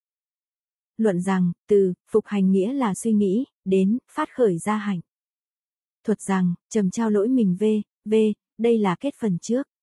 Vì muốn phục trừ nên khởi lên ra hạnh, chính là giải thích về phục hành. Vì gia hạnh đạo này chưa có thể đoạn ngang được, nên nói là phục trừ. Luận rằng, từ, diệt đẳng lưu, đến, bình đẳng mà lưu chuyển. Thuật rằng, đã đoạn diệt rồi vân vân, kết phục hành ở trên. Đây chính là giải thích chữ diệt. Tâm liền trụ xã bình đẳng mà lưu truyền chính là giải thích về đẳng lưu. Luận đối pháp quyền thứ nhất giải thích trong xã rằng, ban đầu tâm bình đẳng, kế đến tâm ngay thẳng, kế tâm không có công dụng. Đây sẽ là nhậm vận thứ ba kia mà bình đẳng lưu truyền. Vì trước sau tương tự nhau, nên gọi là bình đẳng. Vì niệm niệm tùy theo duyên nên gọi là lưu, nên trừ diệt rồi tạo tác ra lỗi ra hạnh. Đây cũng là giải thích chung hai thứ năng chỉ ở câu thứ tư. Trong đây nói diệt, hoặc phục hoặc đoạn đều nói đoạn diệt, chẳng phải trong vị này đã có thể đoạn chướng. Nhưng đối pháp lại phân làm bốn, không giống với đây, vì căn cứ vào nghĩa riêng. Luận rằng, từ, đã nói tu thần túc, đến, vì sao an lập. Thuật rằng, từ phần thứ tư này trở xuống nói về tu căn lực. Trong đây có hai bài tụng, bài thứ nhất nói về tu năm căn, nửa bài kia nói về tu, nửa bài kia nói chung về vị của căn lực, kế sẽ giải thích về căn, kết lại lời hỏi. Luận tụng rằng, từ, đã là chủng loại thiện thuận theo phần giải thoát, đến, không tán loạn, suy nghĩ chọn lựa. Thuật rằng, câu thứ nhất kết lại phần thần túc ở trên, ba câu dưới chính là nói về tu căn. Câu thứ hai là còn giải thích thêm nghĩa của căn, thông với năm căn, đều nói là tăng thượng. Luận rằng, từ, do bốn thần túc, đến, thiện căn đầy đủ rồi. Thuật rằng, đây là giải thích câu tụng đầu. Chữ, do, là lời truyền câu thứ ba. Nghĩa là, do thần túc có thể diệt được năm lỗi, tu tám đoạn hành, tâm có khả năng kham nỗi. Vị này tức là thuận theo phần giải thích, thiện căn đầy đủ tâm mà tu tập, nên nói là đầy đủ rồi. Hỏi, bốn thần túc này đã nói tâm đầy đủ phần giải thoát, tu tập niệm, trụ tránh đoạn, đối với bốn tâm vị nào tu tập? Đáp, ở phần chung này, tâm đầy đủ tu tập kia, nhưng có trước sau. Lại giải rằng, tuy không có phần tránh văn, lấy nghĩa để chuẩn theo. Như nói có bộ ngũ đình tổng biệt, là thuận theo tâm quyết chọn phương tiện, tức là thuộc về phần khác. Này đây đã nói bốn thứ thần túc, thuận theo phần giả thoát tâm, đầy đủ tu tập thuộc về phần giải thoát, nên biết niệm xứ tại vị ở trước, chẳng phải thuận theo phương tiện của phần quyết chọn, nhưng phẩm này chưa thông. Căn cứ vào Bồ Tát trở xuống và cùng với hàng nhĩ thừa đều tu phẩm đạo. Văn này không chứng ngại hàng nhị thừa, thần túc ở phần giải thích. Cho nên biết niệm trụ, lập ra luận tát bà đa, chẳng phải là quyết chọn, nên đối với nghĩa này nên đặt ra nhọc nhằn. Luận rằng, lại phải tu tập bảy thứ tăng thượng. Thuật rằng, đây là giải thích câu tụng thứ hai. Nói tăng thượng tức là gần thì sinh ra năm lực, xa hơn thì sinh ra quả thượng đạo. Luận rằng, từ, một là dục tăng thượng, đến, tức là năm căn tín vân vân. Ngoặc kép, thuật rằng tín, tấn, niệm định, tuệ như lần lượt nên biết. Tinh tấn căn gọi là gia hạnh, vì khuyến khích phát khởi tâm thù thắng, vì định gia hạnh. Các căn còn lại dễ, có thể biết. Luận rằng, từ, đã nói tu năm căn, đến, thứ lớp vì sao. Thuật rằng, thứ hai là nói về lực, ba câu trên là kết trước, hai câu dưới là sinh sau. Vì có hai lời hỏi, vì sao năm lực, tức hỏi về thể tánh, thứ lớp như thế nào, là hỏi về trước sau. Luận tụng rằng, tức là tổn chứng gọi là lực nhân quả lập ra thứ lớp. Thuật rằng, câu thứ nhất là trả lời về thể tánh. Tức là, năm căn có thể tổn hại chướng ngại, nên nói đó là lực. Câu thứ hai là trả lời về thứ lớp, vì nương vào nhân quả lập ra thứ lớp. Luận rằng, từ tức là như trước đã nói, đến, lại nói là lực. Thuật rằng, đây là giải thích ba chữ tức, danh, lực trong câu tụng đầu, thể của nó không khác nhau. Luận rằng, từ, nói là năng phục diệt, đến, vì đã lăng tạp. Thuật rằng, đây là giải thích hai chữ, tổn chướng, trong câu tụng đầu. Do bất tín vân vân, chính là các sở trị này. Tín này vân vân, có thể hàng phục các sở trị. Nếu không phải là vô lậu, thì không thể đoạn diệt. Các tín vân vân, này không chỉ có thể hàng phục được các chướng của tín vân vân. Cũng không vì nó mà không tín các tín quấy nhiễu. Nghĩa là hàng phục được tín nên khiến chúng không sinh khởi, nên gọi là là lăng. Chữ tạp, có nghĩa là gián cách, tuy đã khởi tín nhưng vì bất tín vân vân, đã làm nó gián đoạn không phát sinh, nên gọi là tạp. Nay vì hợp lại không có, nên gọi là lực, đối với căn vị thì không như vậy mà chỉ gọi là căn. Đây tức là căn lực mà trước đã nói nguyên do. Trên đây là giải chung câu tụng đầu để trả lời câu hỏi thứ nhất vậy. Luận rằng, từ, năm thứ lớp này, đến, vì dẫn quả sau. Thuật rằng, đây là giải thích chung câu thứ hai, để trả lời chung câu hỏi thứ hai. Luận rằng, từ, nếu như quyết định, đến, nên thứ lớp này nương vào nhân quả lập ra. Thuật rằng, đây là giải thích riêng câu thứ hai, để chỉ trả lời câu hỏi thứ hai. Trong bài tụng nói về nhân quả, chẳng phải đã tin vào nhân quả nên lập ra thứ lớp, nhưng xét trong tướng thì sinh nhân trước quả sau, nên mới lập ra thứ lớp, vì khi đã tin thì mới nói nhân quả vậy. Luận đối pháp nói, đó là nhân quả nhiễm tịnh của tứ đế vậy. Phối hợp với năm thư tín vân vân, như lần lượt có thể biết, không phải việc thì không biện luận được chân vô lậu. Luận rằng, từ, như trước đã nói, đến, sau tu năm căn. Thuật rằng, đây là phần thứ ba giải thích địa vị của căn lực tu. Trước là hỏi, trong đây trước điệp văn sau mới hỏi. Trước điệp văn này, nghĩa là giải thích căn kết tu bốn thần túc, mới là văn tu căn. Luận rằng, từ, địa vị nào tu tập, đến, địa vị năm lực ư. Thuật rằng, tuy đối với phần giải thoát vân vân, nói về tu niệm trụ vân vân, nhưng nay lời hỏi này, căn cứ vào căn và lực nói về tu quyết chọn, sự chung và riêng nương vào nhau, lấy chung làm chủ. Căn cứ vào giải thoát mà nói, niệm trụ vân vân. Giả thật nói riêng, lấy thật làm lời nói, căn lực là thật, quyết chọn là giả, nên căn cứ vào căn lực mà nói tu quyết chọn vân vân. Luận tụng rằng, thuận theo quyết chọn bốn thứ ở nơi năm căn, năm lực. Thuật rằng, thuận theo quyết chọn phân làm bốn thứ, hai thứ trước hai thứ sau, cả hai đoạn nói riêng nên nói là bốn thứ, văn khác có thể hiểu rõ. Luận rằng, từ, thuận theo phần quyết chọn, đến, địa vị năm lực. Thuật rằng, thuận theo phần quyết chọn là giải thích ba chữ đầu của câu tụng, tức giải thích chữ năm căn. Nhưng trong bài tụng thuận theo phần quyết chọn là chung, còn lại là riêng. Nhưng chỉ một chữ, tại, là đã thông suốt cả căn lực. Luận nói, từ, đã nói tu năm lực, đến, vì sao an lập. Thuật rằng, đoạn lớn thứ năm vì giải thích, giác chi, nên tổng kết khởi lên lời hỏi, an lập tức là tự tánh hành tướng chung của lời hỏi. Luận tụng rằng, từ, giác chi lược có, đến, và ba vô nhiễm chi. Thuật rằng, trong phần trả lời có hai bài tụng. Bài tụng đầu buộc 7 làm 5, nêu ra tự tánh hành tướng. Bài tụng sau giải thích sự an lập V, V, lấy ba khế hợp làm vô nhiễm. Trong bài tụng đầu này, câu thứ nhất căn cứ vào chung về sự buộc làm năm, ba câu dưới nêu ra riêng của năm chi. Luận rằng, từ, đây là trợ giác chi, đến, địa vị ở kiến đảo. Thuật rằng, đây là giải thích hai chữ, giác chi, trong bài tụng. Giác, là nghĩa của chọn lựa, tức là tuệ vô lậu. Ngoài nó ra sáu chữ khác nhằm trợ giúp cho niệm giác này, nên gọi là giác chi. Chi, là phần nghĩa. Tự tánh của niệm này, trợ dẫn các niệm sau cùng nhập vào giác chi nên gọi là giác chi. Hoặc niệm giác này, hiện tại, giúp đỡ cho chủng loại, chủng loại sau giúp đỡ cho hiện tại nên gọi là giác chi.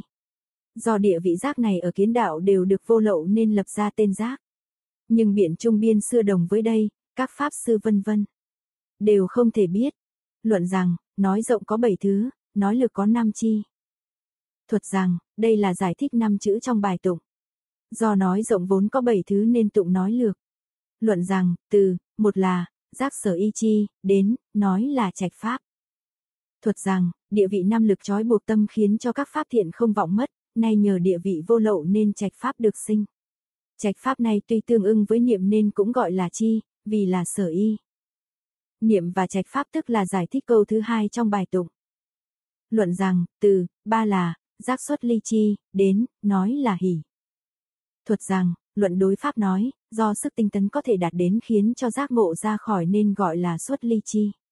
Do thế lực của hỷ thân được điều hòa, nên gọi là lợi ích. Nếu chưa được hỷ thân thường mạnh mẽ, thì có thể lấy hỷ giác làm lợi ích. Đây là giải thích câu thứ ba của bài tụng này. Luận rằng, từ, năm là, giác vô nhiễm chi, đến, nói an định xã. Thuật rằng, đây là giải thích chung câu tụng thứ tư kia. Luận rằng, vì sao lại nói vô nhiễm có ba? Thuật rằng, vì giải thích ba chi nên khởi lên lời hỏi. Bốn thứ khác mỗi thứ tùy theo tự tánh công lực, mỗi mỗi thứ nói riêng. Vì sao ba chi này gọi là vô nhiễm an lập? Luận xưa nói vì là địa vị khác nhau. Luận tụng rằng, từ, do nhân duyên sở y, đến, nói vì vô nhiễm chi. Thuật rằng, hai câu trên nêu ra nguyên do, hai câu dưới kết hợp lập ra. Luận rằng, từ, khinh an tức là, đến, gần gũi với đối pháp. Thuật rằng, đối pháp chỉ nói, do khinh an có thể trị lỗi thô trọng của thân vậy. An tức là nhân duyên kia không có nhiễm, nên không giải thích riêng. Nay trong đây giải thích, nói nhân duyên mà chẳng phải thật là nhân duyên. Do thô trọng kia tức là các trùng tử, và ba tạp nhiễm chính là nhân duyên. Khinh an hướng về cái khác là gần gũi với đối trị, đây là điều nhu, còn kia cứng rắn trơn rít. Do khinh an này đối trị với nhân duyên, nên khinh an cũng được gọi là vô nhiễm nhân duyên. Luận rằng, sở y nghĩa là định tự tại, tức là xã. Thuật rằng, luận đối pháp nói, do nương vào định mới được chuyển y. Định gọi là tác vô nhiễm sở y, vì xã sở y của tự tánh chi, tự tánh tức là xã. Luận đối pháp lại nói, vì có thể luôn luôn đối trị hai pháp tham và yêu, nên gọi là tự tánh. Tham và yêu hoặc có vui mừng nêu ra hành sinh, chưa có thể vắng lặng, nên xã trị kia, gọi là vô nhiễm tự tánh. Chuẩn theo khả năng đối trị và trạch pháp chung, chỉ trừ đi tham và yêu là lực của xã. Tham yêu gọi là nhiễm, không phải nhiễm và ngược lại với đây, nên xã chính là vô nhiễm tự tánh. Luận rằng, vì vậy, nghĩa của vô nhiễm có ba. Thuật rằng, đây là riêng kết câu hỏi trước, khi hỏi về nguyên do của ba chi vô nhiễm. Luận rằng, từ, nói tu giác chi rồi, đến, vì sao an lập. Thuật rằng, phần thứ sáu này sẽ giải thích tu đạo chi. Đầu là kết lời hỏi, đồng với giác chi. Luận tụng rằng, từ, phân biệt và hối thị, đến, nên đạo chi làm tám.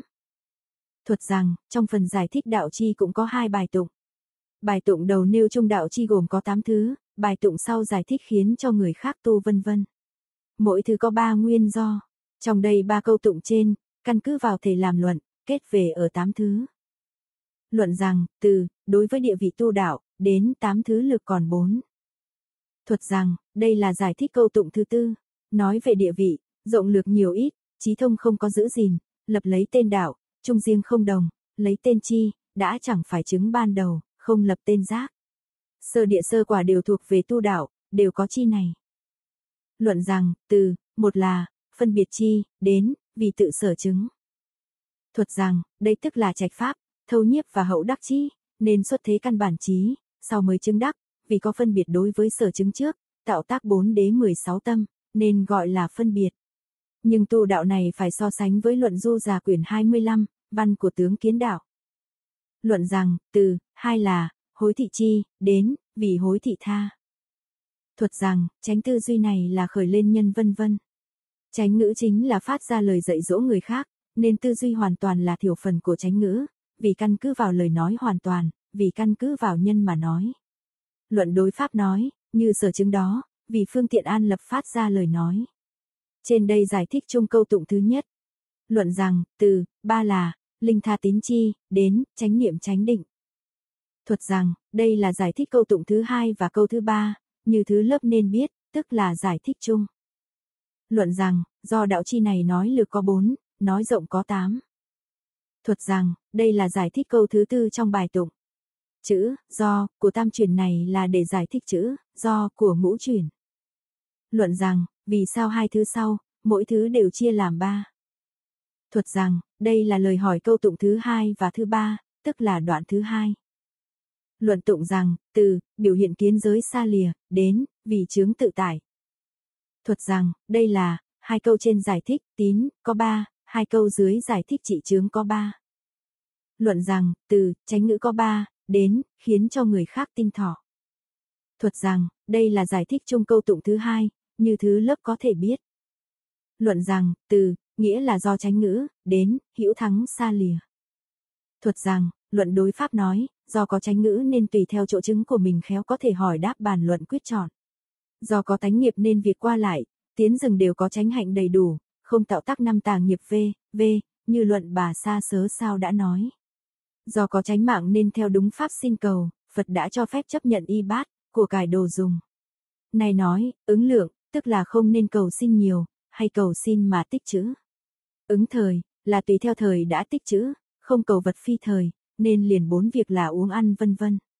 Tin rồi liền có thụ thắng xa lìa, tức là trụ trong tránh mạng thực hành hạnh ít muốn, biết đủ, nên gọi là viễn ly.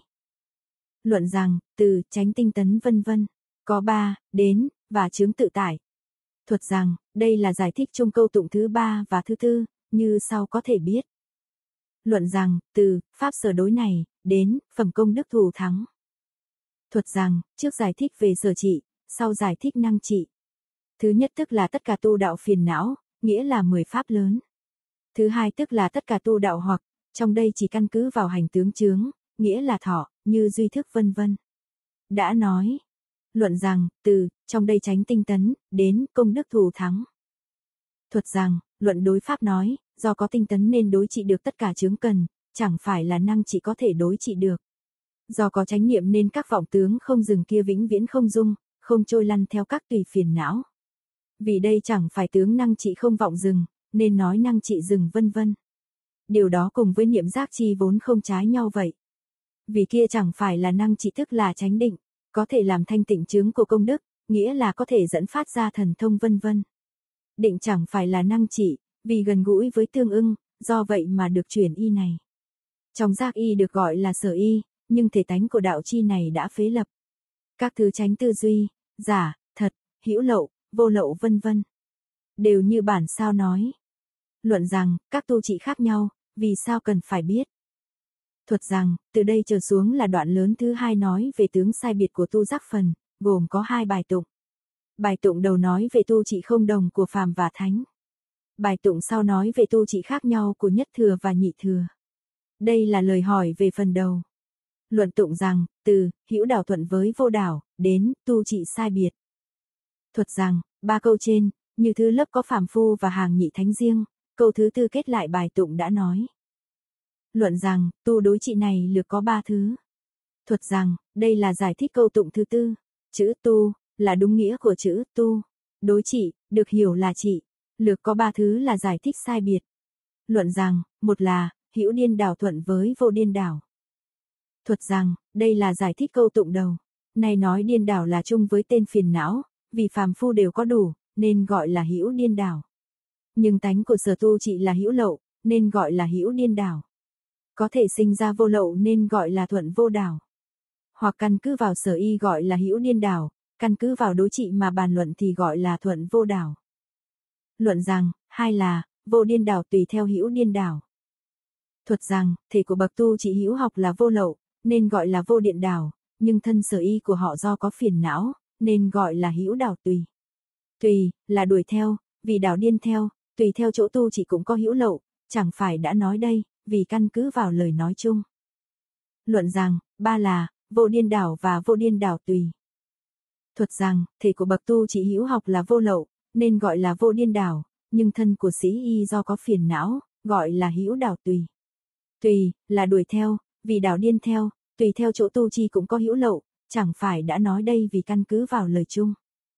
Luận rằng, ba là, vô điên đảo tùy. Thuật rằng, tánh của bậc tu trị vô học đều là vô lậu, nên gọi là vô điên đảo.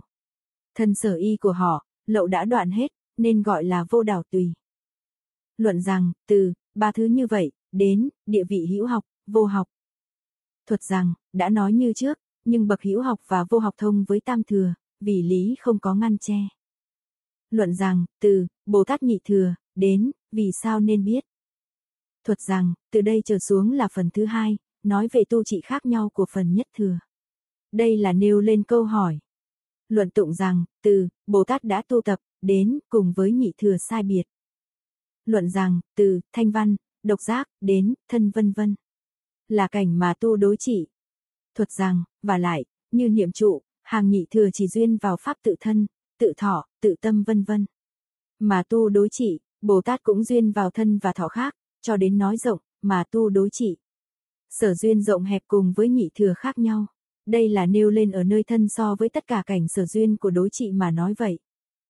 Luận rằng, từ, thanh văn, độc giác, đến, hành tướng tư duy mà tu đối trị.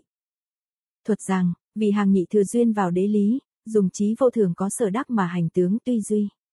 Còn Bồ Tát duyên vào chân như, không lấy trí sở đắc hành tướng tư duy, mà tu đối trị, tạo tác y chống rỗng đã sai khác nên cùng với hàng nhị thừa sai biệt. Luận rằng, từ, thanh văn, độc giác, đến, vô trụ niết bàn. Thuật rằng, hàng nhị thừa nhàm chán sinh tử, vui vẻ cầu liệt sự ràng buộc, đắc ở niết bàn, chỉ cầu tự lợi. Bồ Tát vì tâm thương xót rộng lớn, vì không nhàm chán sinh tử, không vì thân lìa ràng buộc, không nhàm chán niết bàn, vì không lìa ràng buộc, chứng đắc quả thủ thắng, nên so với hàng nhị thừa khác xa. Luận rằng, từ, Bồ Tát và hàng nhị thừa, đến, mà có sai biệt. Thuật rằng, đây là giải thích chữ Bồ Tát ở câu thứ nhất, và giải thích câu thứ tư vậy. Luận rằng, nghĩa chung của tu đối trị. Thuật rằng, từ đây trở xuống là đoạn lớn thứ ba, tổng kết nghĩa của tu.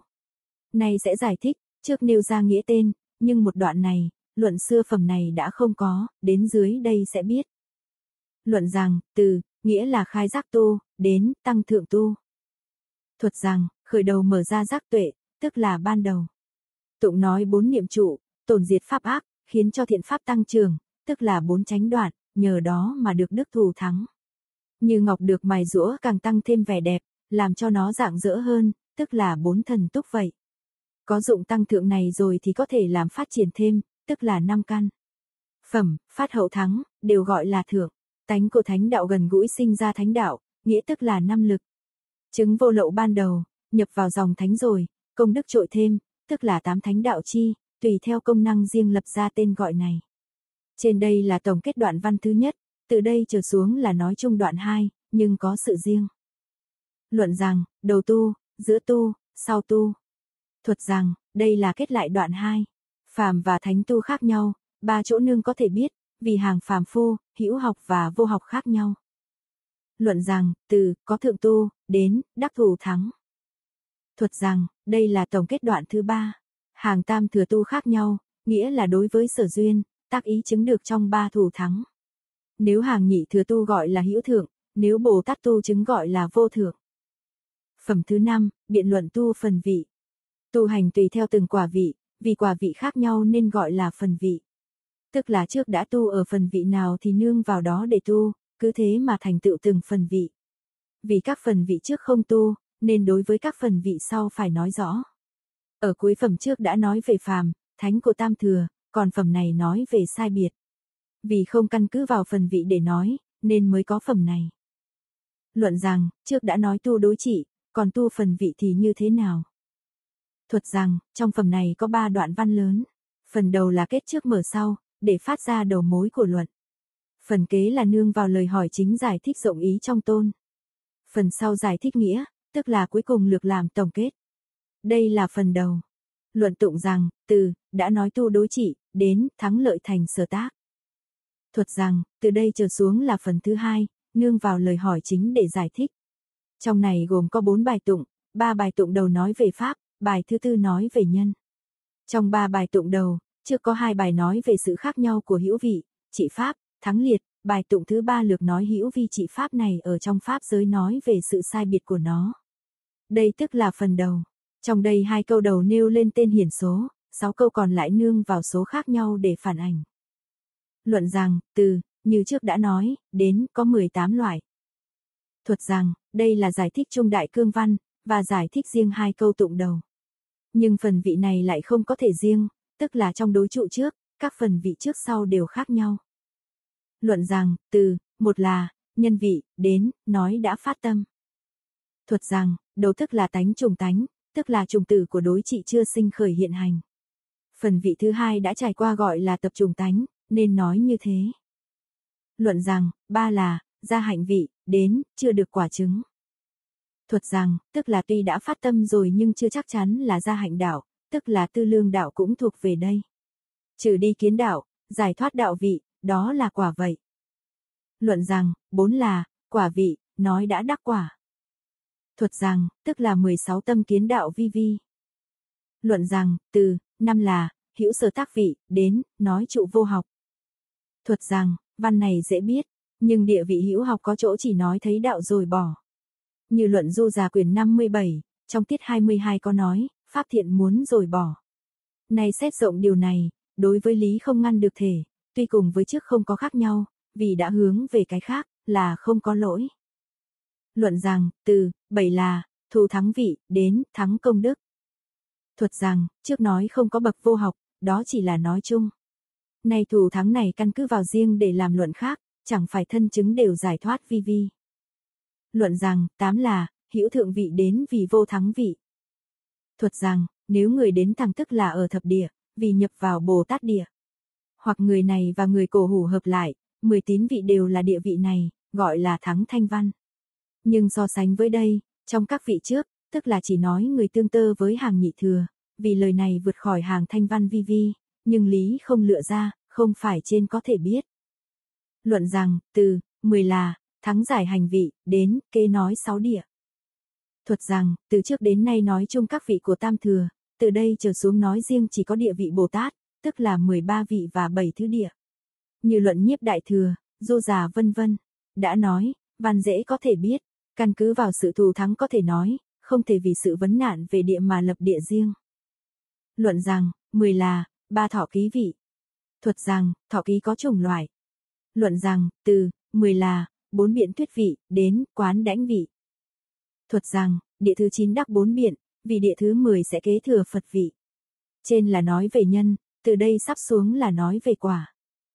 Luận rằng, từ, 16 là chứng đắc vị, đến, nói biến hóa thân. Thuật rằng, tức là ba thân đó tùy theo thắng mà đặt tên. Vì báo thân hướng về Bồ Tát nên có tên là thắng lợi. Lợi ở nơi thắng nhân. Lợi này vì đem thân làm lợi người nên gọi là thắng lợi. Hóa thân có đủ nhân, sở nguyện nên gọi là thành sở tác, tức là thành sở tác trí. Đây là phần thứ nhất nói về phần vị của hữu vi, trị pháp đã xong. Nhưng cần vị tận cùng không quá ba thứ, cho nên dưới đây là căn cứ vào thắng nghĩa riêng này, không thể phế lập. Luận rằng, từ các phần vị này, đến, ba thứ đó là gì? Thuật rằng, kết sinh văn dưới. Luận tụng rằng, từ, nên biết đối với pháp giới, đến, thanh tịnh tùy theo sở ứng. Thuật rằng, hai câu trên hiển bày hữu vi trị pháp ở trước, đối với chân pháp giới nói riêng, nêu ra số và nêu ra tên, hai câu dưới liệt kê tên rộng nhiếp. Luận rằng, từ, đối với chân pháp giới, đến, nhiếp các vị trước. Thuật rằng, đây là giải thích hai câu đầu, và ba chữ cuối của câu tụng thứ tư. Do chân pháp giới thành tựu được trị của hữu vi nên căn cứ vào pháp giới để nói về trị phần vị. Luận rằng, từ, bất tịnh vị, đến, cho đến gia hạnh vị. Thuật rằng, đây là nhiếp ba vị, nghĩa là nhân nhập vào gia hạnh vị, nhưng vì là hữu lậu nên gọi là bất tịnh vị. Luận rằng, tịnh và bất tịnh vị thức là hữu học vị. Thuật rằng, nếu căn cứ vào tên để nhiếp thì chỉ vào vị thứ năm. Nếu căn cứ vào thể để nhiếp tức là nhiếp hoàn toàn vào vị thứ tư, thứ năm, thứ tám, thứ mười, mười một, mười hai, mười ba, mười bốn, mười lăm. Vì thiểu phần vị thứ bảy hữu học cũng đã đắc được thần thông vân vân. Do lấy thể chuẩn theo trước, thì thể của vị hữu học được gọi là thủ dị sinh, nó cùng với thể của bất tịnh vị xen tạp nhau. Vì các vị này thông với vô lậu, có phiền não, nên gọi là tịnh bất tịnh. Luận rằng, ba là, thanh tịnh vị được gọi là vô học vị. Thuật rằng, nếu căn cứ vào tên để nhiếp thì chỉ nhiếp vào vị thứ sáu. Nếu căn cứ vào thể để nhiếp, tức là nhiếp hoàn toàn vào vị thứ sáu, thứ chín, thứ mười sáu, mười bảy, mười tám, và thiểu phần của vị thứ bảy. Trên đây căn cứ vào pháp thứ nhất nói về vị, kế căn cứ vào vị thứ hai. Luận rằng, từ, vì sao nên biết, đến các bổ đặc già la. Thuật rằng, đây là dựa vào lời hỏi mà khởi lên tụng trả lời, nương vào pháp mà lập nhân, nên nói nương vào các vị trước vân vân. Luận rằng, từ, nên biết nương vào trước, đến, đây đã phát tâm vân vân. Ngoặc kép, thuật rằng, người vốn là giả, dựa vào thật để biện giải người, dựa vào các pháp tướng riêng mà gọi là người. Nếu là pháp trùng tánh thì gọi là người trụ trùng tánh. Cho đến nói rộng cả 18 vị, ba vị. Luận rằng, từ tu phần vị, đến, tức là trùng tánh vị. Thuật rằng, đây tức là phần lớn thứ ba, kết lại nghĩa ở trước. Nhờ có trùng tánh mới có khả năng kham chịu, siêng năng thực hành nhập vào bậc thánh. Luận rằng, phát thú vị tức là vào gia hạnh vị. Thuật rằng, vị trước chưa phát tâm thì chưa gọi là phát thú, hai vị này phát tâm hồi hướng đến cầu thánh đạo, nên gọi là phát thú vị, tức là nói tên khác của phàm phu vị. Nó được nhiếp trong vị thứ nhất, thứ hai, thứ ba của 18 vị. Luận rằng, từ, bất tịnh vị, đến, thanh tịnh vị. Thuật rằng, nhiếp trung thể của phàm phu, gọi là bất tịnh vị. Trong ba vị nhiếp một, như từ tên nhiếp, trong 18 vị nhiếp ba vị đầu. Nếu chỉ dùng tên nhiếp, tức là như nói nhiếp tịnh bất tịnh vị và thanh tịnh vị. Còn dùng thể để nhiếp thì như trên đoạn 3 đã nói. Luận rằng, từ, hữu trang nghiêm vị, đến, vô thượng vị.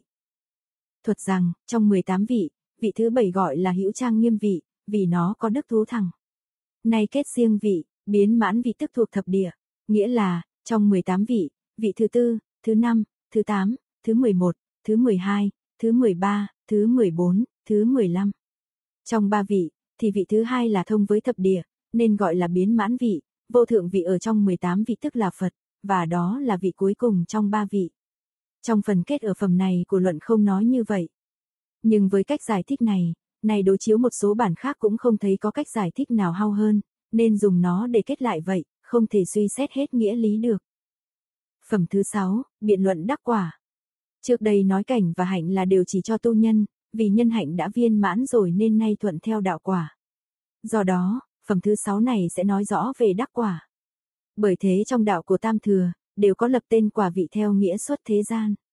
Nhằm làm rõ hạnh nhân chứng đắc cả quả vị hữu vị, vô vi, thế gian và xuất thế gian để lợi lạc quần sinh, nên gọi đó là chứng đắc năm quả vị. Năm quả vị này tùy theo lý có thể biết. Luận rằng, đã nói về tu vị, vậy đắc quả như thế nào? Thuật rằng, phần tránh văn của phẩm này, cũng chia làm ba đoạn, gồm mở đầu, tránh giải và kết giải thích như trên có thể biết. Đây tức là phần đầu. Luận tụng rằng, từ, khí thuyết gọi là di thục, đến, như thế tức là năm quả. Thuật rằng, trong phần tránh giải thích chung này có hai bài tụng, bài đầu nói về năm quả, bài sau nói phần còn lại. Đây là phần đầu, trong này, ba đầu nói về thể sở đắc của việc tu năm quả. Câu thứ tư, lấy thể làm danh, lấy sự làm giáo. Tên thì rộng mà thể thì hẹp, sự thì ẩn, giáo thì rõ ràng. Cho nên lấy thể và sự để làm danh và giáo. Luận rằng, khí nghĩa là tùy thuận theo pháp thiện dị thục. Thuật rằng, giải thích câu đầu. Đây là do tu hữu lậu trị mà đắc. Nếu ở địa vị phàm phu nhập vào hàng thánh rồi, mà tu hữu lậu trị thì được khí thân, tức là thông với năm uẩn, nên đều gọi là khí.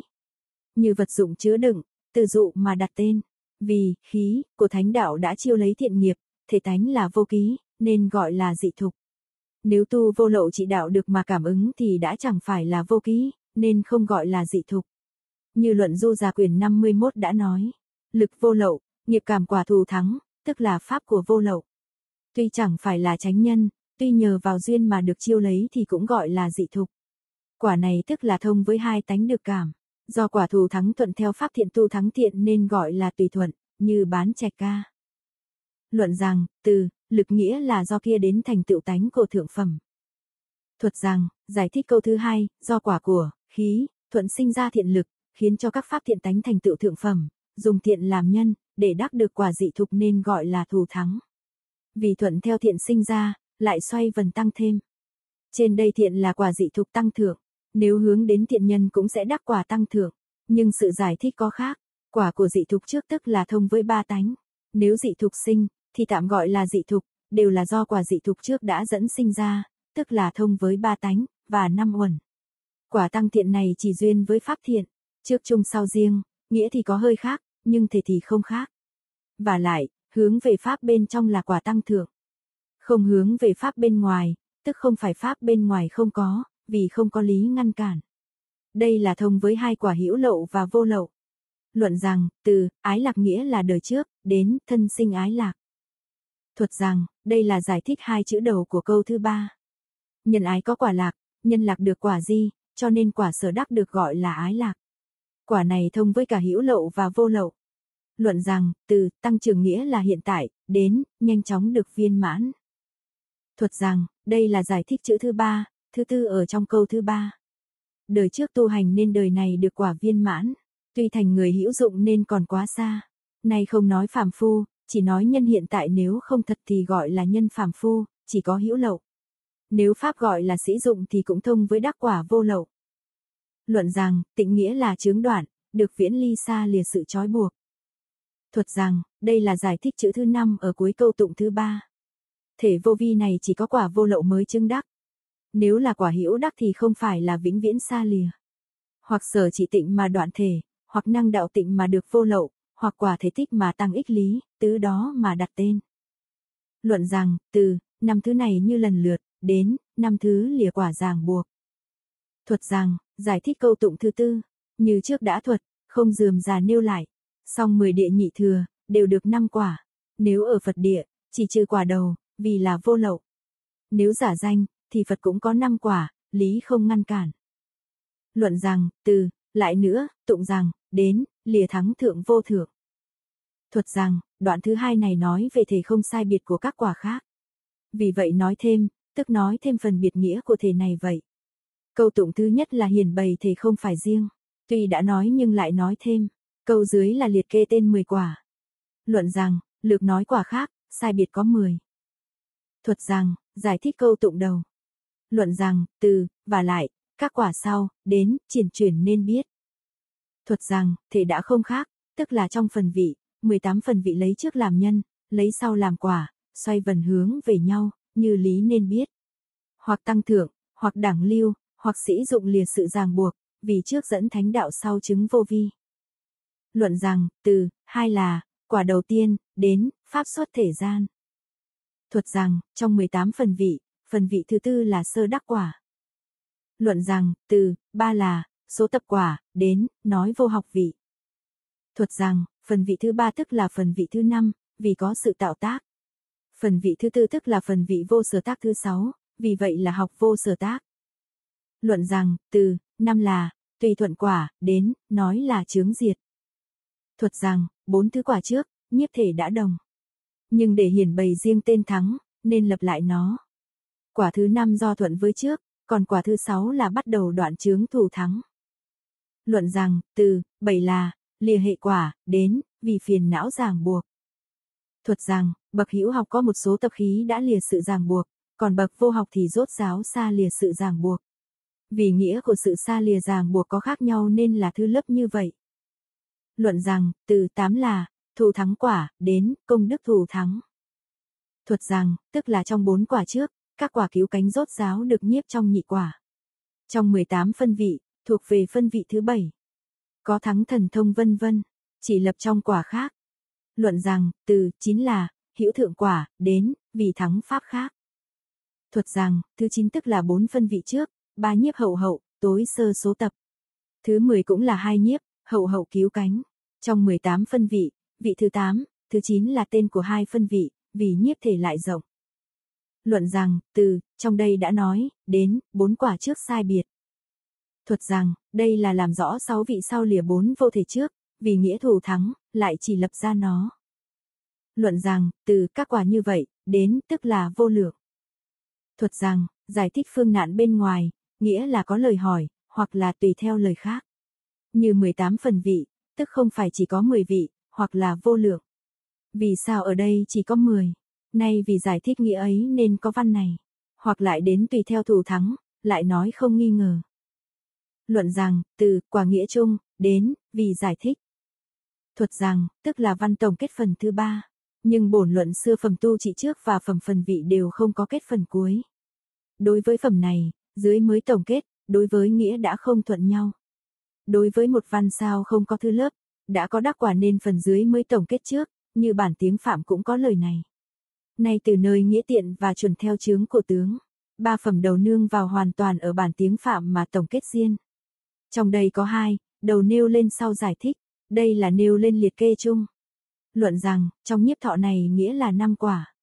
Thuật rằng, tổng kết bài tụng thứ nhất, vì do nhân tu trị, đã cảm được quả nên gọi là nhiếp thọ. Nhiếp thuộc về mình mà lãnh thọ nó nên gọi là nhiếp thọ.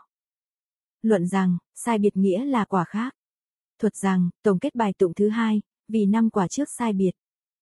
Luận rằng, từ, người đời trước tu tập, đến, nói bốn quả khác. Thuật rằng, đây là kết riêng bài tụng đầu. Nhờ quả dị thục làm sở y, mới được quả khác. Chủ yếu là do nghiệp quả đời trước chiêu cảm được nên gọi là túc thế. Tánh của nhân quả khác nhau, không giống như bốn quả sau. Bốn quả sau tức là khác với quả đầu, nhưng nhân trước có thể dẫn đến các quả sau, nên lập ra tên hậu hậu.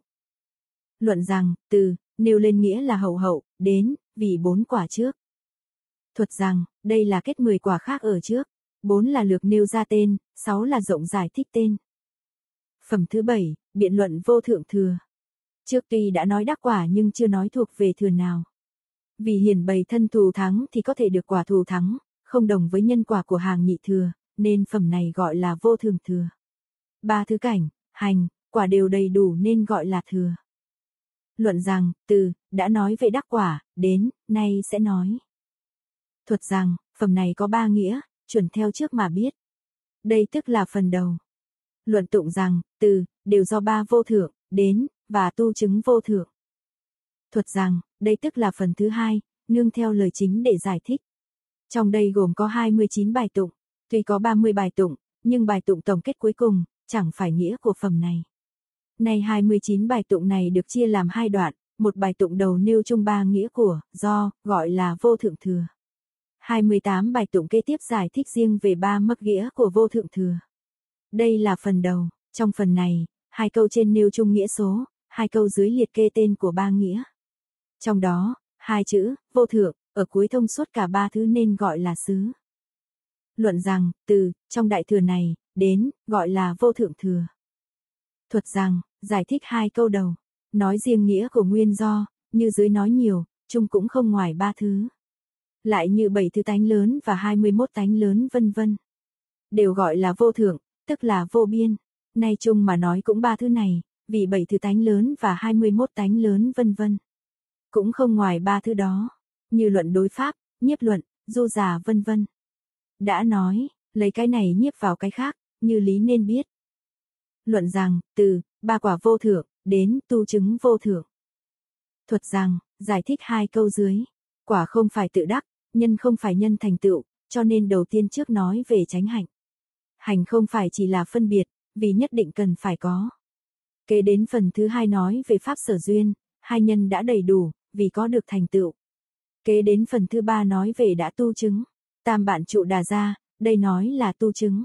Luận Phật địa quyền thứ bảy nói đồng với đây. Luận xưa nói là tập khởi, được tập đã khởi, nghĩa cũng không trái. Thể của quả đã thông với vô vi, vì tên của tập khởi thì hẹp, nên nói là tu sáu chứng, ở nơi lý cực thành. Luận rằng, trong đây tránh hạnh vô thượng, nghĩa là 13 la mật hành. Thuật rằng, từ phần thứ hai trở xuống giải thích riêng. Vì lựa ra cảnh chưa rõ ràng, nên nói trong đây. Nghĩa là, thể của tránh hạnh tức là 10 đáo bỉ ngạn. Trong phần giải thích riêng này, có 28 bài tụng. 26 bài tụng đầu rộng nói về 6 thứ tránh hạnh. Kế có một bài tụng rộng nói về 12 sở duyên.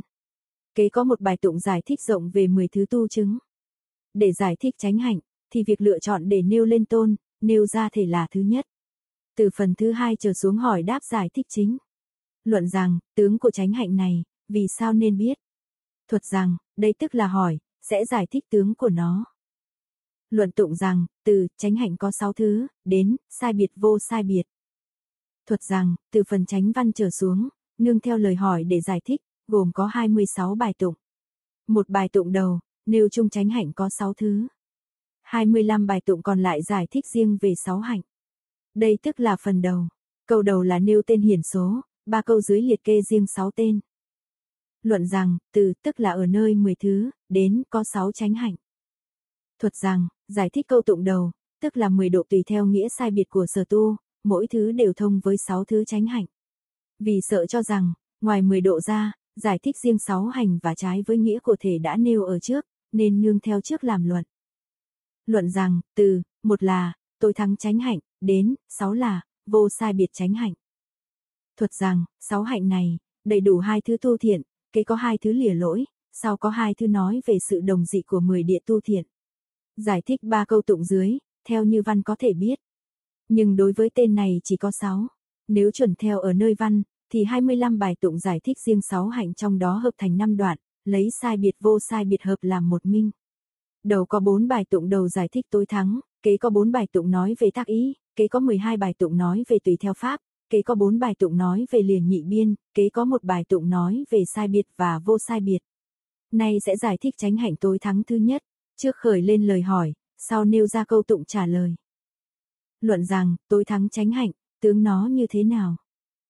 Thuật rằng, thứ nhất là hỏi. Luận tụng rằng, từ tôi thắng có 12 thứ, đến, gọi là ba la mật đa. Thuật rằng, đây là phần thứ hai trả lời. Ở trong này có bốn bài tụng hợp thành hai đoạn. Hai bài tụng đầu nói về 12 tối thắng, hiển bày 10 độ kia, gọi là đáo bỉ ngạn. Hai bài tụng sau nói về 10 đáo bỉ ngạn, gọi là thế thức nghiệp. Đây tức là phần đầu. Trong đây, câu thứ nhất nêu ra tên và nêu ra số, kế có 5 câu thứ lấp liệt kê tên, kế có hai câu hiển bày do đây nêu 10 đáo bỉ ngạn được gọi là sở do. Nhưng tối thắng này xưa gọi là vô tỷ. Luận rằng, tối thắng tránh hạnh có 12 thứ. Thuật rằng, giải thích câu thứ nhất. Luận rằng, từ, một là, quảng đại tối thắng, đến 12 là cứu cánh tối thắng. Luận rằng, đây là giải thích năm câu kế. Trong đây có hai, đầu liệt kê tên, kế giải thích rộng, đây tức là ban đầu. Nhưng trong bài tụng thứ 8 chỉ nói về nhiếp, nay thêm chữ thọ. Trong bài tụng thứ 10 chỉ nói là đắc, nay thêm chữ trí. Các tên còn lại thì như nhau. Luận rằng, từ, trong quảng đại tối thắng này, đến, vì có trí cao viễn. Thuật rằng, trong phần giải thích riêng, đầu là điệp văn, sau là giải thích, chuẩn theo đây có thể biết. Song không mong cầu tất cả các thứ lạc thú giàu sang của thế gian giàu mà chỉ cầu địa vị nhất thiết trí. Sự chán ghét cũng nhiều mà sự mong cầu cũng lớn, hoặc cái sở yếm sở cầu đều rộng lớn, nên gọi là quảng đại. Luận rằng, từ, trường thời tối thắng, đến, vì huân tập mà thành. Thuật rằng, chẳng phải như quả của hàng nhị thừa và thế gian, vì thiểu thời đắc, thiểu thời tu. Luận rằng, từ, y sư tối thắng, đến, vì là y sứ. Thuật rằng, lợi tha là trước tu 10 độ, vì nương theo hữu tình gọi là y sứ. Luận rằng, từ, vô tận tối thắng, đến, vì vô cùng tận. Thuật rằng, một là, vì đã hướng về bồ đề, công đức vô lượng, nên nói là vô tận, hai là đã hướng về bồ đề, đến đời vị lai không có tận. Ba là đã tu 10 độ mỗi mỗi đều hồi hướng, nên cũng nói vô tận. Luận rằng, từ, vô gián tôi thắng, đến, vì nhanh chóng viên mãn. Thuật rằng, tức là đối với tự tha ý rõ được bình đẳng, vì chúng sinh vô lượng, đối với trên kia phát khởi tự thân bố thí vân vân. Cũng vô gián đoạn, hoặc giã hóa chúng sinh, chúng sinh làm việc thiện, tức là vì Bồ Tát rõ thân bình đẳng. Bồ Tát hoan hỷ cũng như trị thân mình, tức là có thể khiến thân mình bố thí nhanh chóng viên mãn.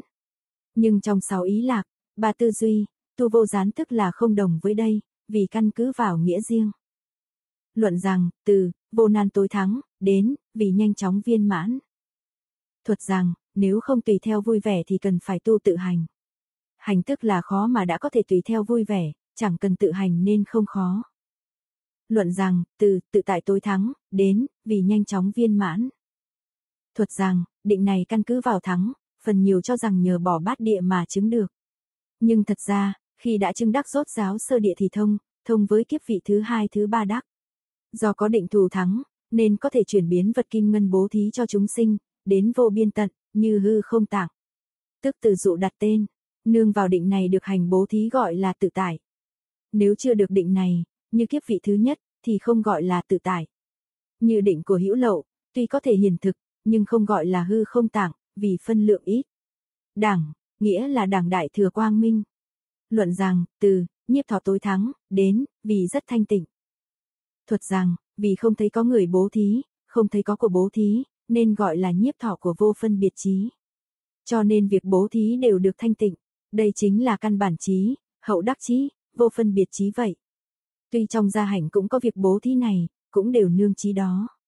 Và cũng không thấy tướng của người bố thí, và cũng thuộc về căn bản trí, nên gọi là tối thắng. Lấy sau nhiếp trước hoặc lấy trước nhía ô sau, tức là gia hành trí, cũng gọi là vô phân biệt trí. Vì không thấy tướng bố thí thức thuộc về trí này, chẳng phải là căn bản trí hao hậu đắc trí. Luận rằng, từ, phát khởi tối thắng, đến, trong thượng phẩm nhẫn. Thuật rằng, lại nữa, pháp thế đệ nhất ở quả vị trước, và pháp thế đệ nhất này, đều có thể phát khởi chân kiến đạo, nên gọi là phát khởi thắng. Pháp thứ nhất vì thời thúc dục, trong đây không nói, chẳng phải thể chẳng phải đây. Từ, đắc tối thắng, đến, vì nhân quả đầy đủ. Đầu đắc vô vi nên gọi là chi đắc, văn khác có thể biết. Trong đây thứ nhất, thứ hai, thứ ba, thứ tư, thứ sáu thông với ba tăng kỳ tối thắng của vị Bồ Tát, còn thứ năm được tự tha bình đẳng thắng giải, ở trong 10 địa được 10 bình đẳng, tức là trong hai tăng kỳ sau. Thứ bảy hư không tặng, cốt yếu phải nhờ thứ tám mới đắc được. Nói rằng, thứ tám mới được viên mãn, nhập vào địa phần đắc, hoặc nói chỉ có hai kiếp sau, có nói thông với ba tăng kỳ, như hai cách giải thích trước. Thứ 9 chỉ là kiếp đầu, thứ 10 chỉ là kiếp thứ hai, thứ 11 thông với kiếp thứ hai, thứ ba, thứ 12 chỉ là kiếp thứ ba và phi kiếp, vì thông với Phật. Hữu lộ chuẩn theo đây có thể biết, có thể so sánh sáu ý, ba tư duy, bảy tám đồng dị với đây. Luận rằng, từ, do 10 thí, đến, đều được tên đáo bỉ ngạn. Thuật rằng, giải thích câu tụng thứ 7 và thứ 8. Luận rằng, vì sao gọi là 10 đáo bỉ ngạn? Thuật rằng, từ đây trở xuống là phần thứ hai nói về đáo bỉ ngạn, nương vào lần lượt văn trước, đầu là khởi lên lời hỏi. Luận tụng rằng, từ, 13 la mật đa, đến, phương tiện nguyện lực trí. Thuật rằng, đây có hai bài tụng, một bài tụng đầu liệt kê tên 10 độ, sau có một bài tụng giải thích độ tạo tác nghiệp, đây tức là ban đầu. Nhiếp luận quyền thứ 8 nói rằng, trong 6 độ, 4 độ trước là tư lương, định là nương vào, sinh ra trí thứ 6. Nhưng chỗ khác nói, tĩnh lự nghĩa là chỉ ở sắc giới, từ nơi thắng mà luận, vô sắc tức là vô vi hợp với tên này. Nay từ nơi tên rộng nên nói là định định. Luận rằng, từ, đây hiển bày bố thí, đến, mỗi thứ đều tạo nên tác nghiệp riêng. Thuật rằng, đây là giải thích đại cương danh thể của 10 độ ở trong bài tụng. Vì có hỏi tạo tác nghiệp nên mới dẫn văn ở dưới. Luận tụng rằng, từ tụng nói, nhiều ích thọ bất hại, đến, thọ dụng thành thực tha. Thuật rằng, đây là nêu ra 10 nghiệp, một là lợi ích, hai là không hại, ba là thọ, bốn là tăng đức, năm là năng nhập, sáu là năng thoát, bảy là vô tận, tám là thường khởi, chín là thường định, mười là thọ dụng thành thục tha. Dụng là tự mình lợi tha là thù là người khác lợi. Trong câu thứ hai, chữ năng thông với nhập và thoát, chữ thường, trong câu thứ ba thông với khởi và định. Trường hàng dưới sẽ giải thích, nên biết ý này. Từ, nay làm rõ thí độ, đến, lần lượt nên biết. 10 tác nghiệp trước lần lượt phối hợp với 10 độ, chuẩn theo văn để biết. Luận rằng, từ, nghĩa là chư Bồ Tát, đến, không bị tổn hại. Thuật rằng, ba thí, ba giới tác nghiệp đều thông nhau. Luận rằng, từ, do an nhẫn, đến, thâm năng nhẫn thọ. Thuật rằng, trong đây đã lược bỏ đế pháp sát nhẫn, chỉ còn lại hai thứ, khác có thể biết. Luận rằng, từ, do tinh tấn, đến, tăng trưởng công đức. Luận rằng, từ, vì do thuyền định, đến, khiến nhập vào chánh pháp. Thuật rằng, lược bất hiện pháp lạc trụ, chỉ còn lại hai thứ, có thể biết. Hoặc là tứ thiền, có thể dẫn thông nên cũng thông với ba, đối với lý không ngại. Luận rằng, từ, do trí tuệ, đến, khiến được giải thoát. Thuật rằng, bát nhã gọi là tuệ, thông cả ba, không ngăn ngại. Luận rằng, từ, do phương tiện thiện xảo, đến, công đức vô tận. Thuật rằng, bốn độ sau, như Thánh Duy Thức nói là mỗi độ đều có hai thứ. 12 thứ phương tiện xảo này, 6 thứ là tự lợi, 6 thứ là lợi tha, trong đây chỉ căn cứ vào môn tự lợi mà nói. Luận rằng, từ, do nguyên, đến, khởi bố thí. Thuật rằng, dùng thân thù thắng thuận sinh các thiện pháp, gọi là sinh thắng bố thí tùy thuận nhiếp thọ. Văn khác có thể biết, nhưng nguyện có hai, trong đây chỉ căn cứ vào tự lợi để nói. Luận rằng, từ, do lực, đến, thường quyết định chuyển. Thuật rằng, hai lực đều đủ, văn dễ có thể biết. Luận rằng, từ, do trí, đến, tất cả hữu tình. Thuật rằng, như nghe, như nói mà nắm lấy nghĩa. Ở trong các pháp, mê và lầm gọi là ngô si. Vì muốn khiến cho đoạn trừ hết, nên nói lẽ lìa kia, như nghe như nói, mà các mê lầm. Mê nghĩa là không hiểu rõ, lầm là hiểu sai trái. Do lìa si này mà tự mình có thể thọ dụng tăng thượng pháp lạc, cũng có thể không ngược với thành thục hữu tình, hai trí đầy đủ. Chuẩn theo 10 chứng cửa độ trong quyền thứ nhất, tự mình cũng thành thục, người khác cũng thọ lạc. Này đều căn cứ vào tăng thắng riêng mà nói, cũng không trái nhau, hoặc trên đồng với đây, nghĩa cũng không trái nhau. Mười tự tánh này và các nghĩa môn, như Duy Thức đã nói. Từ, đã nói như vậy, đến, tướng nó như thế nào? Từ đây trở xuống là phần thứ hai, nói về hành của tác ý nghiệp. Trong đây, có hai, phần đầu kết trước sinh sau để phát ra đầu mối của luận. Phần kế là từ tụng rằng, trở xuống, là nương vào lời hỏi chính để trả lời, đây tức là ban đầu. Nói tác ý, chẳng phải tác ý số, thể của số tức là tuệ đầy đủ. Tác ý tăng gọi là tác ý, như tứ niệm trụ chẳng hạn. Luận tụng rằng, từ, Bồ Tát dùng ba tuệ, đến, gọi là tác ý tránh hành. Thuật rằng, nương vào lời hỏi tránh để trả lời. Trong đây có bốn bài tụng hợp làm hai đoạn. Đầu có một bài tụng rưỡi nói rõ về tác ý hoặc nhân hoặc là quả. Sau có hai bài tụng rưỡi coi rõ về trợ nhân và trợ quả. Trong một bài tụng đầu, chính là nói về tác ý, tức là nhân của nó. Kế có nửa bài tụng nói về quả của tác ý. Đây tức là phần đầu. Câu thứ nhất nói về quán tâm, tức là thể của tác ý. Hai câu kế nói về cảnh sở quán, tức là cảnh của tác ý. Câu thứ tư kết về tác ý. Luận rằng, từ, nếu các Bồ Tát, đến, được thành diệu tuệ. Thuật rằng, giải thích câu thứ nhất, Bồ Tát nghĩa là người có thể thành tựu. Văn, tuệ tức là năng quán được thành tựu. Luận rằng, số tác ý tư duy đại thừa. Thuật rằng, giải thích câu thứ hai, số số là hiểu rộng, vì dụng tuệ để tác ý. Tư duy đại thừa là cảnh đã quán. Lược ra tiểu giáo, chỉ nói đại thừa. Luận rằng, từ, nương vào bố thí, đến các pháp của khế kinh. Thuật rằng, giải thích câu thứ ba đại thừa tuy là chung, mà giáo bố thí lại là riêng. Nói bố thí tức là thực hành 10 độ, như được đặt ra pháp khế kinh tức là như thực hành bố thí mà thiết lập ra giáo pháp. Vì giáo xứng với hành mà đặt ra, xứng gọi nó là như, như nghĩa là tương xứng. Khế kinh tức là 12 bộ kinh, hành là sở y, giáo là năng y. Vì nương vào hành mà lập giáo nên nói y bố thí ý chung của đoạn này là, Bồ Tát dùng ba tuệ tư duy của Đại Thừa, nương vào hạnh bố thí mà đặt ra giáo pháp. Giáo pháp gọi là pháp thắng, nương vào giáo quán hành mà tu hành, nên có thể được quả lớn. Lấy giáo làm trước, sau mới hành, hành mà được ở quả, nên nói là tư giáo, có thể hiểu như vậy. Chỉ dùng văn tuệ để nghe mà được, dưới được công đức, ở giữa duyên vào giáo pháp, tư duy duyên vào nghĩa, nhờ tu khiến cho việc thành tựu. Vì sao trong đây chỉ nói giáo, pháp? Đáp rằng, vì 12 phần giáo làm đầu, đồng lấy nghĩa sự, cùng pháp mà nói, không chỉ nói riêng giáo. Pháp tức là thông suốt vậy. Luận rằng, như vậy nên phải tác ý tránh hạnh. Thuật rằng, đây là giải thích câu thứ tư, dưới là kết các phần còn lại, chẳng phải nói tác ý. Quyền hạ. Luận rằng, từ, chư Bồ Tát này, đến, có công đức gì? Thuật rằng, trước đã nói nhờ nhân của ba tuệ mà đời này được công đức gì? Đây là phần thứ hai nói về quả, trước là nêu ra câu hỏi. Luận tụng rằng, tăng trưởng thiện giới này nhập vào nghĩa và sự thành tựu. Thuật rằng, một câu trên nói, nhờ, nghe, khiến cho nhân duyên tăng, câu thứ hai nói, nhập vào nghĩa, khiến cho sở duyên tăng. Và sự thành nghĩa là hiển bày được quả đầy đủ. Chữ thử, nghĩa là tác ý này, đây là nhân của nó, nhân này có thể khiến cho thiện giới tăng, nhân này có thể lập vào nghĩa. Luận rằng, từ, văn đã thành tuệ, đến, đã nghe thật nghĩa. Thuật rằng, văn tuệ duyên vào giáo, tư tuệ duyên vào nghĩa. Lúc đầu nhờ nghe mà trùng từ thiện tăng, sau liền nhập vào nghĩa. Luận rằng, từ tu đã thành tuệ, đến, vì tu trị địa. Thuật rằng, tu tuệ thông tức là vô lậu nên sự nghiệp đầy đủ. Đầy đủ cái gì? Một là có thể thứ nhập thánh quả. Nói thư nhập, tức là nhập vào Phật địa thứ 10. Tu chỉ tức là tu thập địa, trừ chứng tăng đức, nhập vào Phật địa. Ba tuệ này trong đại thừa vì sao đều duyên vào giáo? Vì nó thông với nhân quả của các địa. Văn duyên chính vào giáo nhưng có một ít duyên vào nghĩa.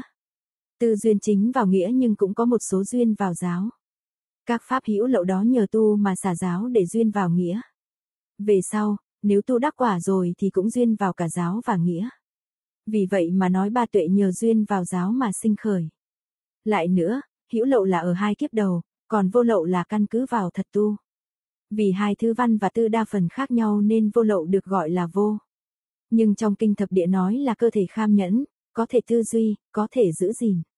Nói về ba tuệ, luận này căn cứ vào nghĩa của tu tuệ mà nói là ba. Kinh kia nói từ bát địa trở đi, nay dùng nghĩa chuẩn theo sơ địa ma nói được ba tuệ vô lậu. Luận rằng, tác ý tránh hạnh có trợ bạn gì? Thuật rằng, từ đây trở xuống là thứ hai, giải thích về tác ý bản, đây là khởi lên lời hỏi đầu, sau là giải thích chính. Luận rằng, nên biết, trợ bạn này tức là 10 thứ pháp hành.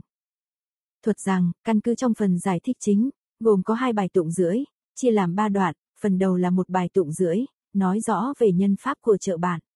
Kế có nửa bài tụng nói về phước quả được sinh của bạn. Phần sau có nửa bài tụng, hỏi và giải thích về phương nạn.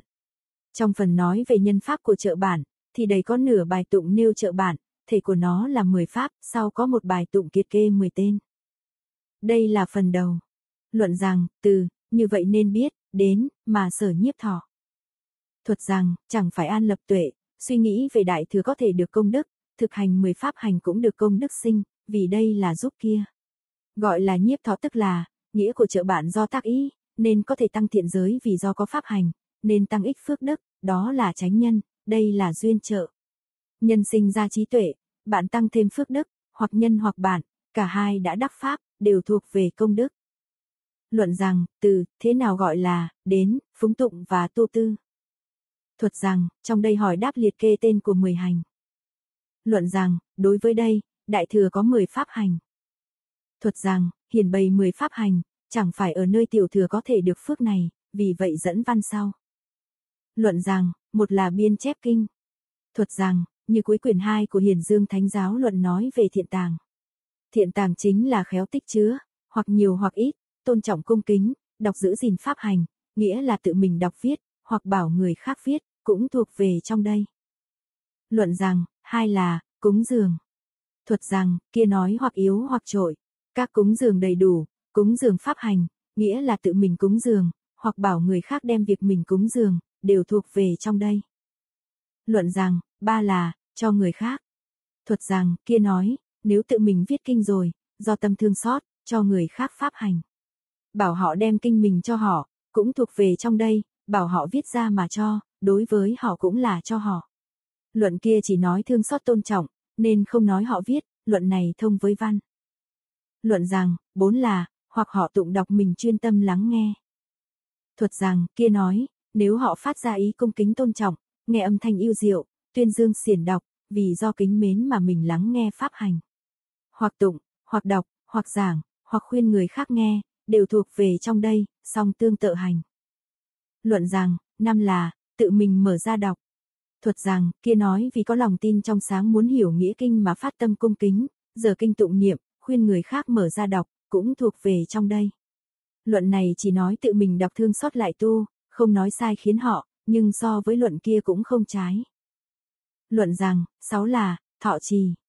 Thuật rằng, luận kia xếp vào phần thứ bảy, còn thứ sáu là phúng tụng. Vì người kia đã hiểu rõ, thọ trì kinh nên gọi là huân tập. Giải rằng, đã phúng tụng rồi là giữ chặt, nên lấy âm thanh vi diệu huân tập pháp hành. Do lấy phúng tụng làm đầu, nên có lời này. Luận này thì không nói thực hành. Nếu lúc có thể hành đã chỉ giáo thì gọi là thọ trị. Nên trong phần thứ sáu luận kia chỉ căn cứ theo hành rồi thọ trì. Nên thứ bảy nói, do ở nơi phúng tụng, sau tự mình khuyên người khác. Đều là vì tương tự đây. Luận rằng, bảy là chính vì người khác mà khai diễn nghĩa của văn. Thuật rằng, trong luận kia là thứ tám, nói rằng thương xót họ, nên truyền trao cho họ, tùy theo rộng lược đó, khai diễn pháp hành, khiến cho họ khai diễn cũng thuộc về trong đây. Luận rằng, tám là phúng tụng. Thuật rằng, phần thứ sáu trong luận kia nói, là muốn tu tập pháp tùy theo pháp hành. Tụng tức là thọ rồi phúng tụng pháp hành, khuyên người khác phúng tụng cũng tương tự pháp hành này. Luận rằng, chính là tư duy. Thuật rằng, chỉ ở chỗ nhàn tịnh, rất khéo nghiên cứu tìm tòi, gọi là lý quán sát tư duy pháp hành. Tức là tư tuệ, khuyên người khác cũng như vậy nhưng là tương tự. Luận rằng, 10 là tu tập. Thuật rằng, kia nói, như đã tư duy, tu hạnh định, quán. Vì muốn hướng vào, cho đến vì khiến cho các nghĩa sở cầu được thành tựu pháp hành. Trong đây, phúng tụng, thọ trì, như luận tát bà đa nói chỉ sinh được thiện. Trong đây nói là ba tuệ trợ giúp, tức là thông với gia hạnh thiện. Trong 10 gia hạnh thiện, vì sao giúp cho văn tuệ? Vì sao giúp cho tu tuệ? Có bao nhiêu phước bao nhiêu trí? Tám thứ trước là văn, thứ chín là tư, thứ mười là tu tuệ. Tám thứ trước phần nhiều duyên vào giáo, cho nên sinh trưởng trí. Nên mười thứ đều là trí. Sinh trí cũng như vậy, mười thứ đều là tuệ. Lại xét theo nghĩa đó, sáu ba la mật, vì sao được gọi là giúp đỡ? Nó giúp cho độ nào? Luận rằng, người thực hành mười pháp hành, được phước tụ vô lượng. Thuật rằng, từ đây trở xuống là thứ hai, nói về giúp phước quả. Đây là khởi lên lời hỏi, và nêu ra tụng trả lời. Luận rằng, từ tu hành như vậy, đến lượng vô biên đó. Thuật rằng, giải thích trong đại cương của bài tụng, văn đó dễ hiểu. Vì chỉ lợi tha thì lâu thành Phật, quả phước vô lượng, gần cũng có thể biết. Luận rằng, từ, vì sao chỉ cần đến, đến, không nói như vậy. Thuật rằng, từ đây trở xuống là phần thứ ba, hỏi giải thích về vấn nạn. Mười pháp hành trước trong bài tụng tuy không lược ra riêng, còn các luận hiển dương thánh giáo chỉ nói ở nói Bồ Tát Tạng. Tức là tất cả mười thư pháp hành này chẳng phải ở nơi hành nhị thừa của kinh A Hàm nên đặt ra lời hỏi này. Luận tụng rằng, thắng và vô tận ấy được nhiếp vào kia chẳng dứt. Thuật rằng, nghĩa là một câu trên, vì do hai duyên, chẳng phải ở nơi hàng nhị thừa, còn một câu dưới giải thích hai nghĩa trên. Luận rằng, từ, đối với đại thừa này, đến, được quả lớn nhất. Thuật rằng, sẽ giải thích văn của tụng, trước nêu ra đại ý, sau nêu ra nguyên do đó. Luận rằng, một là tối thắng, hai là vô tận. Thuật rằng, tức là câu trên của bài tụng, đây là lập gia nhân và tôn. Luận rằng, từ, do có thể nhiếp lợi ích, đến, nói là tối thắng. Thuật rằng, trong câu tụng dưới, một chữ, do, thông với hai xứ mà nói. Trong đây tức là giải thích hai chữ, nửa, ở trong câu dưới. Hàng nhị thừa giáo không làm lợi lạc cho người khác, nên chẳng phải tối thắng. Đây tức là phần đầu của nhân và tôn. Tự nhiếp nghĩa là nhiếp thọ, khiến cho nhập vào trong pháp. Ích nghĩa là lợi ích, khiến cho được phước tuệ. Hoặc nhiếp nghĩa là an lạc, ích nghĩa là lợi ích. Vì người vô biên, nên phước cũng vô biên. Luận rằng, từ, do tuy chứng đắc, đến, nói là vô tận. Thuật rằng, giải thích hai chữ, nửa, ở bài tụng dưới. Vì chữ, do, vốn thông suốt, do tùy chứng đắc vô dư niết bàn, tức là làm không trụ vào sinh tử. Làm việc lợi ích cho người, mà thường không dứt, tức là làm rõ không trụ vào niết bàn, nói rõ trụ vô trụ xứ của đại thừa, trụ vô trụ xứ. Chẳng phải như hàng nhị thừa không trụ vào sinh tử, chỉ trụ vào niết bàn, nên gọi là vô tận. Tức là bi trí rộng lớn, phước cũng vô biên. Do hai nguyên do trên, đối với nhị thừa giáo, thực hành 10 pháp hành cũng không sinh ra phước tuệ. Tạp tập luận quyền 14 nói, vì Bồ Tát Tàng là nơi để tất cả hữu tình lợi lạc nương vào. Vì kiến lập nghĩa lớn là nơi phát sinh vô thượng vô lượng đại công đức tụ. Hai nhân trước, một nhân đồng với đây, một nhân sau khác với đây. Luận rằng, từ, đã nói như vậy, đến, tướng nó như thế nào? Thuật rằng, từ thứ ba trở xuống, giải thích tùy theo pháp tránh hành. Trong đây có hai, phần đầu kết trước sinh sau, phần sau nương theo lời hỏi để giải thích. Đây tức là phần đầu. Luận tụng rằng, từ, tùy pháp hành hai thứ, đến, chư Bồ Tát nên biết. Thuật rằng, từ phần thứ hai trở xuống là nương theo lời hỏi để giải thích tránh. Trong đây có 12 bài tụng. Bài tụng trước nói về tùy pháp có hai, liệt kê tên khuyên Bồ Tát nên biết. 11 bài tụng sau nương theo hai chương môn, lần lượt giải thích riêng. Đây tức là phần đầu. Trong đây, ba câu trước nêu ra số liệt kê tên, câu thứ tư khuyên Bồ Tát nên biết. Tụng nói, tùy pháp hành, hoặc nói trạch diệt niết bàn gọi nó là pháp, tùy thuận hành kia gọi là tùy pháp hành. Hoặc giáo thì gọi là pháp, nương theo giáo phụng hành thì gọi là tùy pháp hành. Trong câu thứ ba, hai chữ, chuyển biến, thông với không tán loạn. Trong câu thứ hai, hai chữ, vị chư, thông với vô điên đảo, vì là hai thể chẳng phải một, nên gọi là chư. Sở vô thể đã khác mà năng vô thể cũng khác, nên gọi là chuyển biến. Hoặc là chuyển biến, nghĩa là trong hai vô chuyển, bỏ sở trị biến mà được năng trị. Hoặc trong biến bỏ sở trị chuyển mà được năng trị chuyển. Hoặc thể của truyền tức là biến, do năng trị chẳng phải một, năng trị có sở trị kia, sở trị cũng chẳng phải một, nên nói là chuyển biến. Văn dưới chỉ giải thích hai vô, không giải thích hai thức chữ chuyển biến. Ngài An Tuệ giải thích rằng, thể của vô tán loạn tức là định, do vô tán loạn tu chỉ vậy. Thể của vô điên đảo tức là quán, vì do vô điên đảo chi quán, thông với chín thứ định bốn thứ tuệ. Luận rằng, từ, tùy pháp tránh hạnh, đến, nên tránh sẽ rõ biết. Thuật rằng, giải thích văn tụng, nêu ra thể của chánh hạnh. Và lại, vô tán loạn có bao nhiêu thứ? Luận rằng, từ, trong đây sáu thứ, đến, sáu tác ý tán loạn. Thuật rằng, giải thích riêng hai vô, đầu giải thích vô loạn, hiển bày đã không phải sáu, gồm liệt kê sáu tên. Luận rằng, tướng của sáu thứ này, vì sao nên biết? Thuật rằng, hỏi về vô tướng. Luận tụng rằng, từ, xuất định ở cảnh lưu, đến các bậc trí nên biết. Thuật rằng, giải thích riêng hai vô. Trong đây có 11 bài tụng, một bài đầu giải thích về vô tán loạn của tránh hạnh đầu. Kế đến có 10 bài tụng, giải thích tướng của sở vô điên đảo và vô điên đã. Đây tức là phần đầu. Ba câu trên hiển bày tác dụng của sáu loạn, câu thứ tư khuyên người trí nên biết. Luận rằng, từ, trong đây nêu ra định, đến, tự tánh tán loạn. Thuật rằng, giải thích về sáu tán loạn, như luận hiển dương quyền 18, luận đối pháp quyền thứ nhất và duy thức vân vân. Đã nói, nếu không phải năm thức ít duyên vào cảnh ngoài, thường ở trong định, đều không nêu ra nhân, nên do năm thức mà nêu ra ở nơi định. Tự tánh tán loạn phải nêu ra tên của định, thể này tức là năm thức nhãn V, V, không lấy pháp xúc thọ vân vân. Tương ưng, vì thức là chủ, do đó mà nói, thông với lậu và vô lậu. Cách giải thích thứ hai là như phần truyền ngũ đắc chí ở trong luận Phật địa và duy thức đã nói. Luận rằng, từ, đối với cảnh lưu, đến, tức là tán loạn bên ngoài. Thuật rằng, vì duyên với diệu dục, tự thể do đó mà chiêu cảm tán loạn, hiển vương thánh giáo nói rằng, tâm tùy phiền não là tâm lưu đãng. Lưu đãng này duy thức nói là tự thể của tán loạn. Đây hoặc nói là giả, hoặc nói là thật, như duy thức, luận đối pháp sớ sao quyển thứ nhất đã nói. Luận rằng, từ, vị trầm trạo, đến, tức là tán loạn bên trong. Luận rằng, ở đây lấy ba pháp làm thể, tức là tham ái trầm trao do vị dính mắc, tức là nói ái vị. Luận xưa nói, tĩnh định ưu ư hối, trao khởi là không đúng, không lấy yêu hối. Luận hiền dương và đối pháp nói. Nghĩa là người tu định, phát khởi trầm trạo và vị dính mắc, thoái mất tĩnh định, nên gọi là tán loạn bên trong. Luận hiển dương không có trạo mà thêm nhãn, tức là nêu ra thể riêng, lấy bốn pháp làm thể. Trong đây thông với thuyết, trái thuận định chướng, nên lấy hai thứ trầm trạo.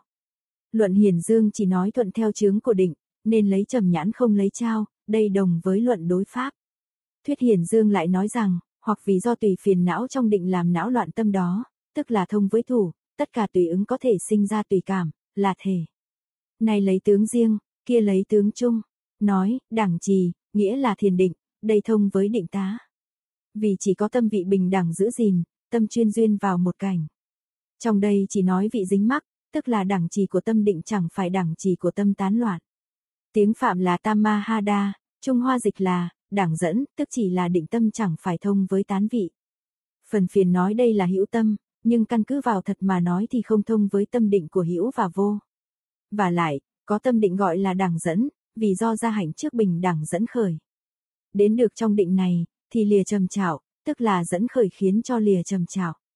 Hoặc từ trong định bình đẳng dẫn tâm, khiến cho lìa châm trạo, nên gọi là đẳng dẫn, chẳng phải nói do bình đẳng dẫn tâm đến cảnh, mà gọi là đẳng dẫn. Nếu không phải tâm định, gọi là đẳng dẫn, hoặc cũng do gia hạnh trước bình đẳng dẫn sinh ra định này. Định này là do gia hạnh trước bình đẳng tâm dẫn, nên gọi là đẳng dẫn. Hoặc tức là không phải tâm định, tịch tịnh bình đẳng, trước sau không khác. Có thể dẫn thân của tứ đại vân vân, khiến cho tương tục an hòa ghi nhớ, do định đẳng dẫn nên gọi là đẳng dẫn. Tiếng Phạm là tam ma bát để, Trung Hoa dịch là, đẳng trí, cũng chỉ là định tâm, không thông với tán vị, nhưng lại không với hữu tâm, và vô tâm định.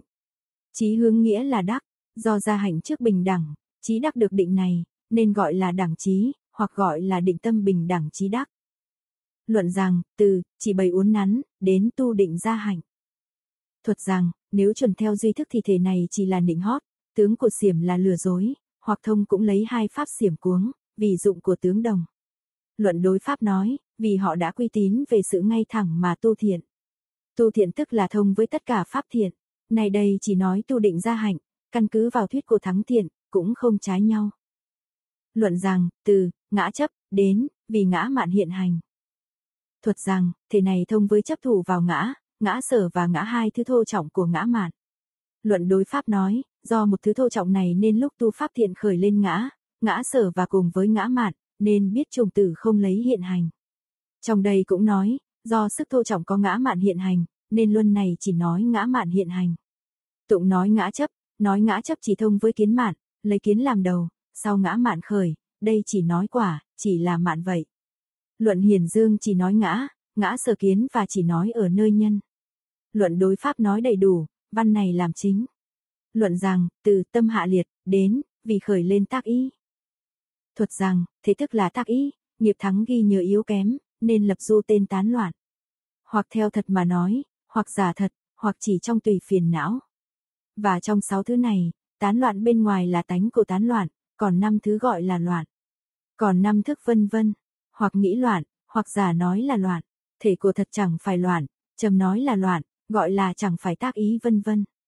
Pháp đắc của biến hành là tùy theo loạn. Song luận đối pháp nói, đối với thừa khác định khác, hoặc nương theo hoặc nhập vào tất cả tán loạn. Trong đây chỉ nói thừa khác không phải định. Lại luận kia nói, trước xã được tu tập, phát khởi tán loạn, tức là tác ý loạn, tác ý cụ thời, tán loạn làm thể, thể chẳng phải là tác ý, vì do tán loạn làm đầu, sau mới nhập vào thừa khác. Hoặc thể tức là tác ý, nhập vào thừa, định khác nhau, tâm thông với ba tánh đều gọi là tán loạn. Hoặc chỉ ái lạc thừa khác định khác, tâm này tức là tác ý số, chỉ lấy tác ý làm thể. Luận xưa nói rằng, hai thừa đầu chưa đắc khiến cho không được đắc, hai thứ kế đã đắc khiến cho thoái mất, thứ năm khiến cho không được giải thoát, thứ sáu khiến cho không được vô thượng bồ đề. Nghĩa tuy không ngăn đối với gốc tức là không phải văn. Sáu tán động này, vì sao thấy đạo đoạn, vì sao tu đạo đoạn, vì sao hàng nhị thừa và Bồ Tát thông với đoạn, vì sao chỉ Bồ Tát đoạn, chính vì nghĩa này mà phải nên gắng sức. Luận rằng, từ, Bồ Tát đối với đây, đến, nên nhanh chóng trừ diệt. Thuật rằng, giải thích câu tụng thứ 4. Ba câu tụng trên nói về vô loạn vốn không, đây chính là nêu ra thể của năng vô, tức chính là trừ sáu loạn, nghĩa là định tán, vì thường tu định. Luận rằng, từ, đã nói như vậy, đến, vì sao nên biết. Thuật rằng, dưới đây là phần thứ hai giải thích về vô điên đảo. Trong đây có hai, đầu là giải thích rộng 10 vô đảo của bản luận, sau là giải thích việc luận sư đã dựa vào kinh bảo tích và 10 câu trong kinh kinh cang, để thứ lớp phối hợp giải thích. Trong phần đầu có ba, đầu là kết trước sinh sau, để phát ra đầu mối của luận. Kế đến, từ tụng rằng, trở xuống là liệt kê giải thích về vô đảo. Phần sau từ, nghĩa chung của hành vô đảo, trở xuống là phần kết lại giải thích vô đảo. Đây là phần đầu. Luận tung rằng, từ, biết thấy đối với văn nghĩa, đến, vô bố cao vô đảo. Thuận rằng, từ phần thứ hai trở xuống chỉ giải thích vô đảo. Trong đây có 10 bài tụng, một bài tụng đầu nêu chung 10 tên, nêu ra thể của vô đảo. 9 bài tụng sau, nương theo nêu giải thích riêng về vô đảo. Luận xưa nói, như lý như lượng chi kiến là thể, đến dưới tự biết. Chữ, ư, là đã được âm thanh thứ bảy truyền, một ở nơi văn, hai ở nơi nghĩa, ba ở nơi tác ý, bốn ở nơi bất động, năm ở nơi tư tưởng, sáu ở nơi cộng tướng. Nay hợp cả hai cái này nên nói là hai tướng. bảy ở nơi nhiễm tịnh, tám ở nơi khách, chín ở nơi vô bố, mười ở nơi vô cao. Được trí này thấy duyên của vô điên đảo, nếu ở nơi đây mê tức gọi là đảo, thể là ngu si. Ở đây đã nói 10 thứ chuẩn theo dưới kết giải thích về câu kim cang, nên không có lỗi, đến dưới sẽ biết. Luận rằng, từ, nương vào trong 10 việc, đến, tên của 10 vô đảo. Thuật rằng, trong bài tụng nương theo cảnh, nêu ra thể của vô đảo khởi. Trong đây nương theo sự biết thấy trung lập ra tên của 10 vô đảo. Y, tức là sở y, trong âm thanh thứ bảy truyền, tuy cũng như vậy vì nghĩa tướng cần phải biết, cũng không có lỗi. Đây nói rõ 10 đảo là 10 ngu si, chẳng phải nói điên đảo, thuộc về bốn đảo, hoặc quán sở trị, tức kiến là đảo. Luận rằng, trong đây vì sao ở nơi văn vô đảo? Thuật rằng, từ phần thứ hai trở xuống chỉ giải thích 10 vô đảo, hợp có 9 bài tụng. Vì bài tụng thứ 9, thứ 10 hợp làm một bài tụng, do vậy chỉ chia làm 9 đoạn, nói về nghĩa của 10 vô đảo, là nhằm giải thích bài thứ nhất, nên đây khởi lên lời hỏi. Luận tụng rằng, từ, chi đẵn do tương ưng, đến, là ở nơi văn vô đảo. Thuật rằng, ba câu trên hiển bày ở nơi văn vô đảo, câu thứ tư kết chung. Chi nghĩa là hiển bày thể của năng chi, chữ chi, ở các ai tụng đều chuẩn theo mà đây biết, nên lại không giải thích lại dườm già. Đản là hiền bày nghĩa của quyết định, lìa văn bên ngoài này lại không phải văn, cho nên, do, là nghĩa của, sở dĩ, lấy âm thanh của chuyển thứ ba thay cho chữ, cố, của chuyển thứ năm. Tức là đối với bốn chỗ, chữ, do, đều thông, trong tụng và trường hàng đều lược nó. Trong đây đã biết đều do bốn thứ, một là vì tương ưng, hai là vì thói quen. Hai thứ, hữu nghĩa, này tức trong luận nói là tương ưng và thói quen, lấy chữ hữu nghĩa ở trong câu tụng thứ ba. Ba là vì không tương ưng, bốn là chẳng phải thói quen. Hai thứ này không có trong văn nghĩa, tức là tụng nói, hoặc đây ngược và câu thứ ba không có chữ hữu, đến dưới nên biết.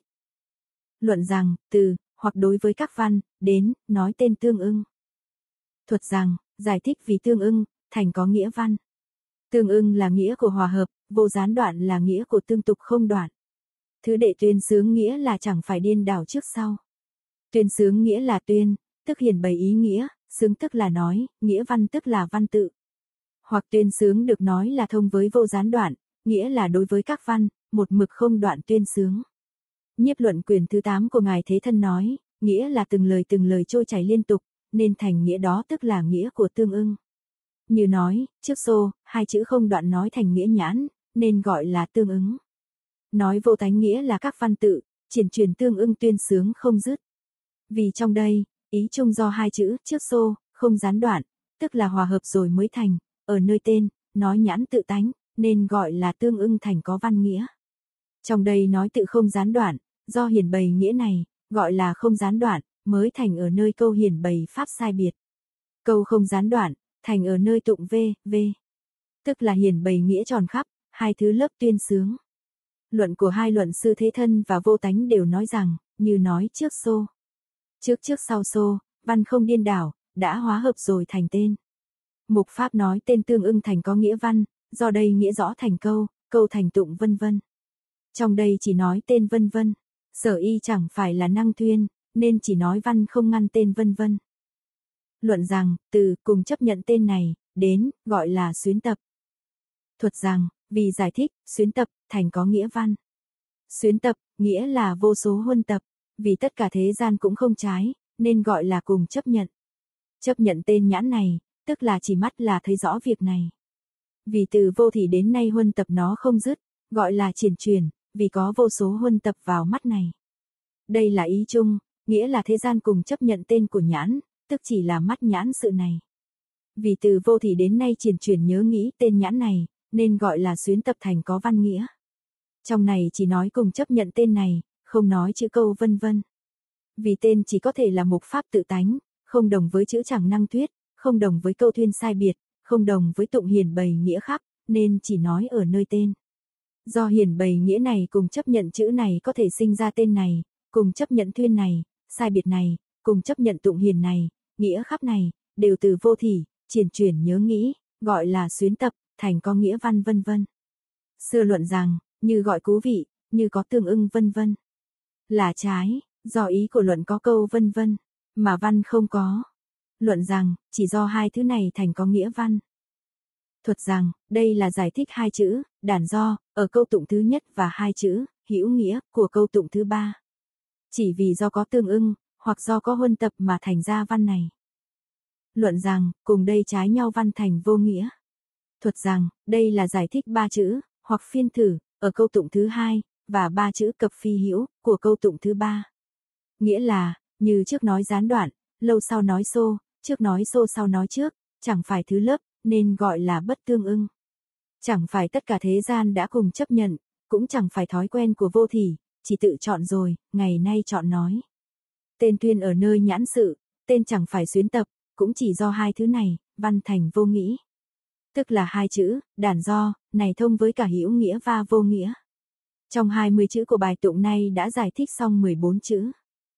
Luận rằng, từ, như thật chi kiến, đến, ở nơi văn vô đảo. Thuật rằng, giải thích chữ, chi, trong bài tụng và câu thứ tư, hợp giải thích 6 chữ. Đối với văn có nghĩa biết là có nghĩa, không có nghĩa biết là không có nghĩa, nên gọi là như thật chi. Trong 19 đảo ở dưới đều chuẩn theo đây mà hiểu, nên không giải thích dườm già. Nay do tên V, V, lấy tự làm y, nhưng nói nơi văn, ý ở nơi đây. Nhiếp đại thừa nói, xem văn này không nhập với viên thành thật. Luận rằng, từ, ở nơi nghĩa vô đảo, đến, là ở nơi nghĩa vô đảo. Thuật rằng, từ phần thứ hai trở xuống, giải thích nghĩa vô đảo. Hai câu tụng trên nêu ra thể của sở chấp, câu tụng thứ ba nói biết lìa hữu vô nêu ra tướng vô đảo, câu thứ tư kết về vô đảo. Trong hai câu đầu, câu thứ nhất nói về hữu, câu thứ hai nói về vô. Luận rằng, từ tự hai tánh hiển hiện, đến, vì hành tướng sinh. Thuật rằng, đây là giải thích thể của sở chấp, giống như hữu tình. Ngài An Tuệ giải thích rằng, chỉ có thể của thức là không có kiến phần và tướng phần. Vì thể của loạn thức, giống như hành tướng của năng sở mà sinh ra, không phải là hoàn toàn không có tướng mạo của hai thủ. Vì do đây tám thứ đều có thể tính toán khắp, cái mà hiện ra núi sông V, V.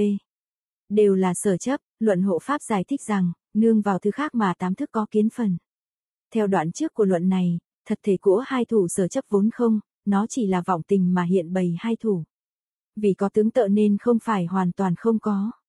Luận rằng, từ, như hiện thật chẳng phải có, đến, thật không có như vậy. Thuật rằng, do biến kế sở chấp hiện ra các vọng tình như núi sông nên nói là có. Căn cứ vào thật mà nói, các vọng tình đã hiện, ấy vốn không thật có, vì thể thông có. Hai giải thích như trên đây chuẩn theo mà biết, ở đây giải thích sở chấp thật thể không có, trên đây tức là hiển bày sở chấp cũng có, chẳng phải có. Luận rằng, từ, ly hiểu đến, vì tánh phi hiểu Thuật rằng, đây là giải thích chữ, ly hiểu ở câu thứ ba.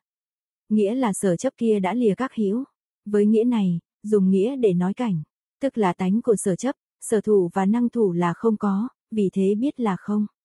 Ngài An Tuệ do đây mà nói tâm y tha vốn không có hai thủ. Luận hộ Pháp nói, do dựa vào sở thủ và năng thủ của y tha nên thể của hai thủ sở chấp là không có vậy. Luận rằng, từ, ly phi hiểu, đến, hiện tự hiểu. Thuật rằng, đây là giải thích chữ, ly phi hiểu ở câu thứ ba. Tức chữ, ly, ấy thông với cả hữu và phi hữu Nghĩa là loại thức của y tha kia hiển hiện, vì sở chấp hai thủ của hữu tình là có nên là lìa phi hữu. Cách giải thích của luận hộ pháp cũng như trước. Luận rằng, từ, như thật chi kiến, đến, đối với nghĩa vô đảo. Thuật rằng, giải thích câu thứ tư chữ trị trong bài tụng, đây tức là chỉ lấy sở chấp làm nghĩa, không lấy y tha, đến sau nên biết. Luận rằng, ở nơi tác ý đến vì hiện tị hai nhân. Thuật rằng, thứ ba giải thích về tác ý. Câu tụng thứ nhất nêu ra tên của sở biện, ba câu tụng sau nêu ra thể của sở chi. Trong tụng kia nói nghĩa là nói, năng huân, huân tập vân vân, nghĩa là hạt giống của sở huân, đến sau nên biết. Luận rằng, sở thủ năng thủ nói sở huân tập. Thuật rằng, sở thủ, năng thủ nghĩa là giải thích chữ, bỉ, trong bài tụng, tức là biến kế sở chấp sở thủ năng thủ. Nói sở huân tập nghĩa là hiểu rõ tụng thì gọi là huân tập. Tức là lấy tướng và tưởng của sở thủ năng thủ kia để huân tập. Huân tập chính là trùng tử. Nên luận kia nói, đó là năng huân. Vì luận kia nói nên gọi là, bỉ ngôn. Luận rằng, danh ngôn tác ý. Thuật rằng, tức là nói về hai thủ trước, đã huân tập trùng tử, gọi là ngôn tác ý, tức là nói tác ý của hai thủ. Đó là giải thích theo lối y sĩ, chẳng phải giải thích theo lối chỉ nghĩa. Nói huân tập này, tức gọi là tác ý. Đến đoạn sau sẽ biết. Luận rằng, từ tức tác ý này, đến, phân biệt sở y. Thuật rằng, giải thích hai chữ, bị y, trong bài tụng. Tức là đây nói, tác ý của thể huân tập, chính là phân biệt sở y của sở thủ và năng thủ. Sở thủ và năng thủ nghĩa là biến kế sở chấp, duyên vào hai thủ này có tâm phân biệt, hoặc là tâm của hai thủ sở y. Vì do tâm phân biệt là nương vào hai thủ mà có. Đây là nói chỗ huân tập, hạt giống của tác ý, vì trùng tử là tánh của nhân duyên hiện hành, nên gọi là sở y. Hai thủ trước nói là năng huân, là nhân của tác ý. Phân biệt hai thủ này là tác ý, quả đã sinh ra, tức là tác ý, cũng là nhân cũng là quả. Vì đã hướng vào chỗ khác, vì nương vào kia nên gọi là bỉ y. Bỉ chẳng phải là y, trong đây phân biệt có nói chỉ tự thể, có nói thông với ba phần, biện luận rộng rãi như trước. Luận rằng, vì là nhân năng hiện của tợ hai thủ. Thuật rằng, giải thích câu thứ tư trong bài tụng, tức là giải thích nghĩa của tác y phân biệt sở y. Do sở huân này tác ý, chính là nhân của năng tợ hai thủ, nên gọi là sở y. Thể của hai thủ là không, thể của hai phân biệt là có. Sở và năng của hai thủ gọi là sở hiện tợ, vì tợ có hai thủ. Tâm phân biệt gọi là năng hiện tợ, vì năng hiện là tướng của hai thủ, phân biệt thức là hiện hành của thức. Đây nói tác ý, vì là trùng tử của thức, là nhân của năng hiện hai thủ. Hỏi đây nói phân biệt thuộc vào thức nào? Đáp, Ngài An Tuệ nói, thông với tám thức, vì đều là tướng của năng hiện tợ hai thủ. Luận hộ pháp nói, chỉ có thức thứ sáu và thức thứ bảy, ngoài ra thay đổi, giống như hai thủ thức là y tha tánh, vì không phải năng hiện tợ sở chấp hai thủ.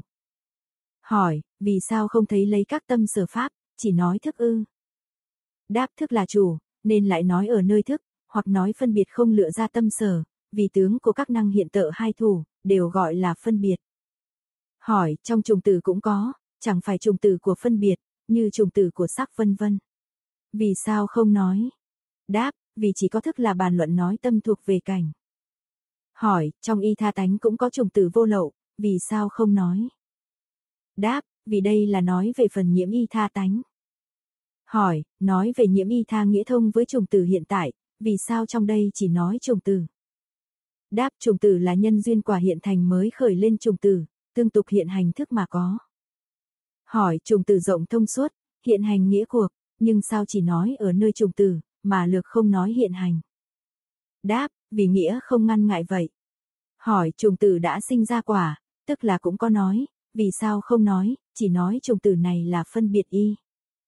Đáp lấy hai tường thì thắng, nhưng nói lời có thể huân tập, hiện tợ hai thắng, chỉ nói sinh ra phân biệt, phân biệt là y.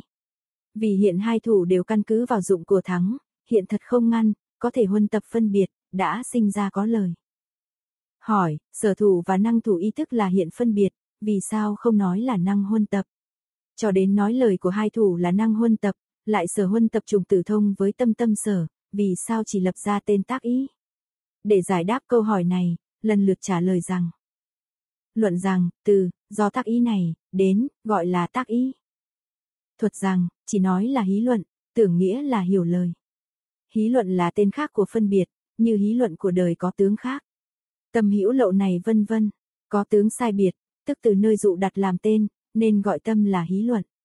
Nói năng huân tập nghĩa là tưởng có thể nói thành lời. Tưởng là lời năng huân, dụng của tưởng tăng ở nơi pháp khác, vì sinh ra lời rồi ghi nhớ tên của pháp.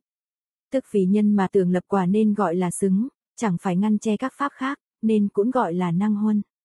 Và lại, đây là ghi nhờ từ nơi thủ thắng. Đây là đáp lại câu hỏi đầu. Nói chung do tác ý này là sự huân tập của tưởng hí luận, nên gọi là ngôn tác ý. Đây là trả lời câu hỏi thứ hai. Do hí luận tưởng, cùng thời tác ý huân tập của sở tâm, nên nói trùng từ này. Gọi là ngôn tác ý, vì lúc ý phát khởi, tác ý pháp thủ thắng.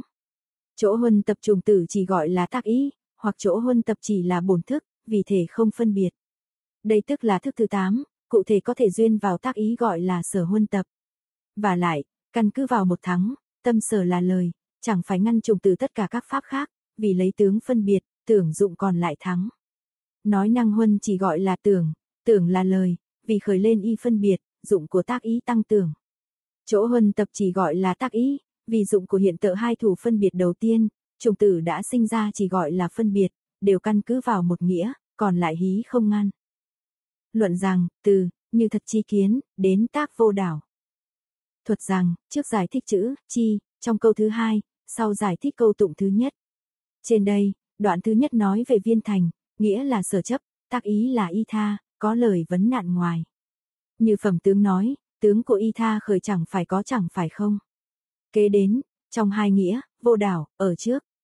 Phần sau nói sở chấp chẳng phải có chẳng phải không, hai tánh này nếu nói thật là không, vì sao hiện thấy tướng mạo có thể đắc. Nếu thật là có, thì không cần phải nói bổn tánh của các pháp, trước nay vốn thanh tịnh. Vì giải thích lời hỏi này, nên có văn kế. Luận rằng, từ, ở nơi bất động vô đảo, đến, vì hữu vô bất động. Thuật rằng, câu thứ nhất hiển bày tên của sở minh, chữ, chi, trong câu thứ hai hiển bày thể của đảo. Câu thứ hai nghĩa phi hữu, câu thứ ba phi vô. Hợp năm chữ này để nói về sở chi pháp. Câu thứ ba như huyễn vân vân, là hiển bày sở chi pháp, đồng với phẩm pháp dụ. Câu tụng thứ tư giải thích nghĩa của bất động. Luận rằng, từ, trước nói các nghĩa, đến, vì phi hữu vô. Thuật rằng, trong bốn câu này, hai câu trên điệp văn trước, hai câu dưới là tránh giải thích. Nghĩa là, nghĩa của câu thứ hai, thể của vô đảo lìa hữu và phi hữu. Giải thích rằng, đây là nghĩa như huyễn vân vân, phi hữu vô, nên từ đây sắp xuống giải thích rộng. Hoặc thông với điệp văn trước, trong quyển thứ nhất nói, tánh của y tha khởi cũng gọi là nghĩa. Như huyễn vân vân, tức là giải thích lời như huyễn trong bài tụng. Phi hữu vô nghĩa là giải thích, giải thích chữ, phi hữu phi vô, trong bài tụng. Vì trong điệp văn trước nói các nghĩa, nên nay giải thích chữ nghĩa ở trong bài tụng. Đây như vân vân, nghĩa là không hiển bày chữ nghĩa, vì đây tức là nghĩa này. Hoặc như giải thích nghĩa ban đầu, lời hỏi tuy thông với hai tánh ở đoạn văn trước, nhưng đó chỉ là điệp sở chấp, vì y tha tánh ở trong vô đảo không nói về hữu vô, mà trả lời rộng, ý tức là trả lời cả hai. Nếu sau hiểu rõ nghĩa thông với y tha, nghĩa là chuẩn theo trong câu kinh cang dưới, vì từ đây sẽ giải thích thể. Nghĩa của điệp trước không chỉ là sở chấp, ở trong giải thích rộng, không phải dụ sau pháp. Luận rằng, từ, nói như huyễn tạo tác, đến, tánh của voi ngựa vân vân. Ngoặc kép, thuật rằng, từ đây trở xuống nói rộng về như huyễn, đây là dụ về phi hữu. Đối với việc huyễn, vì nó không có dạng thật thể, nên nói là phi hữu. Nếu vọng tình như thật, thi thể của các ảnh tượng sở chấp ấy cũng không có. Đây là dụ cho sở chấp vốn không. Nếu theo sở chấp, thì các thứ voi mã huyễn hoặc ấy đều chẳng có. Đây là dụ cho tánh y tha vốn không. Luận rằng, từ, cũng chẳng hoàn toàn vô, đến, vì hiển hiện. Thuật rằng, đây là dụ về phi vô. Đối với việc huyễn trên giống như có hiển hiện, nên nói là có. Đối với việc huyễn trên, nếu sở chấp là thật tượng vân vân. Giống như vọng tình đó mà có hiển hiện, việc này là phi vô. Đây dụ sở chấp là hiểu, thể của việc huyễn đó, nếu giống như sở chấp kia, tức thật có tượng mã vân vân. Hiển hiện thì việc này là phi vô, đây dụ cho y tha là hiểu. Nếu như giải thích ban đầu, nghĩa là trước chỉ là tánh của sở chấp, thì dụ hữu vô chỉ là dụ cho sở chấp. Nếu như giải thích sau, nghĩa thông với y tha, thì dụ này tức là thông với tánh y tha khởi. Vì trái với câu hỏi kim cang dưới, nên đây mới giải thích về hai tánh hữu vô này. Đây là giải thích dụ trên, từ đây sắp xuống giải thích về pháp. Luận rằng, từ các nghĩa như vậy, đến, định thật có tánh. Thuật rằng, từ đây sắp xuống nói về nghĩa rộng của hữu và phi hữu. Đây là giải thích pháp vô. Các nghĩa ấy hoặc sở chấp cẳng phải một, hoặc thông với y tha, vì có hai tánh nên nói là, chư. Biến kế sở chấp, sở thủ, năng thủ đó, không như vọng tình sở hiện hai thủ là thật có. Nếu như vọng tình hiện là có, thì thể của nó hoàn toàn là không, không như vọng tình đã hiện đã khởi. Như hòa đốm giữa hư không là dụng của vô thể, nên sở chấp là vô. Tánh y tha khởi đó. Ngài An Tuệ giải thích rằng, chỉ có thể của thức, không như sở chấp thật có hai thủ, nên thành ra phi hữu. Luận hộ pháp giải thích rằng, hai thủ của y tha phi hữu tự hữu, không như sở chấp hai thủ thật có, nên nói là vô. Luận rằng, từ, cũng chẳng phải toàn vô, đến, vì hiển hiện. Thuật rằng, đây là giải thích rộng về các nghĩa phi vô, tức là hai cách giải thích về các nghĩa phi vô vậy. Biến kế sở chấp đó, Ngài An Tuệ nói rằng, do hay hiển hiện giống như tự thể của loạn thức. Luận hộ pháp nói rằng, do hay hiển hiện giống như hai phần của loạn thức, đều giống như từ vọng tình mà hiển hiện.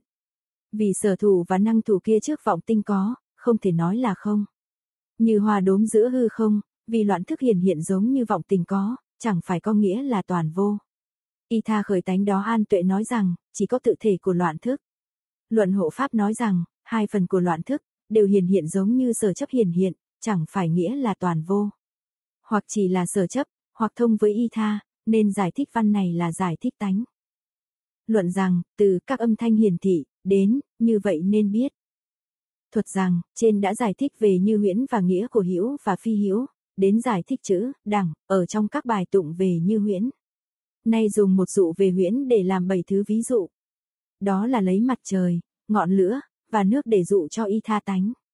Đối với lửa vân vân, ở trên, chấp nước là có thật, đó là dụ cho biến kế sở chấp.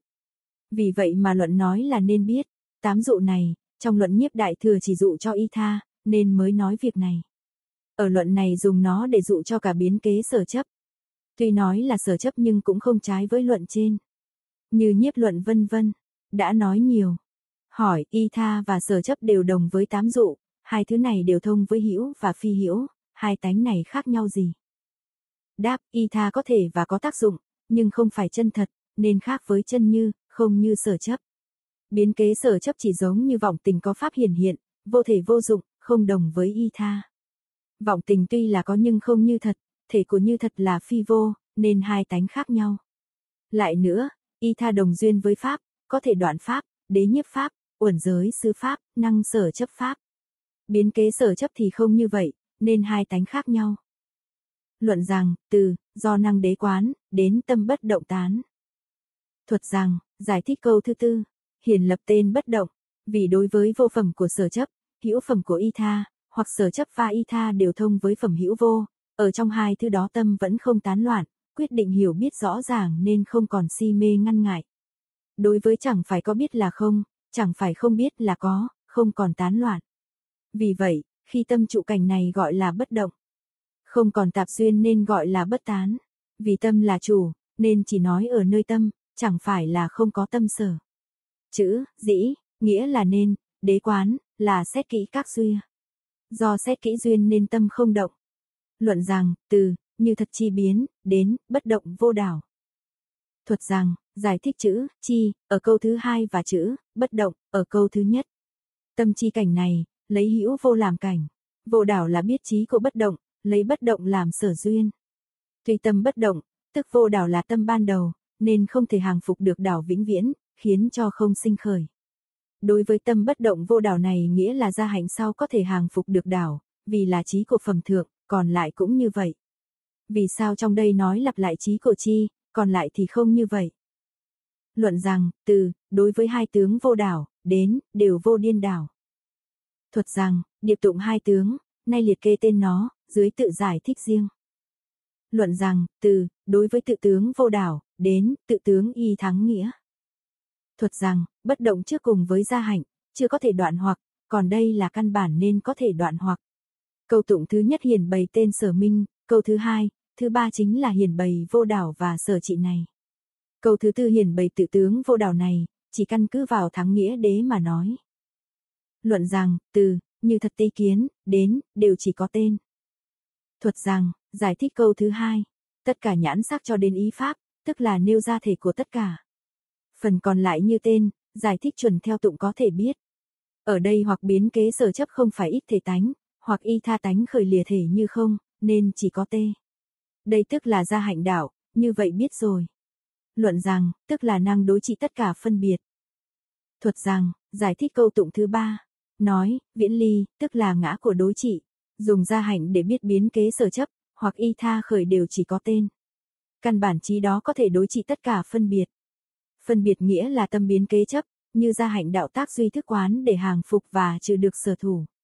Sở thủ trừ rồi lại trừ năng thủ, tất cả chỉ là tên.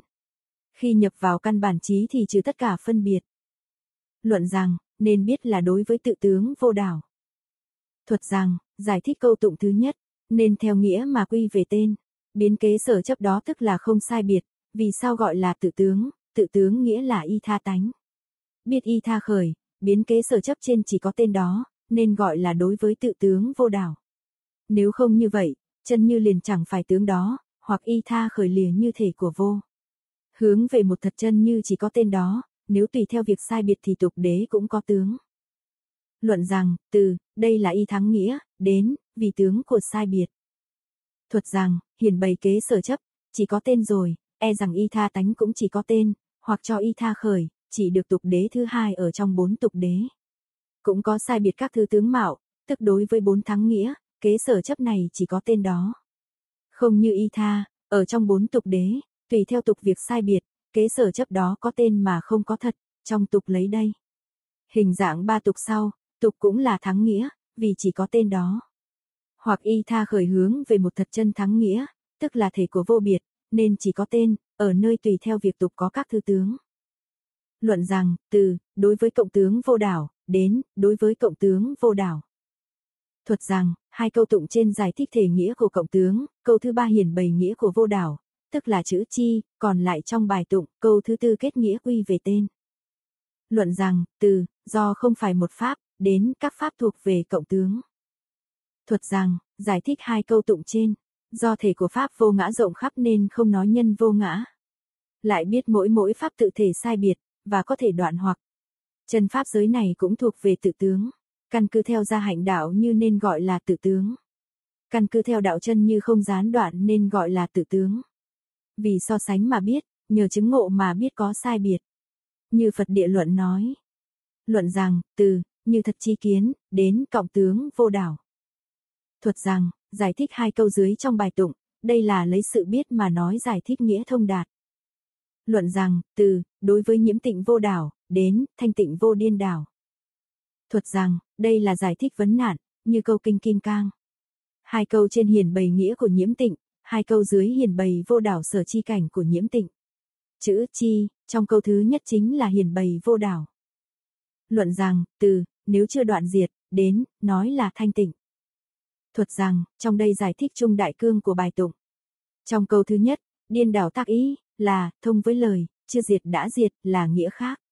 Nghĩa là, điên đảo tác ý là thông với chưa diệt đã diệt, nên đối với pháp giới, điên đảo trên chưa diệt thì nói là tạp nhiễm, nếu lúc đoạn diệt thì nói là thanh tịnh. Nhưng nhiễm tịnh này thông với tâm và tâm sở, chỉ nói tác ý nghĩa là sinh ra tâm thủ thắng. Nếu vì căn cứ không ngoại tác ý hiện trước thì không nói cái khác. Luận rằng, từ, như thật chi kiến, đến, nhiễm tịnh vô đảo. Thuật rằng, giải thích chữ, chi, trong câu thứ nhất, chữ tạp nhiễm, ở câu thứ ba và câu thứ tư, nghĩa chuẩn theo có thể biết. Luận rằng, từ, ở nơi khách vô đảo, đến, là ở nơi khách vô đảo. Thuật rằng, đây là giải thích lời hỏi câu kinh kim cang. Ba câu trên hiển bày biết cái đã biết, hướng về ai làm khách. Câu thứ tư kết nghĩa quy về tên, chữ, chi, thứ nhất hiển bày thể của vô đảo. Luận rằng, từ, bổn tánh của Pháp giới, đến, là khách chẳng phải chủ. Thuật rằng, trừ chữ, chi, ban đầu là giải thích ba câu trên, văn tụng khác có thể biết. Chủ nghĩa là bổn tánh, khách chẳng phải là bổn tánh, tức từ nơi dụ để đặt tên. Nếu trước nhiễm sau tịnh là bổn tánh của Pháp giới. Vì tướng của nhiễm tịnh đó là chủ chẳng phải khách, tức là chẳng phải bổn tánh, tướng của tạp nhiễm là khách chẳng phải chủ. Sau tịnh đó, nghĩa là, tịnh tức là mới có, nên cũng là khách, vì bổn tánh tịnh của Pháp giới, chẳng phải sau mới tịnh. Luận rằng, từ, như thật chi kiến, đến, đối với khách vô đảo. Thuật rằng, giải thích chữ, chi, ban đầu và câu tụng thứ tư. Luận rằng, từ, ở nơi vô ý vô cao, đến, là ở nơi hai vô đảo. Thuật rằng, đây tức là phần thứ 9, cả hai cùng giải thích về nhị môn. Cao nghĩa là ngạo mạn. Hai câu tụng trên giải thích về cảnh của vô ý vô cao, câu thứ ba hiển bày thể của vô đảo, câu thứ tư kết nghĩa quy về tên. Luận rằng, từ, hữu tình và pháp, đến cũng đều phi hữu. Thuật rằng, trong đây, hai câu đầu giải thích câu thứ nhất trong bài tụng, hai câu sau giải thích câu thứ hai trong bài tụng. Vì sở y vì người và pháp đều không, năng y nhiễm tịnh cũng đều chẳng có. Luận rằng, từ, do nghĩa của nhiễm tịnh, đến, không giảm không tăng. Thuật rằng, tuy hiển bày cảnh của vô úy vô cao, nhưng chưa nói về nguyên do của vô úy vô cao, nên đây tức là nói về nguyên do của vô úy và vô ca. Nếu nhân pháp, nhiễm tịnh trên có nghĩa là lúc đoạn diệt thì được tịnh, nhiễm pháp có thể giảm, tịnh pháp có thể tăng, vì tánh của nhiễm tịnh đều là phi hữu, tức là nhiễm không giảm, thiện pháp không tăng. Luận rằng, do ở trong đây vô bố vô mạn. Thuật rằng, đây tức là chính hiển bày vô bố, vô cao. Cao, có nghĩa là mạn, tức là vì hiển bày nguyên do nên hiển bày hai vô. Vì nhiễm pháp không giảm, cho nên không sợ hãi, không sợ hãi sau khi ngã đoạn thì vô.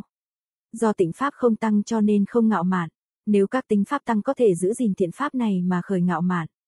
Thiện pháp đã không tăng thì chấp vào cái gì? Vì thế mà không khởi ngạo mạn. Chữ, vô, ở đây là không có biến kế sở chấp. Luận rằng, từ, như thật chi kiến, đến, nói hai vô đảo. Thuật rằng, giải thích câu tụng thứ ba và thứ tư. Vô ý vô cao là gia hạnh trí, biết rõ trí này tước trí vô học đạo căn bản, như trước nói, biết bất động cũng lại biết trí. Luận rằng, từ, vô đảo hành nghĩa chung, đến, chỉ quán hai tướng. Thuật rằng, từ đây sắp xuống là giải thích riêng. Trong 10 vô đảo ấy, cái thứ ba xếp vào 10 vô đảo. Nhưng cữ luận xếp vào quyền sau để giải thích tên luận, cuối cùng mới kết.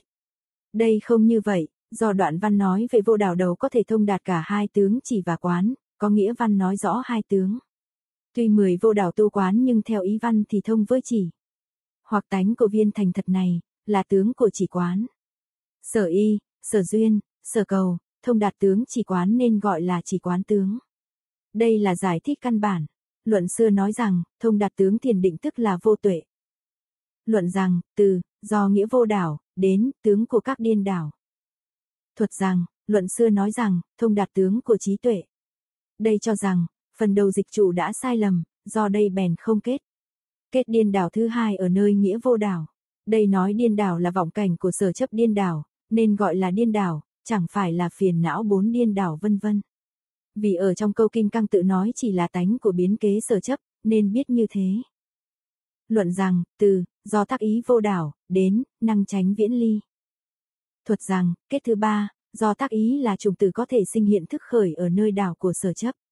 Nói trùng tử này là đảo nhân duyên, đảo chẳng phải là hữu pháp, vì sao được có nhân duyên. Vọng y tha này có thể lấy vô lậu tránh đoạn trừ, nên gọi là tránh viễn ly. Trên đây tức là ba tánh của viên thành, sở chấp và y tha, như lần lượt phối hợp, đều là tướng của sở chi, hữu vô. Luận rằng, do bất động vô đào thiện thủ tướng kia. Thuật rằng, kết thứ tư, đây là thiện của gia hạnh trí, lấy tướng của hai tánh hữu vô, tức là địa trước. Luận rằng, từ, do tự tướng vô đảo, đến, vô phân biệt đảo. Thuật rằng, kết thứ năm, tức là ở trong địa vị kiến đạo đạ đầu. Luận rằng, từ, do cộng tướng vô đảo, đến, bổn tánh thanh tịnh. Thuật rằng, kết thứ sáu, vị trí vô phận biệt có sở đoạn nên nhất định có sở chướng. Đây thông đạt với kim giới bổn tánh thanh tịnh, cộng tướng. Luận rằng, từ, do nhiễm tịnh vô đảo, đến, và đã đoạn chướng. Thuật rằng, kết thứ bảy, đây là trong tu đạo quan sát chưa đoạn và đã đoạn chướng, tinh tấn tu trị đạo, chưa đoạn khiến cho đoạn, đã đoạn không mất. Luận rằng, từ, do khách vô đảo, đến, hai tướng nhiễm tịnh. Thuật rằng, kết thứ tám, tức là trong tu đạo quan sát pháp giới khách tướng của nhiễm tịnh, khiến cho rõ được tịnh pháp đó chắc chắn. Luận rằng, từ, do vô ý vô cao, đến, được vĩnh viễn xuất ly. Thuật rằng, kết cả hai thứ vô đảo 9 và 10. Đây là vô học đảo, do không sợ hãi nên các chứng đoạn diệt, do không cao mạn nên được vĩnh viễn xa lìa. Trong 10 thứ này, ba thứ đầu tức là ba tánh, là cảnh của sở chi. Thứ tư là kiến đạo trước có thể quán trí. Thứ năm tức là kiến đạo có thể đoạn trí. Thứ sáu là kiến đạo sở chướng pháp. Thứ bảy là tu đạo. Thứ tám là tu đạo sở chướng pháp, là dung dự đạo nên có thể quán nhiễm tịnh và kiến đạo khác. Thứ 9 và thứ 10 là vô học đạo, vì sở chứng và sở đoạn có sai biệt. Cách giải thích này là căn cứ vào địa vị bàn về 10 đạo của sở trị, như phải nên biết. Tuy nhiên đây giải thích cùng với 10 câu kim cang trái nhau. Kia nói bất động và nhiễm tịnh vân vân, không có vị thư sai biệt mà chỉ giải thích về phương nạn. Nhưng luận chủ thế thân xét lại làm hai cách giải thích, lý cũng không ngăn ngại. Đây tức là giải thích ban đầu, do cảnh hành vị kết 10 vô đảo. Hai là lấy câu kim cang để giải thích 10 vô đảo, cho nên có 10 vô đảo không giảm không tăng. Nếu không xét tạo tác cảnh hành vị, chỉ là một cách giải thích. Đây đồng với câu kim cang, nghĩa là kết văn này. Như văn giải thích sai lầm không cần căn cứ vào cảnh nói về vị lần lượt vân vân. Luận rằng, từ, đây là 10 vô đảo, đến, trong câu kim cang. Thuật rằng, giải thích thứ ba tùy theo trong pháp hành. Từ phần tránh văn thứ hai trở xuống nói về câu thập kim cang, lấy 10 vô đảo phối hợp, nhưng luận không phải văn. Tây vị tương truyền, là văn của kinh bảo tích, câu kim cang, nghĩa là 10 câu nghĩa này thân mật liên cố cũng như kim cang khó có thể phá hoại, tức từ nơi dụ mà đặt tên. Luận xưa nói, kim cang túc, nghĩa là trái. Tiếng phạm là bát đà, đây dịch là dấu vết. Tiếng phạm là bát đà, đây dịch là câu. Do tiếng gần giống nhau, nên giải thích nghĩa lầm lẫn. Trong đây có ba, đầu là nêu chung, do luận này đã nói về 10 thứ vô đảo, An Lập ở trong kinh bảo thích kia, đã nói 10 thứ trong câu kim cang, vì sao gọi là hạ. Thứ hai là liệt kê tên câu kim cang, lấy tụng nhiếp chung. Và lại, đầu là An Lập dưới. Thứ ba là nói về câu thể tánh phối hợp với 10 vô đảo. Đây tức là văn đầu. Nói An Lập là đặt ra nghĩa, do vô đảo này đặt ra ở nơi kia, nên gọi là An Lập. Do câu chẳng phải gốc kia, tên tức là nghĩa của 10 vô đảo nên gọi là thí thiết. Luận rằng, vì sao gọi là câu thập kim cang? Thuật rằng, từ phần thứ hai trở xuống là hỏi đáp liệt kê tên của câu kim cang kia. Trong đây có hai, đầu là trường hàng, kế là nhiếp tụng. Bổn luận xưa tuy có liệt kê tên của trường hàng, tụng lấy sau và an lập câu thứ hai tự tướng đều không ngựa. Nay so sánh ba bổn, ba bổn đều có. Người trước không phiên dịch không biết có ý gì. Đây tức là khởi lên lời hỏi. Luận rằng, từ, nói hữu phi hữu, đến, không giảm không tăng. Thuật rằng, một là hữu phi hữu, hai là vô điên đảo, ba là sở y, bốn là dụ huyễn vân vân. Năm là không phân biệt, sáu là bổn tánh thanh tịnh, bảy là tạp nhiễm thanh tịnh, tám là dụ hư không, chín là không giảm, mười là không tăng. Luận xưa nói thứ hai là vô điên đảo, tức là nghĩa vô đảo. Nghĩa vô đảo là tướng của sở chi, biến kế sở chấp điên đảo. Vì sao đắc vô dị môn? Luận xưa lại mở ra, nhiễm tịnh thứ bảy làm hai, đây là do nhà phiên dịch lầm. Do gì mà biết, trên đây nghĩa của khai hợp chỉ có môn, nhiễm tịnh hợp nói, vì sao đến câu vô nghĩa, riêng khai hai môn nhiễm tịnh. Lại kế trong nghĩa chung trước, nhiễm tịnh hợp kết, vì nghĩa kết riêng, lại hai thứ dưới nói về câu tự tánh vì cùng với câu khai hợp trên số đồng. Nên biết luận chủ phiên dịch xưa không giác ngộ, lìa ở nói văn này, rộng rãi là khai hợp, tụng đó do dưới lược không ngược. Lại nữa, trong bổn xưa, 10 thứ đều có lời vô điên đảo, đây cũng trái.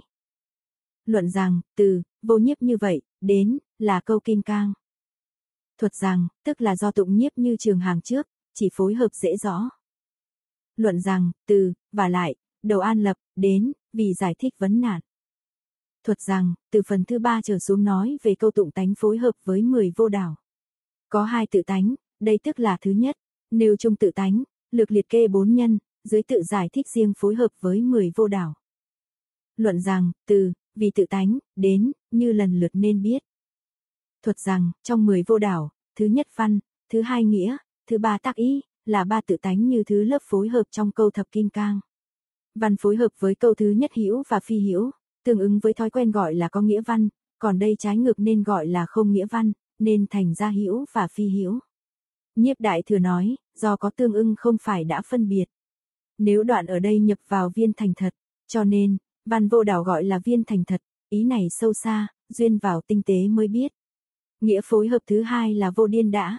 Tự tánh của điên đảo nghĩa là kế sở chấp, nên năng trị này là vô điên đảo tác ý, phối hợp với sở y thứ ba là nhân của năng hiện tợ hai thủ, tức là thuộc về thức, trùng tử, y tha khởi.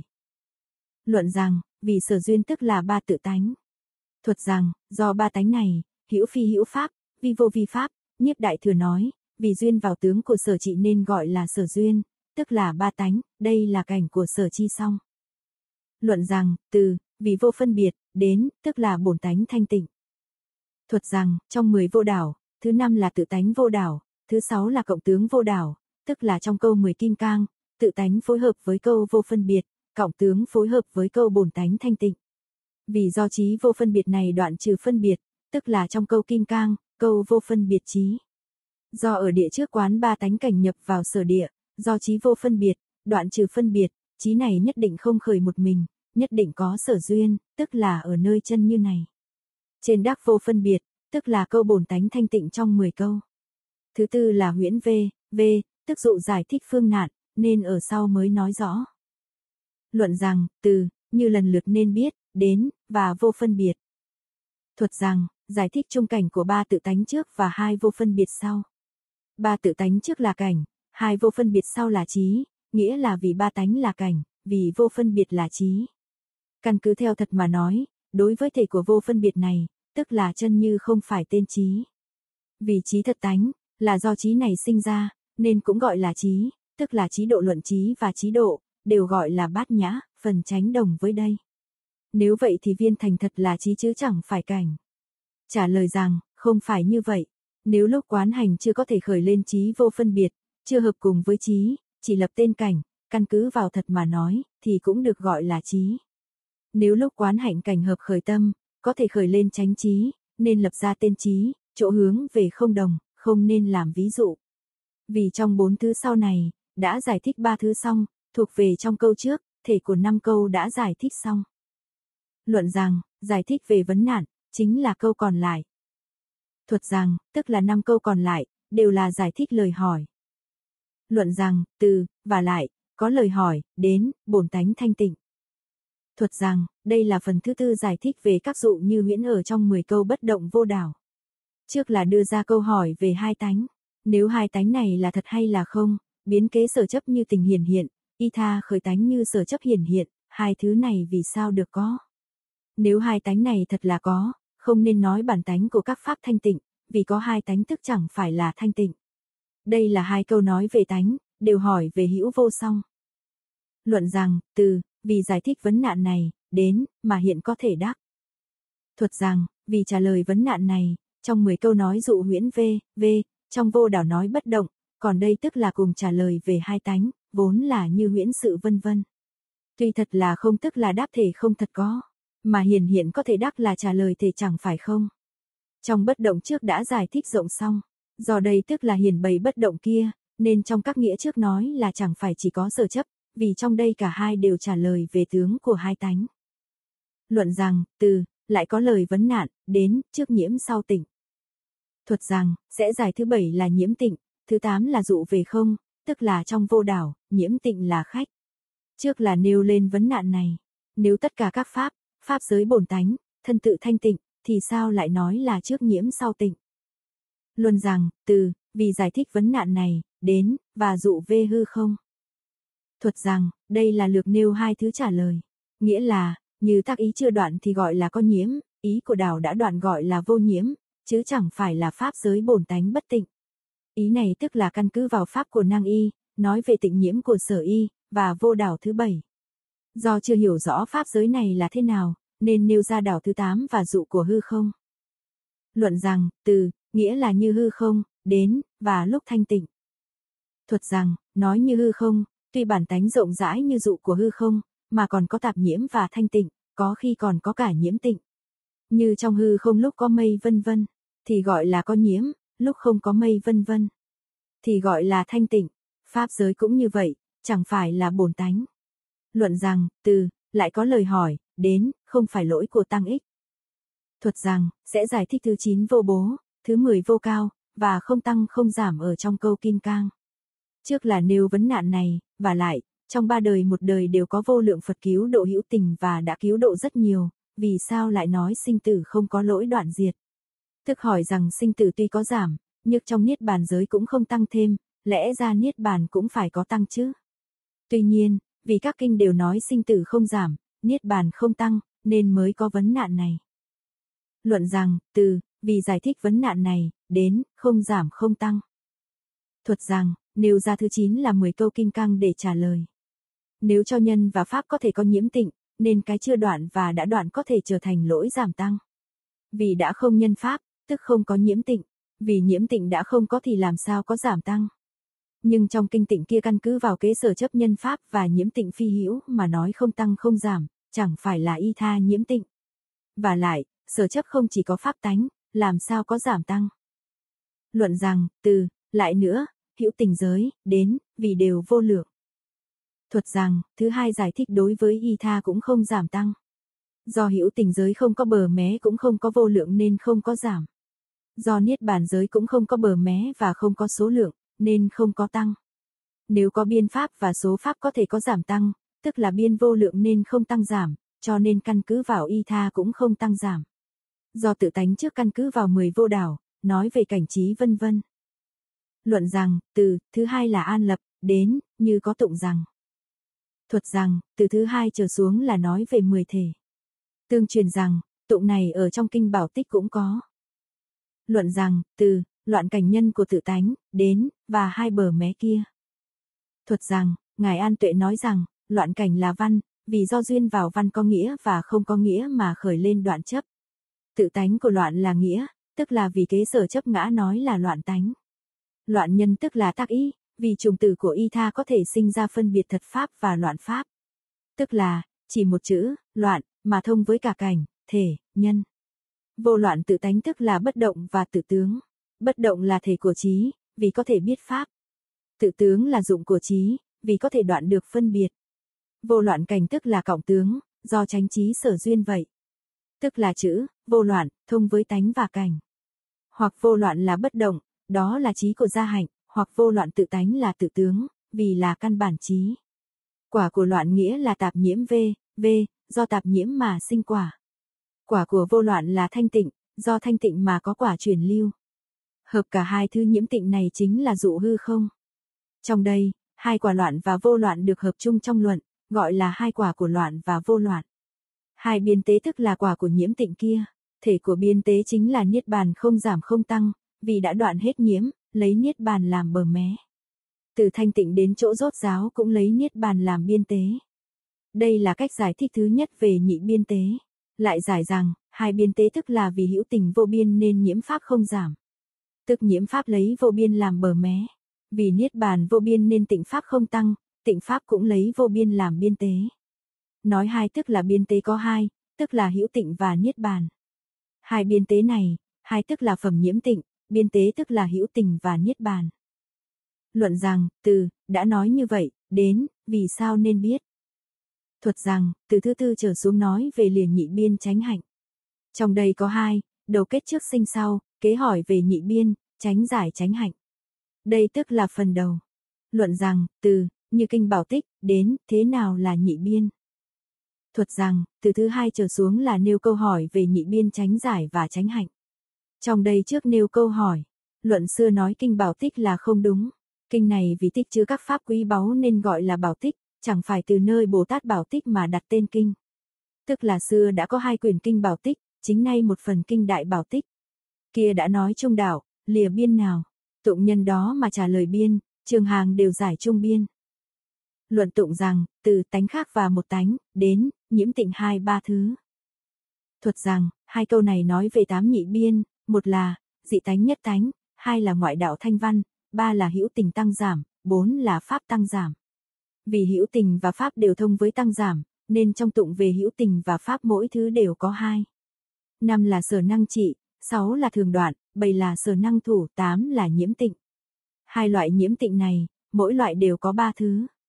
Nhưng một hành này đã gồm đủ bốn nhị biên, chữ, hữu nhất biên, ấy thông suốt cả bốn nơi. Luận rằng, từ, phân biệt tánh nhị biên, đến, là phân biệt nhị biên. Thuật rằng, tức là trong kinh bảo thích lại có bảy thứ phân biệt nhị biên, một là hữu phi hữu, hai là sở năng tịch, ba là bộ ý, bốn là sở năng thủ, năm là tránh tà, sáu là dụng của hữu vô, bảy là đúng lúc không khởi. Như thế trước có tám sau có bảy, nên gọi là tánh của phân biệt nhị biên. Nhưng trong câu tụng này chỉ nói về nhị biên, còn trường hàng lấy kinh này phối hợp, làm nhị biên này để nói về trung đạo ở trước. Luận xưa nói có 14 nhị biên là sai vậy vân vân. Vì tụng kia đồng với đây, tức có 15. Các loại văn của luận này cũng không kể ra, nhà giải thích tăng thêm. Nhưng Ngài An Tuệ giải thích kể có 15. Luận rằng, từ, nếu ở nơi sắc vân vân, đến, gọi là nhất biên. Thuật rằng, trong văn trường hàng giải thích đều phân làm hai. Đầu nói về tám biên sau nói về bảy biên. Văn trong đó chuẩn theo văn có thể hiểu. Trong đây, trước kể ra nhị biên, sau thuật lại trung biên. Nghĩa là ngoại đạo vân vân. Chấp sắc V, V, năm uẩn và ngã có khác nhau, chính là liệu uẩn để nói có ngã, hoặc lại là một, tức là uẩn tính ngã, gọi là nhất biên nên biên thành hai. Luận rằng, từ, là lìa chấp này, đến, cho đến nho đồng. Thuật rằng, vì lìa khỏi chấp nhị biên một và khác, cho nên trong kinh bảo tích Phật nói trung đạo. Nghĩa là quán vô ngã, cho đến nho đồng, tức là cho đến trong sáu thứ. Hợp lại có tám thứ, một là ngã, hai là hữu tình, ba là mạng, bốn là sinh, năm là dưỡng dục, sáu là sổ thủ thủ, bảy là ý sinh, tám là ma nạp bà. Tiếng Phạm là ma nạp bà, đây gọi là nho đồng, như luận du già quyển 83 đã nói. Luận rằng, từ, vì thấy có ngã, đến tức là thân. Thuật rằng, giải thích nguyên do đó, định chấp có hai, ngã và uẩn hoặc cụ đẳng, như duy thức đã nói. Tức là vì hòa hợp với hai thứ này làm cái thứ ba đã không có ngã và nho đồng, tại sao còn so với uẩn lại có một, có khác. Trên đây, nói về nhị biên thứ nhất xong, dưới đây sẽ nói cái thứ hai. Luận rằng, từ, nếu đối với sắc vân vân, đến, là thanh văn biên. Thuật rằng, ở trong ngoại đảo, có chấp chẳng phải thường, như cho cắn, đầu mối sợi tơ, từ phần nhiều mà nói, cho nên chỉ nói là thường. Luận rằng, từ, vì lìa chấp này, đến, phi thường phi vô thường. Thuật rằng, sở chấp tức là không phải phi thường vô thường, lại pháp pháp tánh sắc chẳng phải là vô thường, y tha sắc chẳng phải là thường. Vì hợp hai tánh mà nói phi thường vô thường, sắc thể hàm chứa hiểu không thể nói sắc chẳng phải sắc, ngã thể hoàn toàn không chỉ có thể nói ngã tướng vô. Từ đây trở xuống là giải thích nhị biên thứ ba. Luận rằng, từ, định chấp có ngã, đến tổn giảm hữu tình biên. Thuật rằng, đây tức là kể tính thật ngã, tức là lúc không chấp thì không có ngã, tại sao lại thành tổn giảm được? Luận rằng, kia cũng phế bỏ vì không mượn hữu tình. Thuật rằng, giải thích nguyên do, nếu chỉ chấp không thật ngã, tuy chẳng phải tổn giảm, như hư không thấy ngoại đạo và bàn bạc rõ ràng, đẳng lập, phế bỏ không mượn ngã, nên thành tựu tổn giảm. Đây tức là nhà luận giải thích tính ý kia. Luận rằng, từ, vì lìa chấp này, đến, trong trí của nhị biên. Thuật rằng, trụ vào ngã vô ngã trong trí của nhị biên, nghĩa là thật ngã không mượn ngã hữu đều không nhất định chấp. Nhưng tùy theo giáo mà biết, nên thành trong biết, đây tức là hữu tình nhị. Kế nói về pháp nhị, tức là nhị biên thứ tư. Luận rằng, từ, định chấp tên có thật, đến, tổn giảm pháp biên. Thuật rằng, đây là kể tính. Vì tất cả pháp chỉ có tâm là chủ, nên chỉ nêu ra tên tâm ở nơi pháp chấp. Chấp pháp có thật thì trùng loại rất nhiều, chấp pháp không thật thì như hư không thấy ngoại đạo, bàn luận rõ ràng về đẳng kế, nhưng như sở chấp pháp ấy tức là không thật. Như y tha tánh pháp tức là có thật, nên không phải nói. Vì kia cũng phế bỏ không mượn pháp tánh.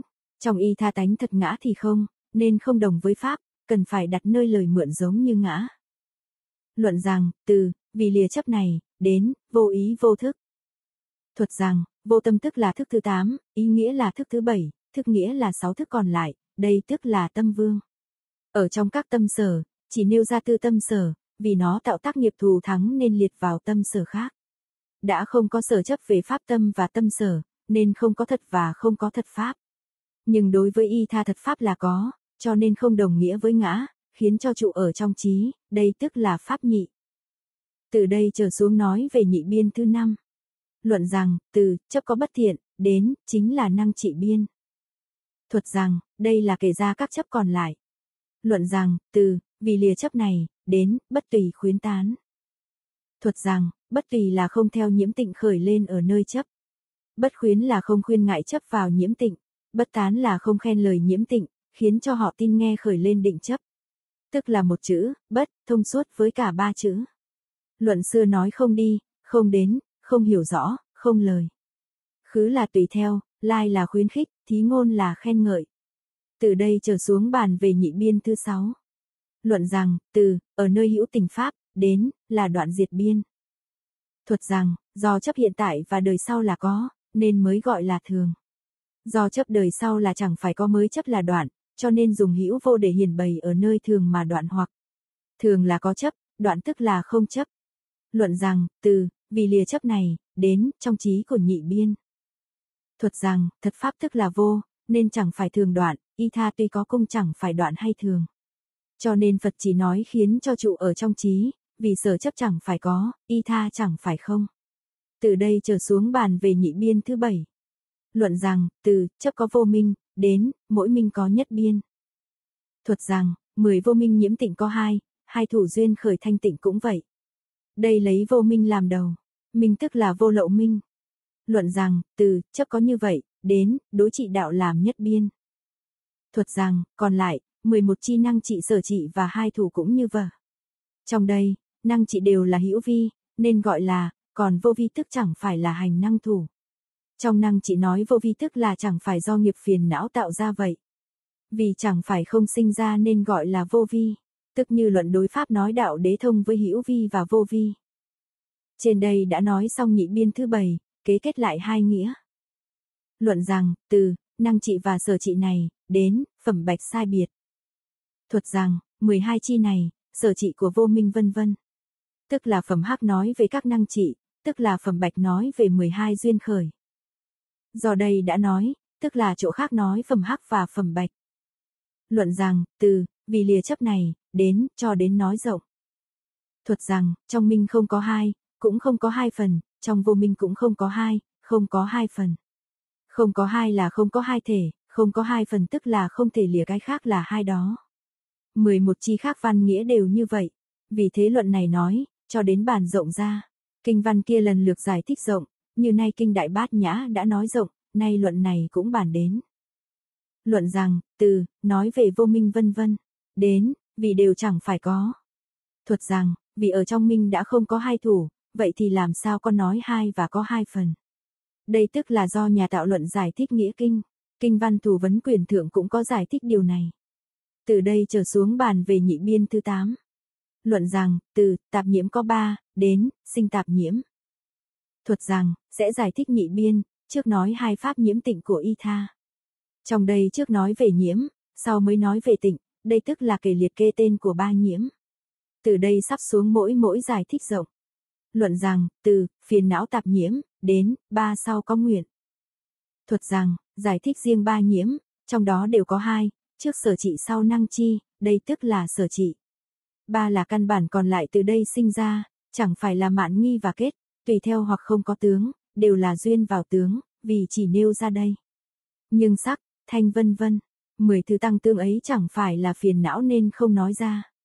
Sau có nguyện tức là sau có ái, nhưng thể của ái này lấy hai pháp tham dục làm thể, vì ít nhiễm riêng. Nhưng nay chỉ lấy có ái làm thể, lý cũng không trái với trước. Hai thứ trước là hiện tại nhiễm ô nhiễm não, còn nhiễm trước thứ ba là phiền não vị lai. Cái hữu ái sau, như ba đường ác ái, thánh nhất định không khởi, còn sau đường thiện ái sau thánh liền khởi. Luận rằng, từ, năng đối trị này, đến, trí vô nguyện. Thuật rằng, đây là nêu lên ba thứ phiền não năng trị. Dùng không để trừ các kiến hoặc, ngã kiến và ngã sở kiến đều lấy, không, để trừ. Dùng vô tướng để trừ các tướng của tham, thân, si, dùng vô nguyện trí có thể đối trị được các nguyện sau, vì không phải ở nơi ba cõi nguyện cầu. Vì khi ở gia hạnh vị chỉ tu, không, vân vân. Để đối trị riêng kiến vân vân. Còn đến căn bản vị, thì chỉ một sát na đã đoạn sạch ba kiến. Do nghĩa đó nên nói đều đoạn riêng. Ba thứ này hoặc chỉ gọi là không v, v, vì thông với định tán ở nơi trí của hữu lậu và vô lậu, hoặc gọi là không vân vân. Định, chỉ định tâm thông với hữu lậu vô lậu, hoặc chỉ gọi là ba môn giải thoát, vì chỉ vô lậu nhưng mà định tâm. Trong đây tức là không nói về định, nên thông với định tán và hữu lậu, chế phục đoạn tuyệt hai môn. Nhưng trong đó, đạo hành chỉ là vô lậu, chỉ là căn bản trí, còn vô gián đạo trừ đạo và các đạo, trí khác thì không thể đoạn được. Luận xưa nói giải thoát, bổn tiếng phạm gọi là vô. Luận rằng, từ, nghiệp tạp nhiễm, đến, bất tác trí. Thuật rằng, thứ hai nghiệp sở trị năng trị đều là một thứ. tùy thông với gia hạnh và với căn bản nhưng đúng là không sinh, chỉ duyên vào vô phân biệt không tạo tác nghiệp, vì nghiệp không khởi. Luận rằng, từ, sinh tạp nhiễm, đến, ba cái sau có tương tục. Thuật rằng, thứ ba là sinh nhiễm, thứ nhất là hướng về chung, sau có vị lúc mới sinh ra, thứ hai là mới sinh ra rồi sát na làm luận, thứ ba là hợp một thời kỳ làm luận. Trước là ba cái riêng, sau có một cái chung, cho nên nói là ba thứ không giảm không tăng. Luận rằng, từ, năng đối trị này, đến, vô tự tánh trí. Thuật rằng, ba thứ lớp phối hợp, như phải nên biết. Nhưng tránh đoạn trí chỉ là vô phân biệt duyên ở nơi chân như. Các sở trị của các pháp vô sinh vốn khác nhau, cho nên năng trị đầu là công năng làm lùa. Nói năng trị khác nhau, hoặc lúc gia hạnh không ngăn cũng hàng phục, đây thì hiển bày riêng ba sở trị, dưới hiển bày chung. Luật rằng, từ, ba thứ như vậy, đến, nói là thanh tịnh. Thuật rằng, sở trị chung có ba năng trị cũng như vậy. Giải thích nhiễm tịnh hai thứ của bài tụng đều có ba, năng trị tịnh này tức là trí vô lậu, nếu là sở y tịnh tức là chân như. Nhưng trên nói năng trị chỉ nói về chân trí, ý dưới này nói, có thể chuẩn theo mà biết. Luận rằng, cảnh của không đẳng trí nghĩa là không đẳng pháp. Thuật rằng, giải thích chấp tịnh làm nhất biên, trước là trình bày thể của tịnh. Nghĩa là, không trí, vô tướng trí, vô nguyện trí, và bất tác trí, đều là cảnh của ba trí vô sinh vân vân. Tức là không đẳng pháp, không đẳng pháp tức là chân như, nên gọi là không, gọi là vô nguyện, cho đến gọi là vô tư tánh, lấy không làm đầu vân vân. Còn lại là sáu thứ khác. Luận rằng, từ, ba thứ tạp nhiễm, đến, linh tác không đẳng. Thuật rằng, ba thứ tạp nhiễm lúc tùy theo sở ứng đó mà được đoạn diệt, chẳng phải do không vân vân. Bảy trí khiến cho ba tạp nhiễm tạo tác không vân vân. Tùy sở ứng nghĩa là chẳng phải không trí khiến cho tạo tác không, chẳng phải vô tướng trí khiến cho tạo tác vô tướng, cho đến chẳng phải vô tự tánh trí khiến cho tạo tác vô tự tánh, chẳng phải mỗi mỗi thứ tùy theo năng trị khiến cho mỗi mỗi thứ đoạn diệt. Tạo tác của mỗi mỗi thứ nương vào chỗ khác nhau, nên nói tùy theo sở ứng đó chẳng phải khiến cho tạo tác không vân vân. Không đẳng trí nghĩa là còn lại sáu trí khác, tác không đẳng là còn lại thứ khác, nghĩa là tác vô tướng vân vân. Sở dĩ, nghĩa là vì sao chấp vào ba nhiễm kia, sau có không vân vân. Vì nhiễm diệt tạo tác không vân vân. Nay luận xưa nói, chẳng phải khiến cho kia tạo tác có nguyên do gì chẳng phải khiến cho kia tạo tác. Luận rằng, từ, do bổn tánh kia, đến, vì tánh vô nhiễm. Thuật rằng, do bổn tánh của ba nhiễm kia tức là không tánh đẳng pháp, còn tánh kia tức là các pháp giới, tánh của pháp giới xưa nay vốn vô nhiễm. Bổn tánh từ không, từ vô tướng cho đến từ vô tự tướng. Trên đã kể về tạp nhiễm thanh tịnh đều có ba song, và kể về pháp tánh chân đạo lý song. Luận rằng, từ, nếu ở nơi pháp giới, đến, vì chẳng phải nhiễm tịnh. Thuật rằng, đây là kể tính. Bổn tánh của pháp giới đều không tạp nhiễm tức là nghĩa của xưa nay tự tánh thanh tịnh. Nếu lúc trước chấp là có nhiễm, lúc sau chấp có tịnh, thanh tịnh. Tức là vừa mới sinh ra, liền có tịnh nhiễm hai chấp đều là nhất biên. Luận rằng, từ, vì lìa chấp này, đến, cho đến nói rộng. Thuật rằng, nghĩa là không do nơi không, không do nơi không trí. Có thể không ở nơi pháp, có thể không ở nơi các kiến pháp. Pháp tánh tự là không, nghĩa là các kiến tạp nhiễm bổn tánh là không. Tức là giải thích, đó chẳng phải do nguyên do của không trí và không pháp. Ý trong này nói, và lại như kiến không, tuy không do không trí, mà có thể ở nơi không để thấy, khiến cho các kiến kia lại tạo tác ở nơi không, vì thấy pháp tánh bổn tánh khôn. Nếu do không trí khiến cho các kiến đoạn diệt, hiển bày ở nơi kiến không, thì không ấy xưa nay là có. Tức là chẳng phải trước nhiễm sau nương vào nơi không, việc này có thể chấp nhận. Như chấp trước nay nói là biên, lúc hiển bày ý này, năng trị chấp kia gọi là trung đạo hành. Cho đến nói rộng nghĩa tức là nói rộng vô tướng cho đến vô tự tánh trí, hay khiến cho sau có tương tục sinh tạo tác, sau có bất tương tục cũng như vậy. Trên đã giải thích hai câu tụng đầu xong, từ đây sắp xuống giải thích hai hàng sau của bài tụng. Luận rằng, lại có bảy thứ phân biệt nhị biên. Thuật rằng, giải thích hai câu trên trong bài tụng. Đây cũng là ý của kinh bảo tích, đồng với kinh trước đã dẫn, nên không nói thêm. Luận rằng, thế nào là bảy thứ? Thuật rằng, đây chỉ hỏi về bảy thứ, phần dưới mỗi mỗi sẽ trả lời. Luận rằng, từ, nghĩa là phân biệt có, đến, đều là nhất biên. Thuật rằng, đây là kể về chấp của nhị biên, nhưng vẫn chưa hiển bày nó có thể gì, pháp gì, có nguyên do gì ma khởi lên chấp thân kia. Luận rằng, từ, chấp kia thật có, đến, phân biệt là vô vi. Thuật rằng, thật kia có chấp, bổ đặc già la hiển bày thể của sở chấp. Từ cho là hoại diệt trở xuống là hiển bày nguyên do của chấp. Kia vì sao lại chấp là có sổ thủ thú? Vì Đức Thế Tôn muốn làm hoại diệt nó nên lập ra không tánh này. Ở đây, nếu như thể không giống như lông rùa vân vân. Vậy vì diệt pháp nào mà lập ra diệt nương vào chân thật không tánh? Tức là có thật không vì nương vào diệt này, nên đã diệt đây, thể nhất định là chẳng phải không. Đây là hiển bày nguyên do của chấp có, hoặc đối với vô ngã phân biệt là không, đây là hiển bày nguyên do của chấp không. Nếu có thể diệt được không, định là thật có, đã diệt được ngã pháp, thể không định không. Nếu ngã thể là không, vô ngã sẽ chẳng có, vì sở trị là không. Như sừng thỏ v, v, vì sở trị là không, năng trị cũng không, ngã sở trị không, ngã tức là không, vô ngã chẳng phải có. Sở trị, năng trị, có và không nhất định cũng như vậy, nên chấp có không, lý ở nơi đây. Lập hữu lượng nói rằng, vô ngã chẳng phải có, vì không có sở trị, như sừng thỏ vân vân. Đây là ngã đối với vô ngã, chấp có chấp không, không đồng với tăng tổn biên kiến ở trước. Luận rằng, từ, vì liền như vậy, đến, cho đến nói rộng. Thuật rằng, ngăn sở chấp chẳng phải không vốn là tự không, vì chẳng phải là hoại diệt ngã, mới bắt đầu lập ra ba tế không. Do đây tức là hiển bày ngã nhất định là không, vô ngã là có, cho đến nói rộng. Luận rằng, từ, chấp có sở đoạn, đến, vì bố ý không. Thuật rằng, sở đoạn là sở tịch, năng đoạn là năng tịch, đây là hiển bày thể của sở chấp. Nguyên do gì mà khởi lên chấp như vậy? Vì bộ ý vốn không, e rằng sở đoạn có đoạn được không của năng tịch, vì bố ý không nên chấp vào hai tịch. Luận rằng, từ, vì liền như vậy, đến, nói dụ hư không. Thuật rằng, kinh nói dụ về không.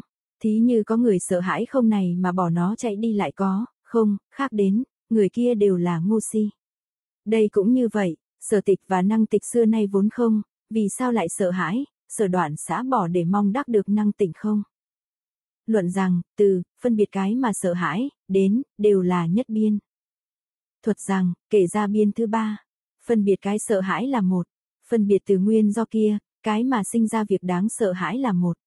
Do đó mà thành được nhị biên, nhưng vẫn chưa hiển bày thể và nguyên do đó. Luận rằng, từ, chấp có biến kế, đến, vì có thể sinh ra sợ hãi. Thuật rằng, trong đây hiển bày chun về phân biệt cái mà sợ hãi. Từ sở chấp sắc vân vân, mà hiển bày thể của cái sợ hãi.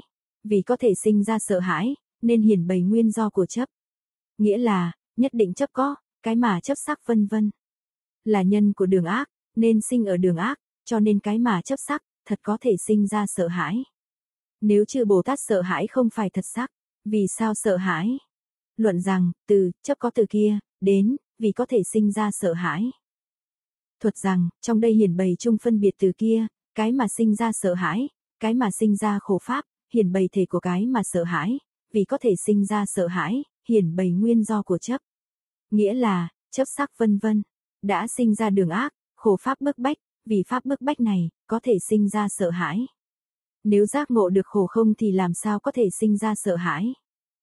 Luận rằng, từ, vì liền như vậy, đến, nói dụ họa sư. Thuật rằng, dụ họa sư, nghĩa là ở đời có một vị họa sư mất trí, vẽ một bức tranh quỷ dược xoa thật đáng sợ. Người đời không chỉ không sự mà còn vác gậy đánh cho ông ta một trận. Đây cũng như vậy, tự thay đổi hình sắc, trái với sợ hãi kia có thể chuốc lấy sinh vào đường ác mà thọ khổ bức bách. Luận rằng, từ, dụ hư không trước, đến, vì Bồ Tát nói. Thuật rằng, dụ cho hai tịch không tức là thanh văn. Phần nhiều vì chấp trước có nên mới sợ hãi, không? Dụ họa sư này là Bồ Tát, vì phần nhiều đều chấp trước, không, nên mới sợ hãi có. Hai tịch xưa nay vốn không, vì sao phải sợ hãi không? Sắc tướng vốn do tu tác ý, vì sao phải sợ hãi có? Luận rằng, từ, phân biệt sở thủ, đến, đều là nhất biên. Thuật rằng, kể ra biên thứ tư, trong tám biên trước, 12 chi đầu là nhiễm tịnh hai thủ, còn đây là căn cứ vào tất cả hai thủ, nên chấp không đồng nhau. Luận rằng, từ, vì liền như vậy, đến, dụ huyễn sư. Thuật rằng, dụ huyễn sư nghĩa là có một huyễn sư, từ nơi huyễn mà làm ra một con mãnh thú thật đáng sợ, rồi con thú đó đã hại chính ông ta. Hàm ý là muốn khiến cho trừ sở thủ năng thủ, cho nên trước nói dụ. Luận rằng, từ, do duy thức trí, đến, lại trừ duy thức trí. Thuật rằng, do trong noãn vị đã dùng duy thức quán mà chế phục trừ được sở thủ, đến ở đảnh vị không có cảnh trí sinh, đắc được định chế phục trừ được cảnh thức không, do vậy không có cảnh trí sinh. Đến nhẫn vị dưới, chế phục trừ được năng thủ, ở trong đó, nhẫn vị lại xả trừ duy thức trí, được định chế phục trừ được vô năng thủ. Luận rằng, từ cảnh thức là chẳng phải có, đến, vì thức mới sinh. Thuật rằng, thành tựu nguyên do trước chỉ trừ được sở thủ. Sở thủ đã có thể không thì cũng không có năng thủ. Hà đó không phải là cảnh của duyên, do cảnh của sở chấp, nhất định chẳng phải có, sở chấp có thể duyên cũng nhất định chẳng phải có. Vì cảnh tức là không phải thức cũng không có, đều là nương vào cái khác, sở duyên có thể thấy, hoặc văn này giải thích, tăng thượng vị và thế đệ nhất vị, cả hai là không, nên cùng được nhập vào chân như. Luận rằng, do sở dụ này cùng với dụ đồng pháp. Thuật rằng, kết pháp đồng dụ này chỉ riêng cho trí, nên nó là sở dụ, còn dụ huyễn sư trước, chính là năng dụ. Ác thú được huyễn tạo ra cũng như cảnh của sở chấp vậy, chúng chỉ do huyễn sư biến hiện ra. Ác thú sinh rồi trở lại thân mình chịu, tức dụ do không phải cảnh năng thủ cũng không. Sở dụ năng dụ đều có hai thứ, một là hữu pháp, nghĩa là việc huyễn thú như sở thủ và năng thủ. Hai là pháp, tức hai nghĩa trên kia do nghĩa có thể đồng nên được làm dụ, thể không giống nhau làm dụ. Không đồng tức là trong tôn của nhân minh có hữu pháp và pháp. Lấy pháp làm dụ, chẳng phải dụ hữu pháp. Luận rằng, từ, phân biệt tránh tánh, đến, đều do nhất biên. Thuật rằng, kể ra biên thứ năm, vẫn chưa hiển bày được thể và nguyên do của chấp. Luận rằng, từ, chấp như thật quán, đến, vì hai thứ tánh. Thuật rằng, như thật quán là hiển bày thể của sở chấp. Hai thứ tánh là hiển bày nguyên do của chấp, nghĩa là, quyết chọn phân biệt, gọi là như thật quán. Vì kiến đạo gọi là thật quán, đây là gia hạnh. Như trong kiến đạo, quán chân thật gọi là như thật quán. Hoặc là tác pháp quán về duy thức, tứ đề vân vân. Thì đều gọi là như thật, vì xứng với lý mà biết. Như, gọi là nghĩa. Dùng các pháp quán này để chế phục trừ được hai thủ, thuận sinh vào kiến đạo, nên có thể gọi là tránh. Thể, là hữu lậu, vì có thể đoạn pháp, cho nên có thể gọi là tà. Luận rằng, từ, vì liền như vậy, đến, nói dụ hai cây sinh ra lửa. Thuật rằng, đây là đều căn cứ vào trị. Luận rằng, từ, nói rằng như hai cây, đến, trở lại đốt hai cây. Thuật rằng, đây là hiển bày năng dụ, như trong hai cây, tuy không có tướng lửa, tướng lửa là hơi ấm thiêu đốt tướng, hoặc là do tướng cọ sát cắt, nên cây có sinh ra lửa. Lửa đã sinh rồi, lại đốt hai cây có thể sinh ra lửa đó. Luận rằng, từ quán như thật này, đến tránh tánh thánh tuệ. Thuật rằng, quán như thật là năng sinh, kiến đạo ban đầu gọi là sở sinh. Sở sinh tức là tránh tánh thánh duệ, xứng với lý mà biết nên gọi là tránh tánh. Tuệ của bậc thánh gọi là thánh tuệ, hoặc nói, tránh là như thật của sở chứng, tuệ của tránh tánh gọi là tránh tánh tuệ. Chỉ e rằng qua lạm hữu lậu nên lại nói lời thánh. Trước nói hai cây có tướng cọ sát cắt, đó là dụ quán như thật, sở thủ năng thủ hai tướng phục trừ. Tuy không phải tướng lửa, đó là dụ cho như thật quán không có tánh tướng. Có thể sinh ra lửa là dụ cho như thật quán có thể sinh ra kiến đạo. Thánh tuệ chính là củi đốt cháy phiền não. Luận rằng, từ, tránh tánh như thế, đến, đây quán như thật. Thuật rằng, thánh đạo đã sinh, trở lại có thể trừ đoạn các pháp quán như thật ở trước. Trước như hai cây, đã sinh ra lửa rồi lửa ấy lại đốt cháy hai cây. Điều ấy dụ rằng, thánh đạo này khi đã được sinh rồi, lại trừ quán như thật. Mỗi mỗi pháp dụ đều nên phối hợp với nhau. Luận rằng, do sở dụ này cùng với dụ đồng pháp. Thuật rằng, kết pháp đồng dụ, chuẩn theo văn trước giải thích, không đồng với hữu pháp. Tuy hợp với pháp dụ, nhưng chưa hiển bày bốn quán như thật này là tránh, là tà. Luận rằng, từ, nhưng quán như thật, đến, cũng không phải tánh tướng của tà. Thuật rằng, hiển bày quán như thật chẳng phải tránh, chẳng phải tà. Tức như luận đối pháp nói, tuy là hữu lậu nhưng được kiến lập là tánh vô lậu, tức là có thể cả hai nói chẳng phải nhất định là hữu lậu hay vô lậu. Trong đây, luận hộ pháp giải thích hai điều này cũng như vậy. Luận rằng, từ, phân biệt có dụng, đến, đều là nhất biên. Thuật rằng, kể ra biên thứ sáu. Luận rằng, từ kia chấp thánh trí, đến, hoàn toàn vô dụng. Thuật rằng, thánh trí kia là hiển bày thể của sở chấp. Từ, điều cốt yếu trước tiên, trở xuống là hiển bày nguyên do của chấp. trí vô phân biệt khi đoạn sạch phiền não thì thức vô phân biệt đối với tánh tướng nhất vị, vì phải là không có tác dụng. Để phá chấp của tiểu thừa và ngọ ai đạo cho rằng, khi trí đạo ẩn hoặc chẳng phải là vô phân biệt, cốt yếu trước phân biệt mới có thể phiền não hết thì không còn phân biệt nên trước cần nói về phân biệt mới có thể đoạn hoặc. Khi nói, đây là khổ, tức là có phân biệt. Điều này có tác dụng rất lớn đối với 16 hành nếu không như vậy phân biệt đoạn hoặc sẽ vô tác dụng.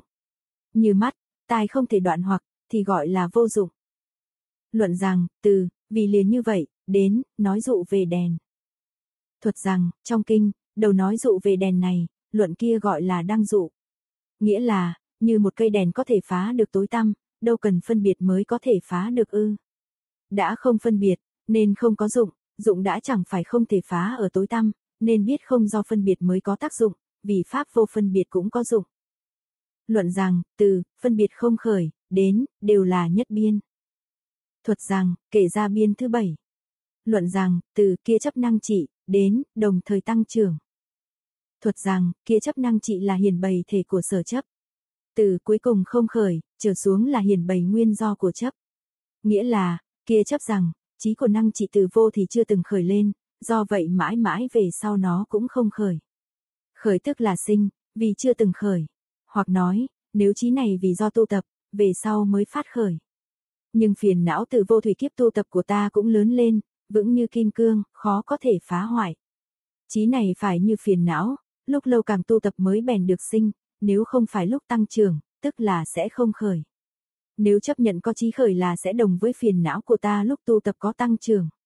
Đẳng, là đồng vậy, nghĩa của nó như người đời thường dùng vậy. Luận rằng, từ, vì liền như vậy, đến, nói sao dụ về đèn. Thuật rằng, phần thứ hai là dụ về đèn, nghĩa là, như có một căn nhà từ vô thì tới nay lâu ngày dẫn đến chỗ tối tăm, chưa từng được rõ ràng. Khi mang vào căn nhà ấy một cây đèn thì bỗng căn nhà sáng lên. Ánh sáng của đèn từ vô thì chưa khởi lên, nay sẽ không khởi. Nếu chấp nhận nay khởi lên sẽ đồng với nói chỗ tối tăm kia nhờ có đèn nên có ánh sáng sinh ra. Đã không chờ ô nhận đèn là như vậy thì sao cho trí là như vậy? Trí do tu tập mà được phát sinh, há thấy chưa sinh mà cho nó là không sinh. Nếu chấp nhận có khởi liền khiến cho ngày một tăng trưởng. Nên biết, sở chấp đều là nhất biên, chưa phải chỗ trung đạo. Nói về trung biên đạo, như quyển thứ nhất đã giải thích. Luận rằng, từ, đã nói như vậy, đến, tránh hạnh như thế nào? Thuật rằng, giải thích trong tránh hạnh. Từ đây trở xuống là phần thứ năm cùng giải thích về tránh hạnh thứ năm và thứ sáu. Đây là kết trước sinh sau. Luận tụng rằng, từ, sai biệt và vô sai biệt, đến, tu tập tăng thượng. Thuật rằng, một câu trên hiển bày tên của sở minh, hai câu dưới hiển bày thể của sai biệt.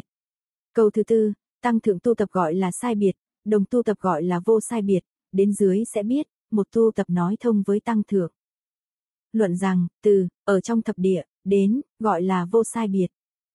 Thuật rằng, đây là giải thích trung đại cương, như văn phối hợp với tụng. Kinh thập địa nói, và lại, trong sơ địa, chỉ có bố thí độ là tăng thượng, chín độ còn lại tùy theo sức, tùy theo phần đều tu tập. Luận du già, hiển dương, duy thức cũng nói như vậy. Tức là hiển bày nghĩa của sai biệt và vô sai biệt.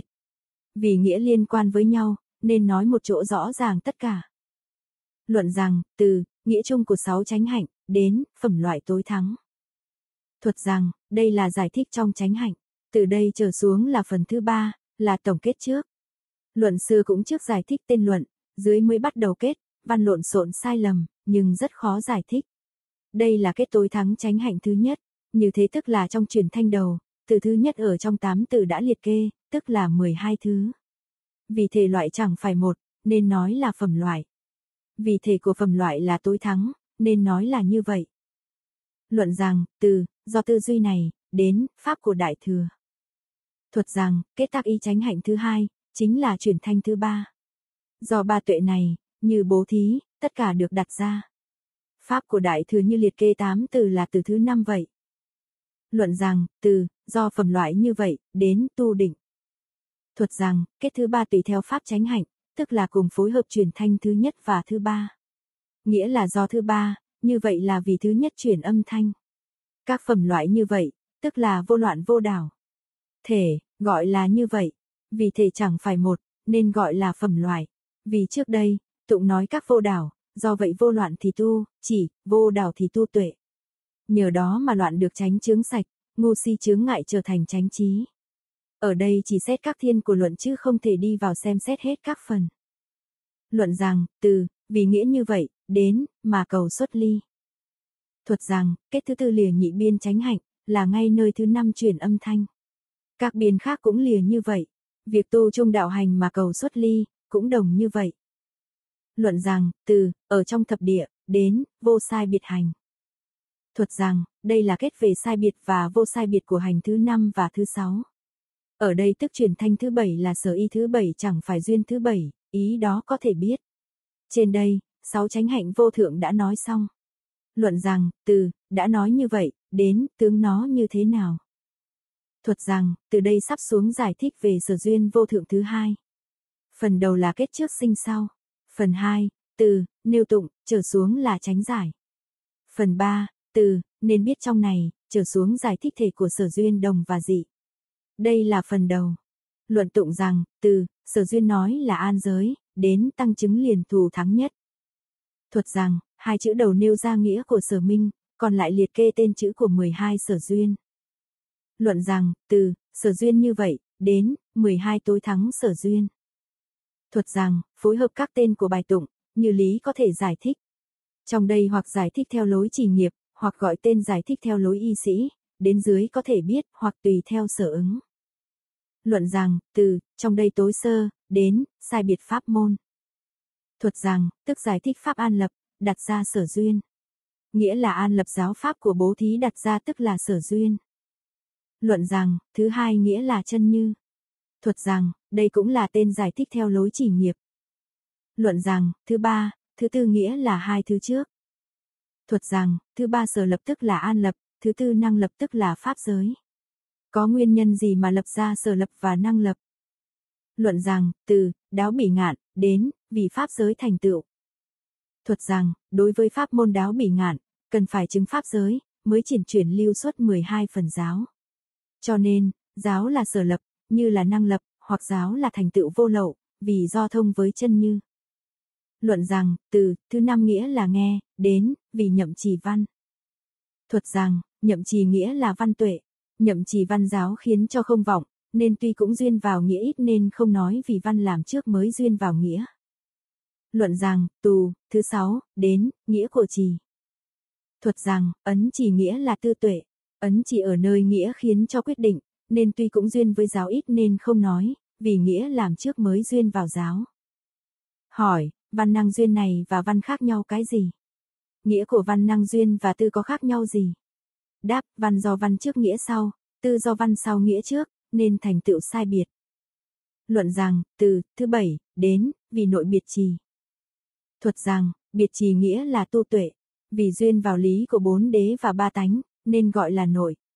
Ở nơi cảnh của bốn đế, đều biệt chứng biết khiến cho giải thích không lầm, nên gọi là biệt ti a. Ba thứ văn, tư, tu, gọi là nhậm ấn biệt trì. Sở duyên của nhậm ấn biệt trì, gọi là sở duyên của nhậm trì, tức là giải thích theo lối y sĩ. Hỏi, chỉ nói văn, tư, tu tuệ, nghĩa nó đã khắp. Vì sao cần phải nói bàn luận về sở thành? Đáp, văn là nhĩ thức, tư là tư số, tu tức là định. Ba thể chẳng phải tuệ, nhờ ba thứ này mà tuệ sở thành nên gọi là văn sở thành tuệ đối với lý có thể như vậy. Nhưng vì gọi là nghĩa của văn tuệ liền ít, e rằng văn lỗi của tuệ. Luận rằng, từ, thứ 8, đến cảnh của kiến đảo. Thuật rằng, vì ban đầu thông đạt, hai cách giải thích theo lối chỉ nghiệp và y sĩ không trái nhau. Luận rằng, từ, thứ 9 cho đến, đến cảnh của bảy địa. Thuật rằng, bắt đầu từ sơ địa cho đến địa thứ bảy, sở duyên của tu đạo lớn ở nơi kiến đạo, nên gọi là tăng quảng đạo cảnh, vì hai thứ dần dần đều trội hơn. Hai cách giải thích theo lối trì nghiệp và y sĩ không lỗi. Luận rằng, từ, thứ 10, đến, phần phần chứng cảnh. Thuật rằng, phần phần là đạo, sở duyên của đạo gọi là phần phần chứng, đây là giải thích tên theo lối y sĩ. Hoặc vì đạo phần phần, cảnh cũng gọi là phần phần.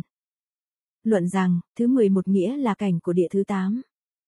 Thuật rằng, từ đây đến sau không có công dụng, nhậm vận duyên như. Này nói ban đầu đắc, nên chỉ địa này. Đẳng, tức là bình đẳng vận điều vận chuyển, tâm trước tâm sau một loại không khác nên gọi là đẳng vận. Cảnh của đẳng vận gọi là bỉ sở duyên, giải thích theo lối y sĩ. Luận rằng, từ, thứ 12, đến cảnh địa của Như Lai. Thuật rằng, ba địa này đắc bốn biện, quả chân quán đảnh, rõ ràng viên mãn nên gọi là tối thắng, so với hai cách giải thích theo lối chỉ nghiệp và y sĩ thông trá. Trong đây, bốn vị đầu thông với ba kiếp, vị lớn thứ năm và thứ sáu được luận ở phần giải thoát. Vị thứ bảy tu tuệ địa vị lớn mà nói ở phần quyết chọn.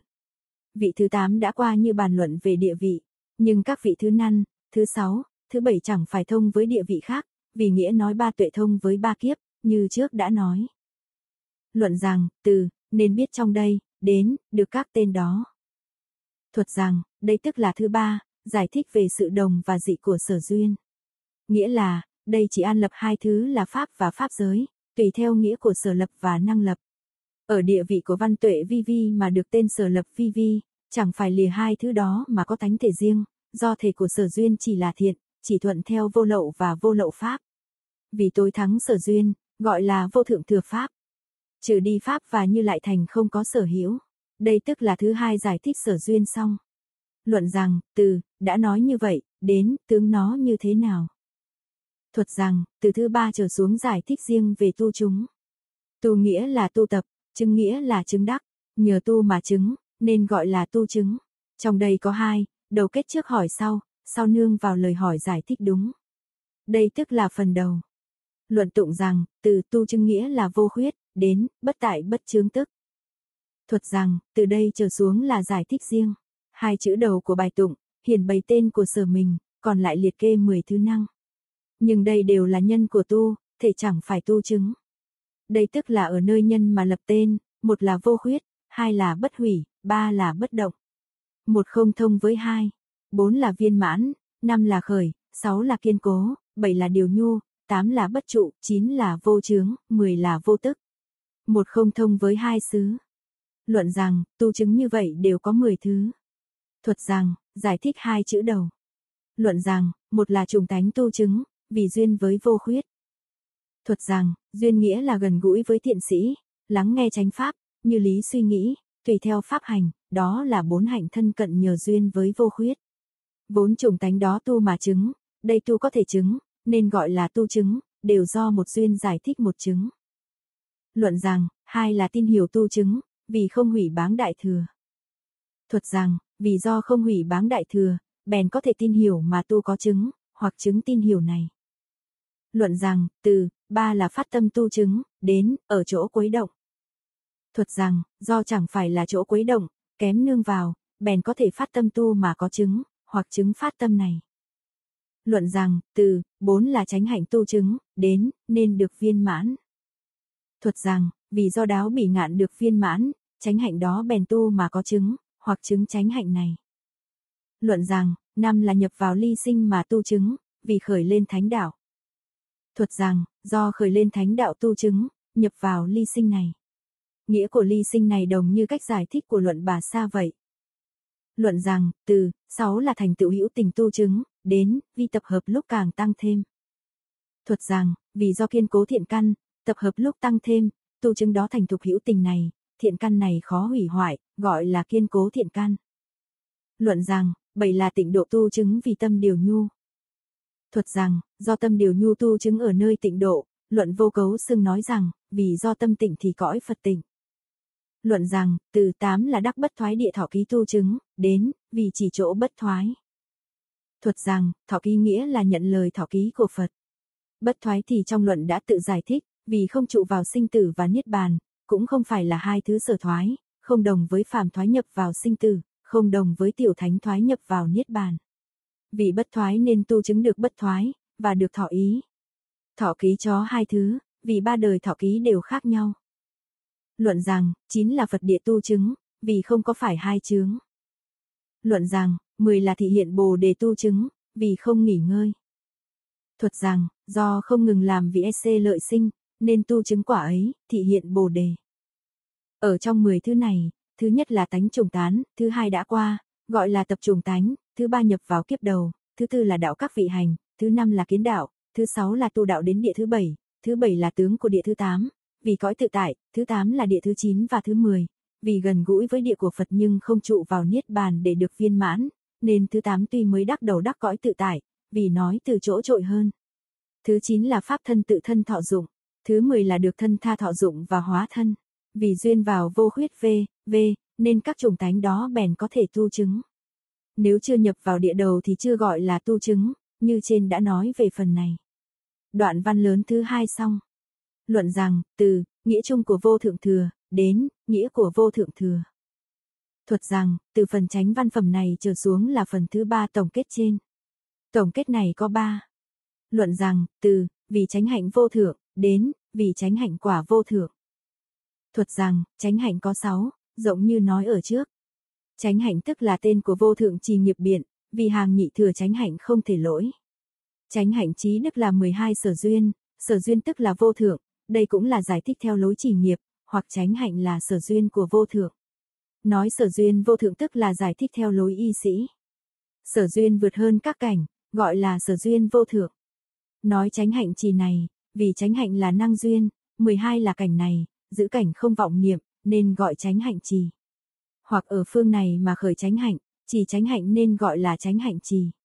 Quả của tránh hạnh nên gọi là tránh hạnh quả, đó là giải thích theo y sĩ. Thể là tu chứng, tu chứng tức là vô thượng. Đã nói quả là nhân tu trước pháp chứng sau, tức gọi là quả, chẳng cần địa vị Phật viên mãn mới gọi là quả. Nhưng luận sư kết văn ở nơi giải thích tên luận ở sau, rất là dối rắm. Luận rằng, vì sao luận này gọi là biện trung biên? Thuật rằng, từ đây trở xuống một bộ phận tránh văn thứ ba là giải thích tên nguyện thi phần, đây là hỏi xong. Luận tụng rằng, từ, luận biện trung biên này, đến, trừ những thứ không được tốt lành. Thuật rằng, nhưng trong đây đã nói lìa nhị biên, nam nghĩa thâm mật vân vân, mà thiên thân Bồ Tát, giải thích trong câu đầu, thì hai chữ, trung biên, gồm có ba lớp nghĩa, đến dưới sẽ biết, chữ, nhị nghĩa, thông với bốn biên. Luận rằng, từ, luận này năng biện, đến, nghĩa của năng duyên hành. Thuật rằng, biện nghĩa là hiển rõ, tức là cả hai hiển rõ sư chung và nhị biên theo nghĩa của năng duyên hành. Năng duyên hành và hành gộp chung lại là năng duyên hành, vì có hành chẳng phải là năng duyên. Và lại, như vọng phân biệt và chướng vân vân, là hành của nhị biên. Trong này, phiên chữ hành đó gọi là hành, nhưng không phải có một mình sinh ra, nhất định duyên với cảnh. Luận rằng, từ, lại nữa, năng biện này, đến, cảnh nghĩa của sở duyên. Thuật rằng, đây là cùng biện về hai nghĩa sở duyên của hai chữ, biên chung. Biến kế sở chấp vân vân, là biên sở duyên, viên thành và y tha vân vân. Là chung sở duyên, cho nên hành duyên ở nơi cảnh, hợp gọi là nhân, nhất định có sở đắc. Sở đắc tức là thiện ác, quả ác luận này không nói rõ, chỉ nói về quả thiện. Do không nói quả ác, ẩn giấu trong quả pháp, nên không giải thích tên. Ở trong luận giải thích, thật đã nói về quả. Lại trong quả sở đắc, tức là giải thích thứ ba. Luận rằng, từ, hoặc tránh biện này, đến, tên là biện trung biên. Thuật rằng, trước đã hai lầm giải thích về chữ, trung biên. Nay là thứ ba, chỉ giải thích chữ, trung, không giải, biên. Vì trong tránh biện lìa biên, pháp của trung đạo, gồm cả biện ở nơi quả của biên pháp, hoặc cả nhân của biện biên. Như hai cách giải thích trước, đây tức là cách giải thích thứ ba, về ba chữ biện trung biên ở trong bài tụng. Luận xưa ba nghĩa trên, ở trước bài tụng, là nhà phiên dịch lầm, vì sao nói pháp lìa biên xứ trung. Luận rằng, từ, luận này sở biện, đến, sở hành xứ. Thuật rằng, luận này sở biện thông suốt bốn cái dưới. Chẳng phải hàng phàm phu tầm, chẳng phải hàng nhị thừa tư, chẳng phải định của sơ thiền dục giới tầm và địa trên tư, thức thứ sáu là sở tầm, thức thứ bảy, tám là sở tư, nên gọi là thâm mật. Thâm, là nghĩa là sâu sắc, mật, là nghĩa ẩn giấu, chẳng phải chỗ biết của trí can cợt. Luận rằng, từ, là nghĩa chắc thật, đến, vì chẳng phải kia chế phục. Thuật rằng, giống như kim cang năng phá những vật chẳng thể phá, nên gọi là chắc thật. Do hiểu được luận này có thể dẹp phá ở trong nơi cái khác, chẳng phải cái khác đã chế phục. Luận rằng, từ, là nghĩa rộng lớn, đến, vì việc tự tha. Thuật rằng, tự mình lợi rộng, người khác vui lớn, người khác vui rộng, mình lợi lớn, hoặc mình và người đều lợi lạc rộng lớn. Hoặc tự mình hiểu rõ là rộng, người khác trội hơn là lớn. Nghĩa của lợi lạc, mỗi mỗi đều như thường hiểu. Luận rằng, từ, là tất cả nghĩa, đến, vì pháp của tam thừa. Thuật rằng, lớn có thể hàm chứa nhỏ, các nghĩa đầy đủ rõ ràng, quyết định rõ được pháp của tam thừa. Cho nên gọi là tất cả, vì đã nói về tất cả. Luận rằng, từ, lại năng trừ diệt, đến, vì sở chi chướng. Thuật rằng, đây là giải thích câu thứ tư trong bài tụng. Hai chướng có thể khiến cho sinh tử lưu truyền, không sinh trí kiến, nên gọi là không tốt lành. Nếu hiểu giác này và ngộ lý này, đều có thể trừ diệt được hai chướng, cả hai diệt rồi, tức là có thể thành Phật. Đây là giải thích chung đề mục của luận trên. Luận xưa lại có đồng với câu xá luận, hàm chứa hai bài tụng cuối cùng. Nay so với văn ba bổn tiếng phạm đều không có, là nhà phiên dịch đặt thêm vào. Luận rằng, từ các công đức của tôi khi biện giải luận này, đến. Nhanh chóng chứng quả bồ đề lớn. Thuật rằng, từ đây trở xuống là phần phát nguyện hồi hướng bố thí cho chúng sinh. Câu thứ nhất thế thân tự hiển bày, giải thích công đức của bài tụng, khiến cho đèn pháp không dứt, phá được si ám không sinh, mười lực tăng thêm, tám bộ hưng thảnh cung kính. Tức là đều nói về công đức sở sinh bổn luận này. Câu thứ hai tránh hiển bày hồi hướng bố thí. Chữ, hàm, tức là đều, trì, là dùng, phổ, là đẳng, thí, là cứu giúp, quần sinh, là chúng sinh, loại chẳng phải một. Nghĩa là, giải thích bổn tụng đã có công đức, đều dùng bình đẳng cứu giúp chúng sinh. Câu thứ ba khiến cho đắc nhân báo. Lục độ của Bồ Tát có hai thứ đạo, ba độ trước khiến cho đắc tăng thượng sinh đạo, ba độ sau khiến cho đắc quyết định thắng đạo. Ở trong thập địa đắc thập vương vị, ở trong loài khác thì sinh vào chốn lành. Ba độ trước đã đến tăng thượng sinh đạo, tinh tấn, thiền định khiến cho phước nhất định thù thắng. Bát nhã hoàn toàn khiến cho trí tuệ nhất định thù thắng. Ba độ sau đã đắc quyết định thắng đạo, bố thí cho các chúng sinh, khiến cho ở hai nhân vị đắc được hai quả này. Câu thứ tư khiến cho đắc quả báo. Chữ tật, tức là nhanh chóng, chứng, là khế ngộ, quảng, là rộng rãi, đại, là sâu xa.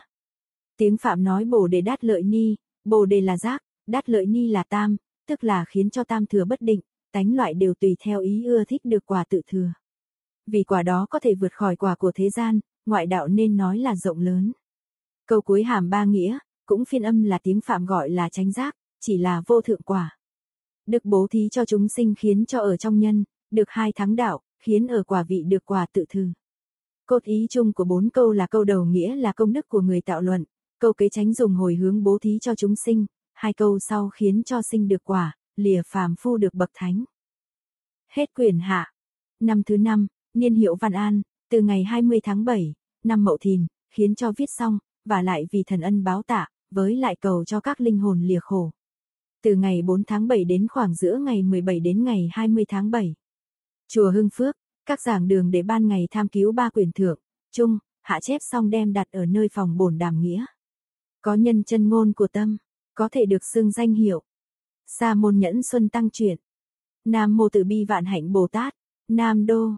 Tủ sách áo lam chúng con xin chân thành cảm ơn quý vị đã nghe hết biện trung biên luận thuật ký. Xin đừng quên trợ duyên cho chúng con bằng cách subscribe, like và share video này đến bạn bè và gia đình nhé. Hẹn gặp lại vào cuốn sách mới.